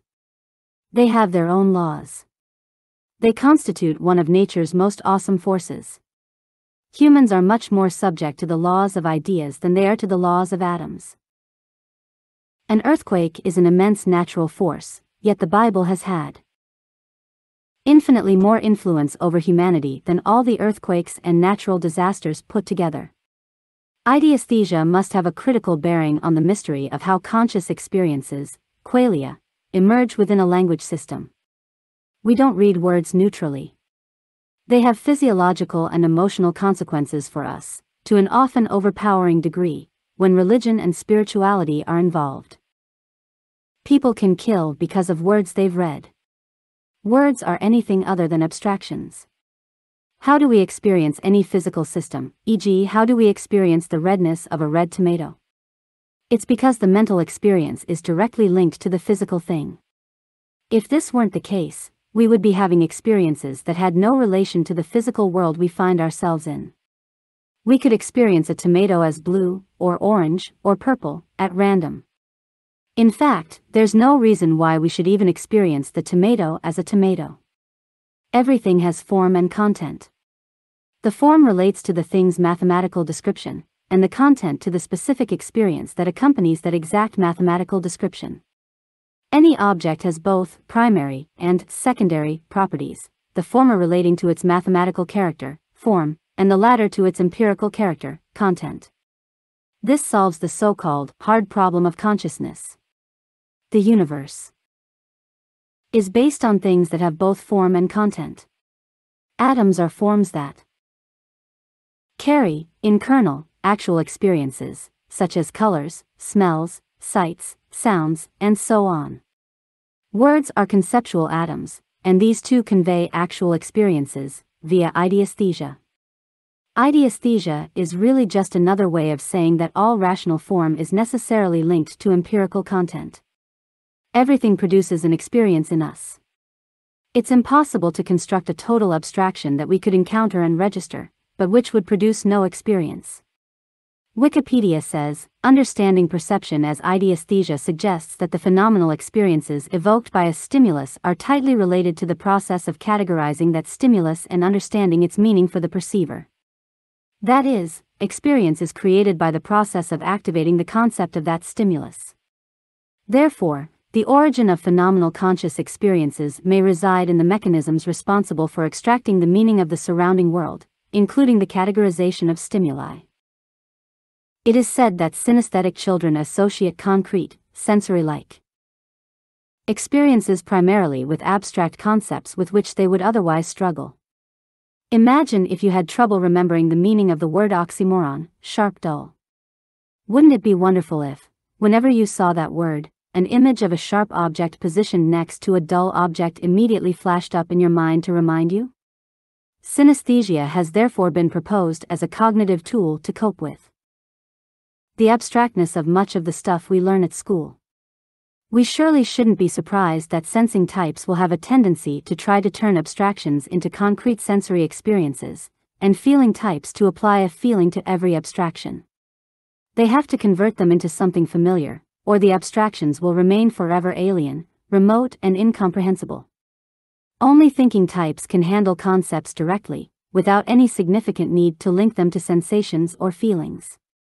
Thinking types are usually much more interested in numbers and logic, logos, than words and stories, mythos. Several researchers have claimed that synesthesia aids the creative process and plays a vital role in novel thinking. The notion is that if we have an unexpected synesthesic response to something, that very unexpectedness generates new possibilities, new avenues, that were previously unavailable. All sorts of new thoughts and ideas can be triggered. Wikipedia says, there are two overall forms of synesthesia, projective synesthesia and associative synesthesia. People who project will see actual colors, forms, or shapes when stimulated, as is commonly accepted as synesthesia. Associators will feel a very strong and involuntary connection between the stimulus and the sense that it triggers. For example, in the common form chromesthesia, sound to color, a projector may hear a trumpet and see an orange triangle in space while an associator might hear a trumpet and think very strongly that it sounds orange. Dot. Of course, there is initially no reason for synesthetes to suspect they are unusual. They assume that everyone has the same responses. It's only when they discover that others don't know what they're talking about that they realize they have an unusual condition. Some synesthetes report that their experiences can lead to sensory overload. Is autism a kind of synesthesia leading to autistics being overwhelmed by sensory detail? Synesthetes often say that their condition is a gift, an additional, hidden sense that they would not want to do without. They experience it in a kind of numinous way. Bicameral humans were probably enormously synesthetic, and having numinous experiences all the time, which was why they were so religious, and why religion ruled every part of their lives. Synesthetes can use their abilities to memorize names, telephone numbers, long lists, and so on, in much more effective and vivid ways than normal people. Their condition gives them a natural memory palace. With a memory palace, you construct a palace in your mind, full of different rooms. And place the items of any list in the rooms. Then, when you want to recall the list, you simply access your bespoke palace, go through its rooms in order, and find out what you left in each room. Imagine looking at words and seeing the vowels in a different color from the consonants. Synesthesia could allow us to apply much more subtle forms of filtering and discrimination between things than is available to normal people. Synesthetes are much more likely to work in the creative industry. They have a kind of natural creativity, and a different, unusual, and quirky take on things. Synesthesia normally involves the unexpected interaction of just two senses. However, a case was reported of one person who experienced synesthesia linking all five senses, i.e., no matter what sensory experience he was primarily having, such as a sight, sound, or smell, all of his senses were engaged. Imagine what life would be like for such a person, in some ways. Magical, in other ways nightmarish. A common form of synesthesia involves the association of sounds with colors. Sounds such as doors opening can trigger color perceptions. The voices of each of a synesthete's friends might be associated with a unique color, so if a friend standing behind you spoke to you, you would know who it was straight away because of the color you perceived rather than the sound you heard. For some people, musical notes produce colors. Imagine great symphonies of swirling, pulsating color. Wikipedia says, people with synesthesia related to music may also have perfect pitch because their ability to see slash hear colors aids them in identifying notes or keys. Denny Simon sees music on a screen in front of his face. He said, music produces waving lines, like oscilloscope configurations, lines moving in color, often metallic with height, width and, most importantly, depth. My favorite music has lines that extend horizontally beyond the screen area. Synesthetes with spatial sequence synesthesia give numerical sequences. Spatial locations. The number 2 could be far away, the number 7 upside down, and so on. Such a condition is associated with a much better memory. These people can often see months or dates in the space around them. They see time like a clock above and around them, and the same is true of calendars. They don't have to solve any time and calendar calculations. They just read off the answer. Whenever some people think of any number, they immediately and automatically see a mental map of numbers. In the case of auditory tactile synesthesia, certain sounds produce physical sensations in specific parts of the body. Imagine if hearing the Word of God made you feel electrified all over your body. Wouldn't it be the most important factor in your life? With the ordinal linguistic personification variety of synesthesia, ordered sequences, such as ordinal numbers, names of days and months, and alphabetical letters, are associated with male and female personalities. We might say that books such as the Bible and Quran are associated with the personality of God or his prophets. It has been suggested that synesthesia is not a phenomenon of crossed senses, but, instead, that it derives from ideesthesia. The argument goes that individuals are not born with synesthesia but acquire it during childhood at a specific developmental stage, when children come across abstract concepts. For the first time. This is called the semantic vacuum hypothesis. Children struggling with numbers, spatial sequences, letters, and so on, cannot apply an immediate meaning to them, so have to find another means to give them a sense, via invoking one of the physical senses. Non-synesthetes can acquire synesthesia under certain conditions, via, for example, temporal lobe epilepsy, head injury, stroke, brain tumors. Meditation can produce it, as can prayer, deep concentration, sensory deprivation, and so on. Most easily, psychedelics such as LSD can generate it. One fascinating type of synesthesia is that of personality color.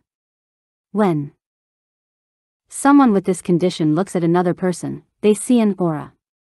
They can tell when the person is sick or healthy by studying changes in their aura. It makes a huge difference if synesthesia is neurological or semantic. In the first case, it is produced by sensory, crossed wires. In the second, it is generated by an attempt to assign meaning to an abstraction. Synesthetic perceptions are spatially extended, i.e., they have a sense of location. Synesthetes talk of looking at or going to a particular place to have a particular experience. Every experience has its own coordinates, so to speak. The extreme sensing mind may well feel compelled to turn every abstraction in an abstract mental space into a concrete experience in an ordered sensory space, a space-time framework. Many synesthetes project their synesthesia outside the body, typically onto a screen in front of their face. It's as if they are converting their abstract mind space into a physical space that exists in the physical world, alongside all other physical objects. In mirror touch synesthesia, individuals observe what is happening to someone else and then summon up the same experience. So, for example, if a synesthete observes someone being tapped on the shoulder, they will feel a tap on their own shoulder, although no one actually tapped it. As you would expect, such people have much higher empathy levels than the general population. This form of synesthesia invokes the notion of mirror neurons, which have been independently cited as furnishing a mechanism for empathy. Some research points to synesthesia occurring more frequently in people on the autistic spectrum. That would certainly not be surprising. Severe. Autistics may suffer from debilitating synesthesia, complete sensory overload. A vicious circle of sensations automatically triggering other sensations. Misophonia is a neurological disorder. Bad experiences such as anger, fear, hate, and disgust are triggered by specific sounds. Can a word on the page, such as demon or devil, haram or halal, produce an extreme visceral response in some people? Are there reactions based on nothing but arbitrary labels used for specific concepts? Why are some people so influenced by holy books and sacred scriptures, while others find them absurd? Misophonia has been called a variety of synesthesia. Wikipedia says, Miren Edelstein and her colleagues have compared misophonia to synesthesia in terms of connectivity between different brain regions as well as specific symptoms. They formed the hypothesis that a pathological distortion of connections between the auditory cortex and limbic structures could cause a form of sound emotion synesthesia. Such a mechanism could play a vital role in the bicameral mind, giving enormous emotional resonance to everything said by the God. This breakdown in the bicameral mind in what is called the intermediate period is reminiscent at least of those periodic breakdowns of Mayan civilizations when all authority suddenly collapsed and the population melted back into tribal living in the jungles. Julian Jaynes. It's an extraordinary feature of history that many civilization went out of business almost overnight. Important sites that were inhabited for hundreds or thousands of years were abandoned in days. People couldn't get away fast enough. They must have feared hell on earth, total anarchy, the absolute loss of divine support and authority the sites were regarded as cursed and deadly. The importance of writing in the breakdown of the bicameral voices is tremendously important. What had to be spoken is now silent and carved upon a stone to be taken in visually. Julian Jaynes.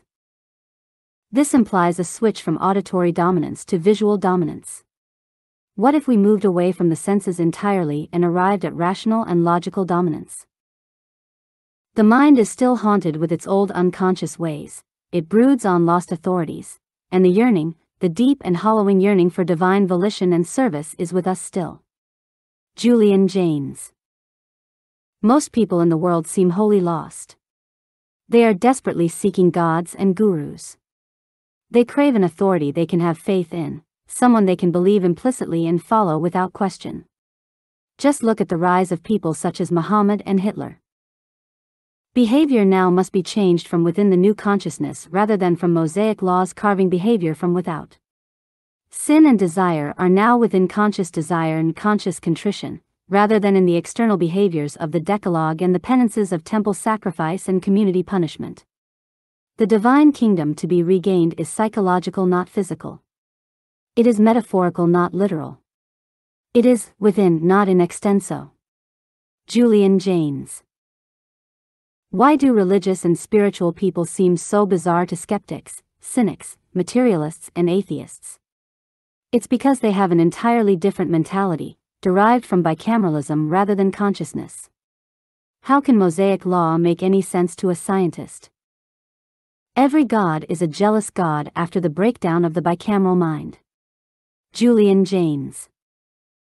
Every God is lost and abandoned. They crave the return of their power and authority.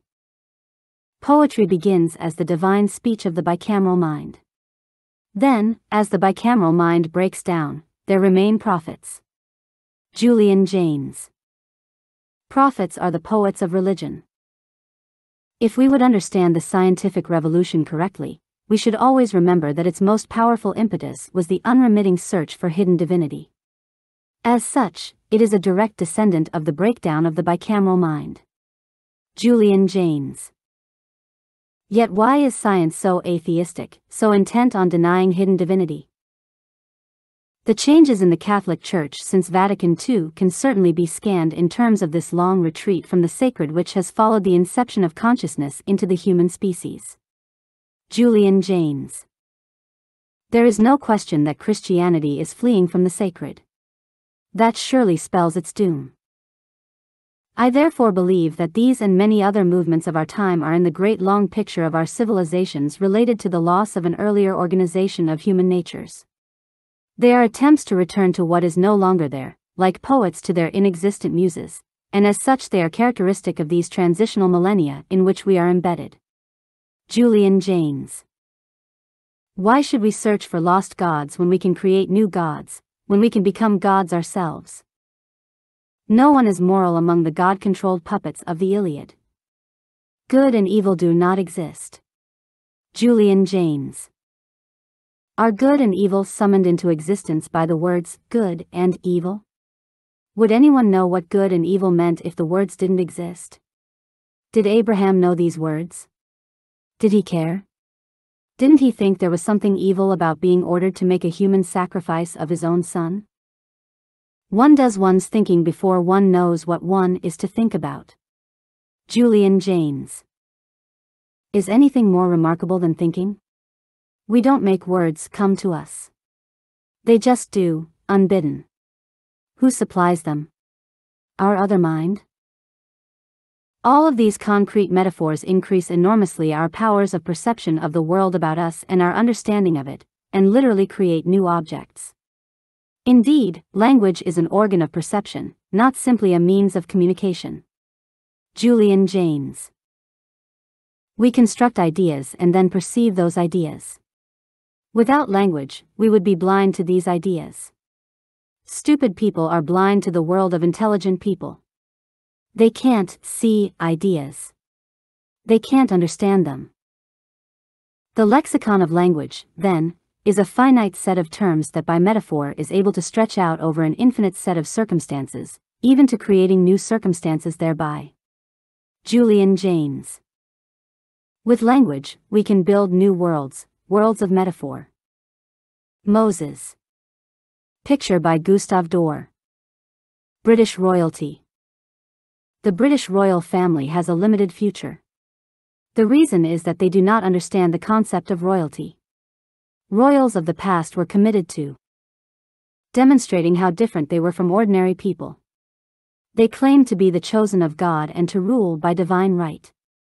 People had to call them Your Highness, Your Majesty, your Grace, and so on. They wore the most expensive clothes and the most glittering crowns. They had absolute power. People who insulted them were killed. A royal wife who committed adultery was guilty of treason against the state and liable to execution. Everyone had to bow and scrape to royalty, and walk backwards from their presence, with their eyes cast down. The key idea was to emphasize the infinite gulf between the monarch and everyone else. Today, members of the British royal family talk about how normal they are, and what a normal life they lead. Well, if they're so normal, why don't they stop calling themselves royal? They don't want to be seen to have airs and graces, yet that's exactly what royalty is all about. So, now we have the absurdity of the masses being spellbound by the exceptionality and fairy tale elements of royalty, while the Royals themselves talk about their own unexceptionality, and how their lives are nothing like a fairy tale, but resemble everyone else's. This is an unsustainable paradox. Bicameral clothes. When people wear religious clothes day in and day out, they are showing the world that they are bicameral, controlled by the gods. They are not free to make their own clothes choices, as autonomous agents with free will. They are not conscious. They are little more than robots and zombies, being controlled by dead prophets and their dead books and dead words. Bicameral personalities. Different personality types have different types of consciousness. Just as there is an autistic spectrum, there is also a consciousness spectrum. Some personality types are much closer to autism or schizophrenia, bicameralism, than they are to consciousness. Scientists, sensing thinking types, are strongly on the autistic spectrum. They are exceptionally unlikely to hear voices. Mystics, intuitive feeling types, are on the schizophrenic spectrum. They may well hear voices. All of the Myers Briggs personality types sit at different locations on the consciousness spectrum. When you find it extremely difficult to have a rapport with someone, it's because there's too wide a gap between you and them on the consciousness spectrum. You interact with the world and understand it in ways that are just too different.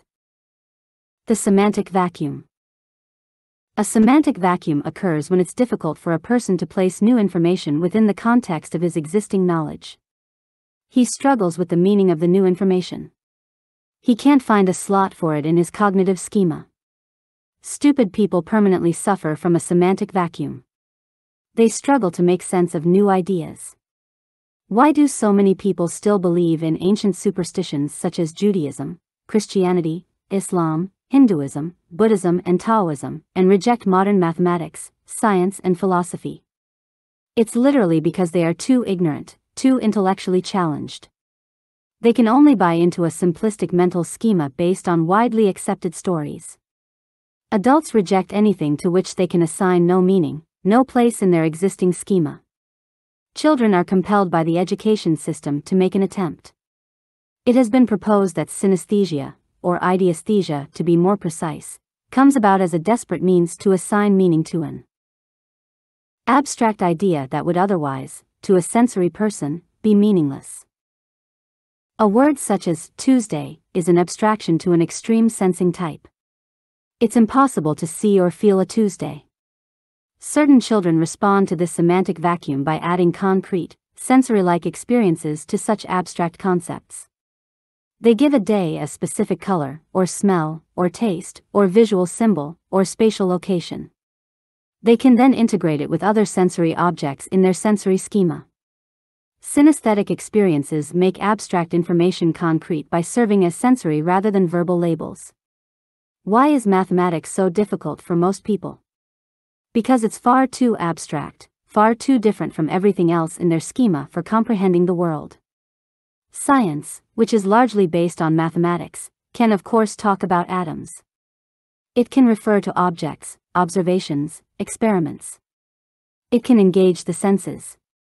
Science is, in fact, simply mathematics subjected to the philosophy of materialism and empiricism. It's sensory. Mathematics rather than mathematics based on pure reason and logic, with no need for the senses. The syntactic vacuum. Just as there is a semantic vacuum, there is also a syntactic vacuum, but this is much more subtle than the former. People are obsessed with meaning, but only in the context of their experiences, i.e., they are natural empiricists. They are, however, anything other than obsessed with abstract syntax, which often involves the manipulation of nothing except symbols and numbers, i.e., they are not natural rationalists. Yet what conveys meaning if not syntax? Meaningful information does not exist in a vacuum. Something that is not semantic must convey the semantic data. Meaning does not convey itself, otherwise, everything would be self evidently meaningful. The meaning of a sentence is something that has to be extracted from the sentence syntax. There is no meaning without the syntax. This simple point seems to have been missed by almost everyone, including many of the greatest intellectuals in history. Philosopher Rudolf Carnap said that all philosophical problems were really syntactical. Many statements that appear meaningful are shown to be meaningless when you subject them to a proper syntactic scrutiny. The bicameral mind is preoccupied with semantics, with the meaning of experiences. It's emphatically an empiricist rather than rationalist mind. The conscious mind, on the other hand, is one that is moving towards a preoccupation with syntax. Philosophy, logic, science and mathematics drive modern consciousness and these are very much about syntax, about the manipulation of technical symbols and functions, often wildly divorced from our day-to-day experiences, that are opaque to ordinary people, who therefore lack this kind of consciousness. Philosophers, logicians, scientists and mathematicians are the people furthest from the voices of the bicameral age. Followers of Abrahamism and Eastern religion are, conversely, worryingly close to the bicameral gods of old. These people are barely conscious at all, which is why they look back to ancient religions born in and just after the bicameral age. Islam is supposedly part of the modern age of consciousness, but is in every way a classic bicameral religion. It begins with a lone prophet in a cave hearing a voice. Joseph Smith, founder of Mormonism, is clearly a bicameral figure, or total charlatan and conman pretending to be bicameral. Wikipedia says, Smith said that in 1823 while praying one night for forgiveness from his sins, he was visited by an angel named Moroni, who revealed the location of a buried book made of golden plates, as well as other artifacts, including a breastplate and a set of interpreters composed of two seer stones set in a frame, which had been hidden in a hill in Manchester near his home. Smith said he attempted to remove the plates the next morning but was unsuccessful because the angel prevented him. Smith reported that during the next four years, he made annual visits to the hill but each time returned without the plates. Followers of religion and spirituality are much less conscious than philosophers, scientists, and mathematicians. The former are eager to be commanded by voices, by prophets and gurus, by holy books and sacred scriptures, by their unconscious. They emphatically do not look to reason. Logic, scientific experiments, mathematics, and philosophical thought. Experiments. They like to kneel, pray, and meditate, not to read books. Equally, many scientists are in fact deficient in terms of consciousness because they are firmly on the autistic spectrum and have a restricted mind space. Consciousness is directly tied to syntax. The more you comprehend syntax, the less reliant you are on voices. You can reflect the means by which existence itself constructs its sentences, i.e., you can align yourself with nature's syntax. You don't need voices to tell you what to do. What is the subject least liked by humanity? Mathematics. What is the most syntactic language? Mathematics. What is the subject furthest from bicameralism, voices, and gods? Mathematics. Are you getting the picture? Mathematicians are the most conscious people in the world, those closest to reality in itself. The Oblivious Frog. If you put a living frog in a saucepan filled with water at room temperature, then slowly turn up the heat, the frog will fail to notice that it is being boiled alive. How do we know that we are not human frogs, and the powers that be have not been turning up the temperature on us for millennia? The ancient prophets, with their ancient words, are still cooking bicameral people even today. High cuisine. If you put the finest steak in your dog's food dish and dog food on your own plate, the dog will ignore the steak in the hope of having what you're having, the master's food, which is surely much more delicious. If the super rich started eating dog food in the most exclusive restaurants, if dog food got rave reviews from the top celebrities, if eating dog food demonstrated that you belonged to a higher class than other people, wouldn't the masses immediately clamor to have dog food, and turn up their noses at the best steaks? So, what's the difference between humans and dogs? Right and left. The great pleasure and feeling in my right brain is more than my left brain can find the words to tell you. Roger Sperry. When weak but complex magnetic fields are applied to the right hemisphere of the brain, they produce euphoric, blissful, and mystical experiences. They have no such effect on the left hemisphere. When people take psychedelic substances and achieve altered states of consciousness, it's the right hemisphere that is affected. The drugs have no impact on those who have lost the use of the right hemisphere. In Australia, Professor Alan Snyder at the Center of the Mind has studied the effect of temporarily shutting down the left temporal lobe of the brain using his technique called transcranial magnetic stimulation, TMS. Suppression of the left hemisphere enhances artistic and mathematical ability, and leads to improved memory. Snyder says he has produced a creativity amplifying machine. He claims that TMS can make people see the raw data of the world as it is. The left hemisphere filters and processes it, producing a big picture. TMS gives an insight into autistic savants and those who have suffered left hemisphere damage. Darold Treffert, an expert on savant syndrome, said, I've come more and more to the conclusion that rather than there being right hemisphere compensation for left hemisphere damage, there is rather release from the tyranny of the left hemisphere. In the bicameral age, it was the right hemisphere that was the tyrant. It wasn't genes but culture that brought about the transition to left hemispheric dominance. When a stroke damages the right hemisphere, the left hemisphere is released from the right's influence, often leading to a condition called anosognosia. Anosognosia, without knowledge of disease, is a deficit of self awareness. This is a condition in which a person who suffers from a disability seems unaware of the disability and actively denies any such disability. When a right hemisphere stroke causes paralysis in the left side of the body, an anosognosiac denies any paralysis. They may say that their paralyzed left arm belongs to another person, or say, I don't feel like moving my arm right now, to explain away why they can't move it. It's called confabulation when a person who is lying, as far as others are concerned, is convinced he is telling the truth. Confabulation is about the formation of false memories, perceptions, and beliefs. Do normal people routinely engage in confabulation? Do they create false realities and then believe in them as if they are true? Are religious beliefs all about confabulation? The left hemisphere seems to be able to invent stories that deny basic reality. It can lie relentlessly. It has no inherent reality principle. It can exist in a permanent state of denial and false consciousness. This is where the analog I lives. Its job is to construct a continuous story, but there's no obligation for it to be a true story. That would explain most of human history, the history of the lie. Doublethink. Doublethink is the act of simultaneously accepting two mutually contradictory beliefs as correct, often in distinct social contexts. Doublethink is related to, but differs from, hypocrisy and neutrality. Somewhat related but almost the opposite is cognitive dissonance, where contradictory beliefs cause conflict in one's mind. Doublethink is notable due to a lack of cognitive dissonance, thus the person is completely unaware of any conflict or contradiction. Wikipedia Are the right and left hemispheres in a condition of doublethink or cognitive dissonance with regard to each other?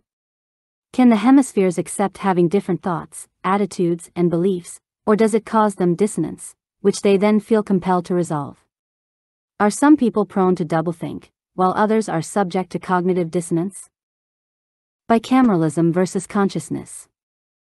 People who have strong bicameral tendencies kneel, pray, and meditate. They don't use reason and logic. They wear religious clothes. Conscious people study mathematics, science, and philosophy. They use reason and logic. They don't wear peculiar clothes. Two minds are better than one. Isn't it obvious that we always need two minds? If our mind is paying attention to something, what is paying attention to all the things we're not paying attention to? Imagine how vulnerable we would be if we had no means to be aware of anything other than what we were paying attention to. It would be the simplest thing for predators to distract us with anything that grabbed our attention, then attack us and kill us while we were looking the wrong way. We need a hidden observer, a second mind, that is paying attention to everything we're not paying attention to, and can tap us on the shoulder, metaphorically, to alert us to anything important. Why is it that we suddenly get a feeling that someone is staring at us?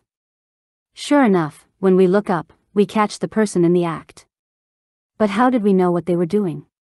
We must have a second mind that has a much more expansive awareness field than our normal consciousness. Why shouldn't this second mind belong to another being? How can one being have two independent, autonomous minds with their own agency?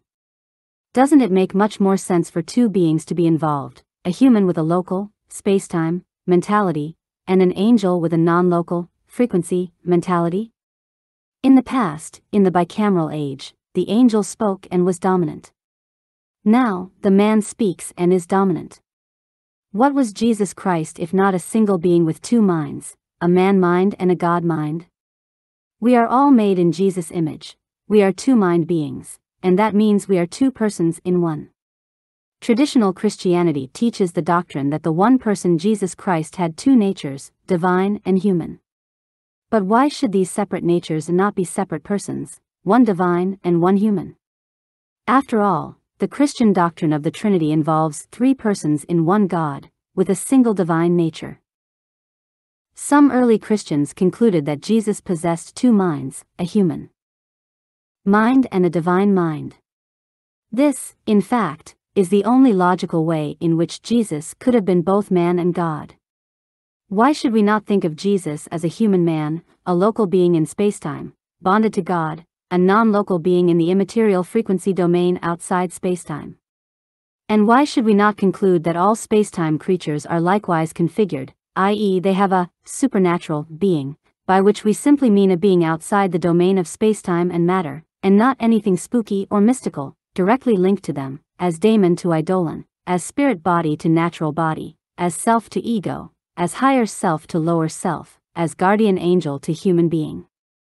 As soon as you accept that reality comprises two domains rather than one, the spacetime domain of matter and the immaterial frequency domain of mind, it makes perfect sense for all beings to be dualistic, straddling both domains. Everyone is a hybrid, a cooperative partnership. One being looks after the physical domain and the other the mental domain. At some times in history, the mental being, angel, has been in charge, at other times the physical being, man, has taken over. Both the glory and madness of the human condition lies in this mind-matter bifurcation, and the struggle for dominance between man and angel. This hypothesis makes perfect sense of the evolution of human consciousness, of humanity's obsession with the religious and spiritual, with gods and devils. We are not one, we are two. Today, the second person, the angel, is for the most part unconscious and silent. Previously, it had a voice, and may even have been where our proto-consciousness resided. Four types of human are possible. Unconscious human, unconscious angel. This configuration could support primitive autism or primitive schizophrenia, the latter being what Julian Jaynes called bicameralism. Unconscious human, conscious angel. This would be a much more powerful form of bicameralism. Conscious human, unconscious angel. This is the way things are in the present day. Conscious human, conscious angel. This would leads to insanity unless the two were able to merge into a single entity, the Ak, the transfigured self that has undergone apotheosis. All of us really do have a higher self. We really can reach a much higher state of evolution we can all become divine. Angels exist. Angels exist. In fact, they're us. Or, rather, they are our higher selves. Unfortunately for us, our consciousness is located in our lower self, the part that is much closer to the beasts than to God. That's why so many people find this world hell rather than heaven. Hell isn't other people. Hell is us. Equally, we are capable of being heaven, if we make full contact with our higher, angelic selves. People wonder about consciousness. God used angels to make humans conscious. We are called the fifth ape. Well, the other four apes aren't conscious. Why not, if consciousness is so valuable in evolutionary terms? What else does it mean for man to be made in God's image if something of God is not included in man? Our divine connection is supplied through angels. Humans have both a human and angelic nature in one body, just as Jesus Christ had both a human and divine nature in one body. The angel is what is known as our guardian angel. Socrates called it his daemon and swore by it for all of his important decisions. Julian Jaynes introduced the extraordinary insight that humans were once bicameral. Jaynes claimed that, just a few thousand years ago, humans were not conscious. Instead, they had an executive part that gave commands, and a follower part that instinctively obeyed those commands. The executive was called a God, and was worshipped by the follower, the man. According to Jaynes, this dualistic structure was the origin of all human religions and spiritual systems. There are two domains in the universe. One is the scientific domain of space, time, and matter. This is called the temporal domain, the domain of mortals. It's a local domain, where everything is separate from everything else. The second is an immaterial domain outside space and time. This is a singularity, made of frequencies rather than matter. This is called the eternal domain. Since it's indestructible, it's the domain for all immortals. It's a non-local domain, hence everything is interconnected. It cannot be understood by science since it stands outside the scientific paradigm. It's a noumenal, non-sensory domain that experiments cannot reach. It is, however, completely understandable via God's perfect, eternal, infallible language of nature, mathematics. This is a mind-matter universe, not a matter universe. Humans are connected to both domains, via our guardian angels, our higher selves. Isn't it time to understand the true nature of reality, the true nature of consciousness? Isn't it time to learn the secrets of the angels? Isn't it time to fulfill your dreams by releasing your own inner angel? Become the glorious being you were always intended to be. Once you understand the nature of God's angel experiment, you will understand what you are supposed to do with your life. You will at last know the meaning of your life. Don't listen to the naysayers and the scoffers. These people are imprisoned by their lower selves. They are the jailers of our world, keeping the rest of us imprisoned in a false reality. Goethe said, None are more hopelessly enslaved than those who falsely believe they are free. It's time to be truly free, and that can be accomplished only by raising lower to higher, by merging with your guardian angel, your personal connection to the divine. A human body is but a chrysalis. The human, the true human, is destined to undergo a complete metamorphosis and emerge with wings, as a radiant angel. You yourself are part of the divine experiment. The Angelic Higher Self. Picture by Gustave Doré. How God made humans conscious. God used angels to make humans conscious. What does it mean for man to be made in God's image if something of God is not included in man? The divine connection that humans have with God is supplied through angels. Humans have both a human and angelic nature in one body, just as Jesus Christ had both a human and divine nature in one body. The angel is our guardian. Socrates called it the daemon, and swore by it for all of his important decisions. Julian Jaynes introduced the extraordinary insight that humans were once bicameral. Jaynes claimed that, just a few thousand years ago, humans were not conscious.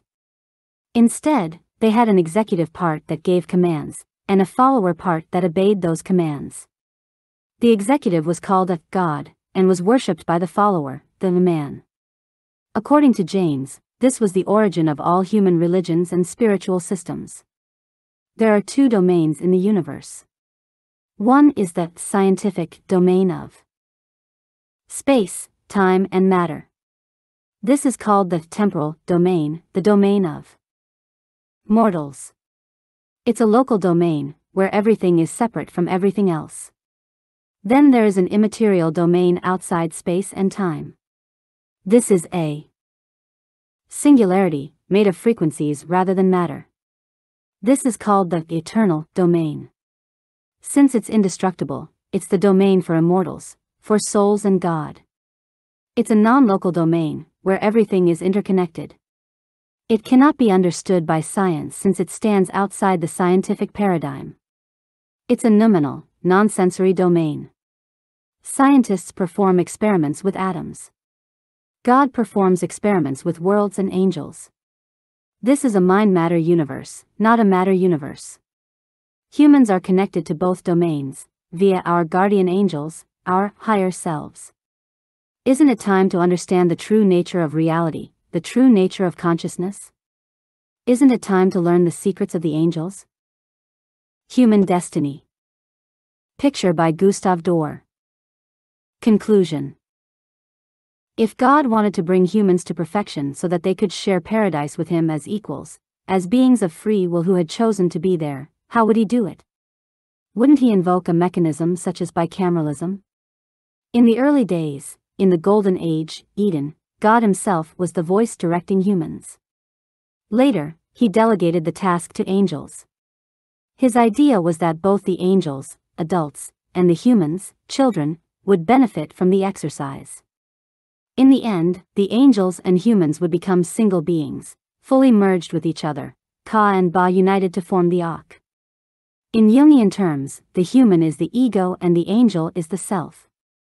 When ego and self are perfectly bound together, the result is a being with free will that is fit to sit in the company of God.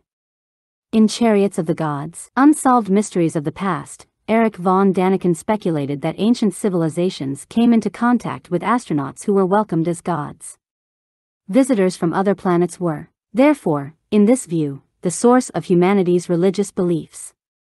The astronauts, so the argument went, also gave us the knowledge and technology to produce the great monuments of the ancient world, including the Egyptian pyramids, Stonehenge, and the statues of Easter Island. The Nazca lines in Peru were explained as landing strips for an airfield. Ezekiel's vision of angels and wheels was interpreted by von Däniken as the description of a spacecraft. The Ark of the Covenant was explained as a communications device for contacting aliens, and the destruction of Sodom by fire and brimstone depicted as a nuclear explosion. In fact, humanity was guided not by astronauts but by angels. Are angels any less likely than alien visitors?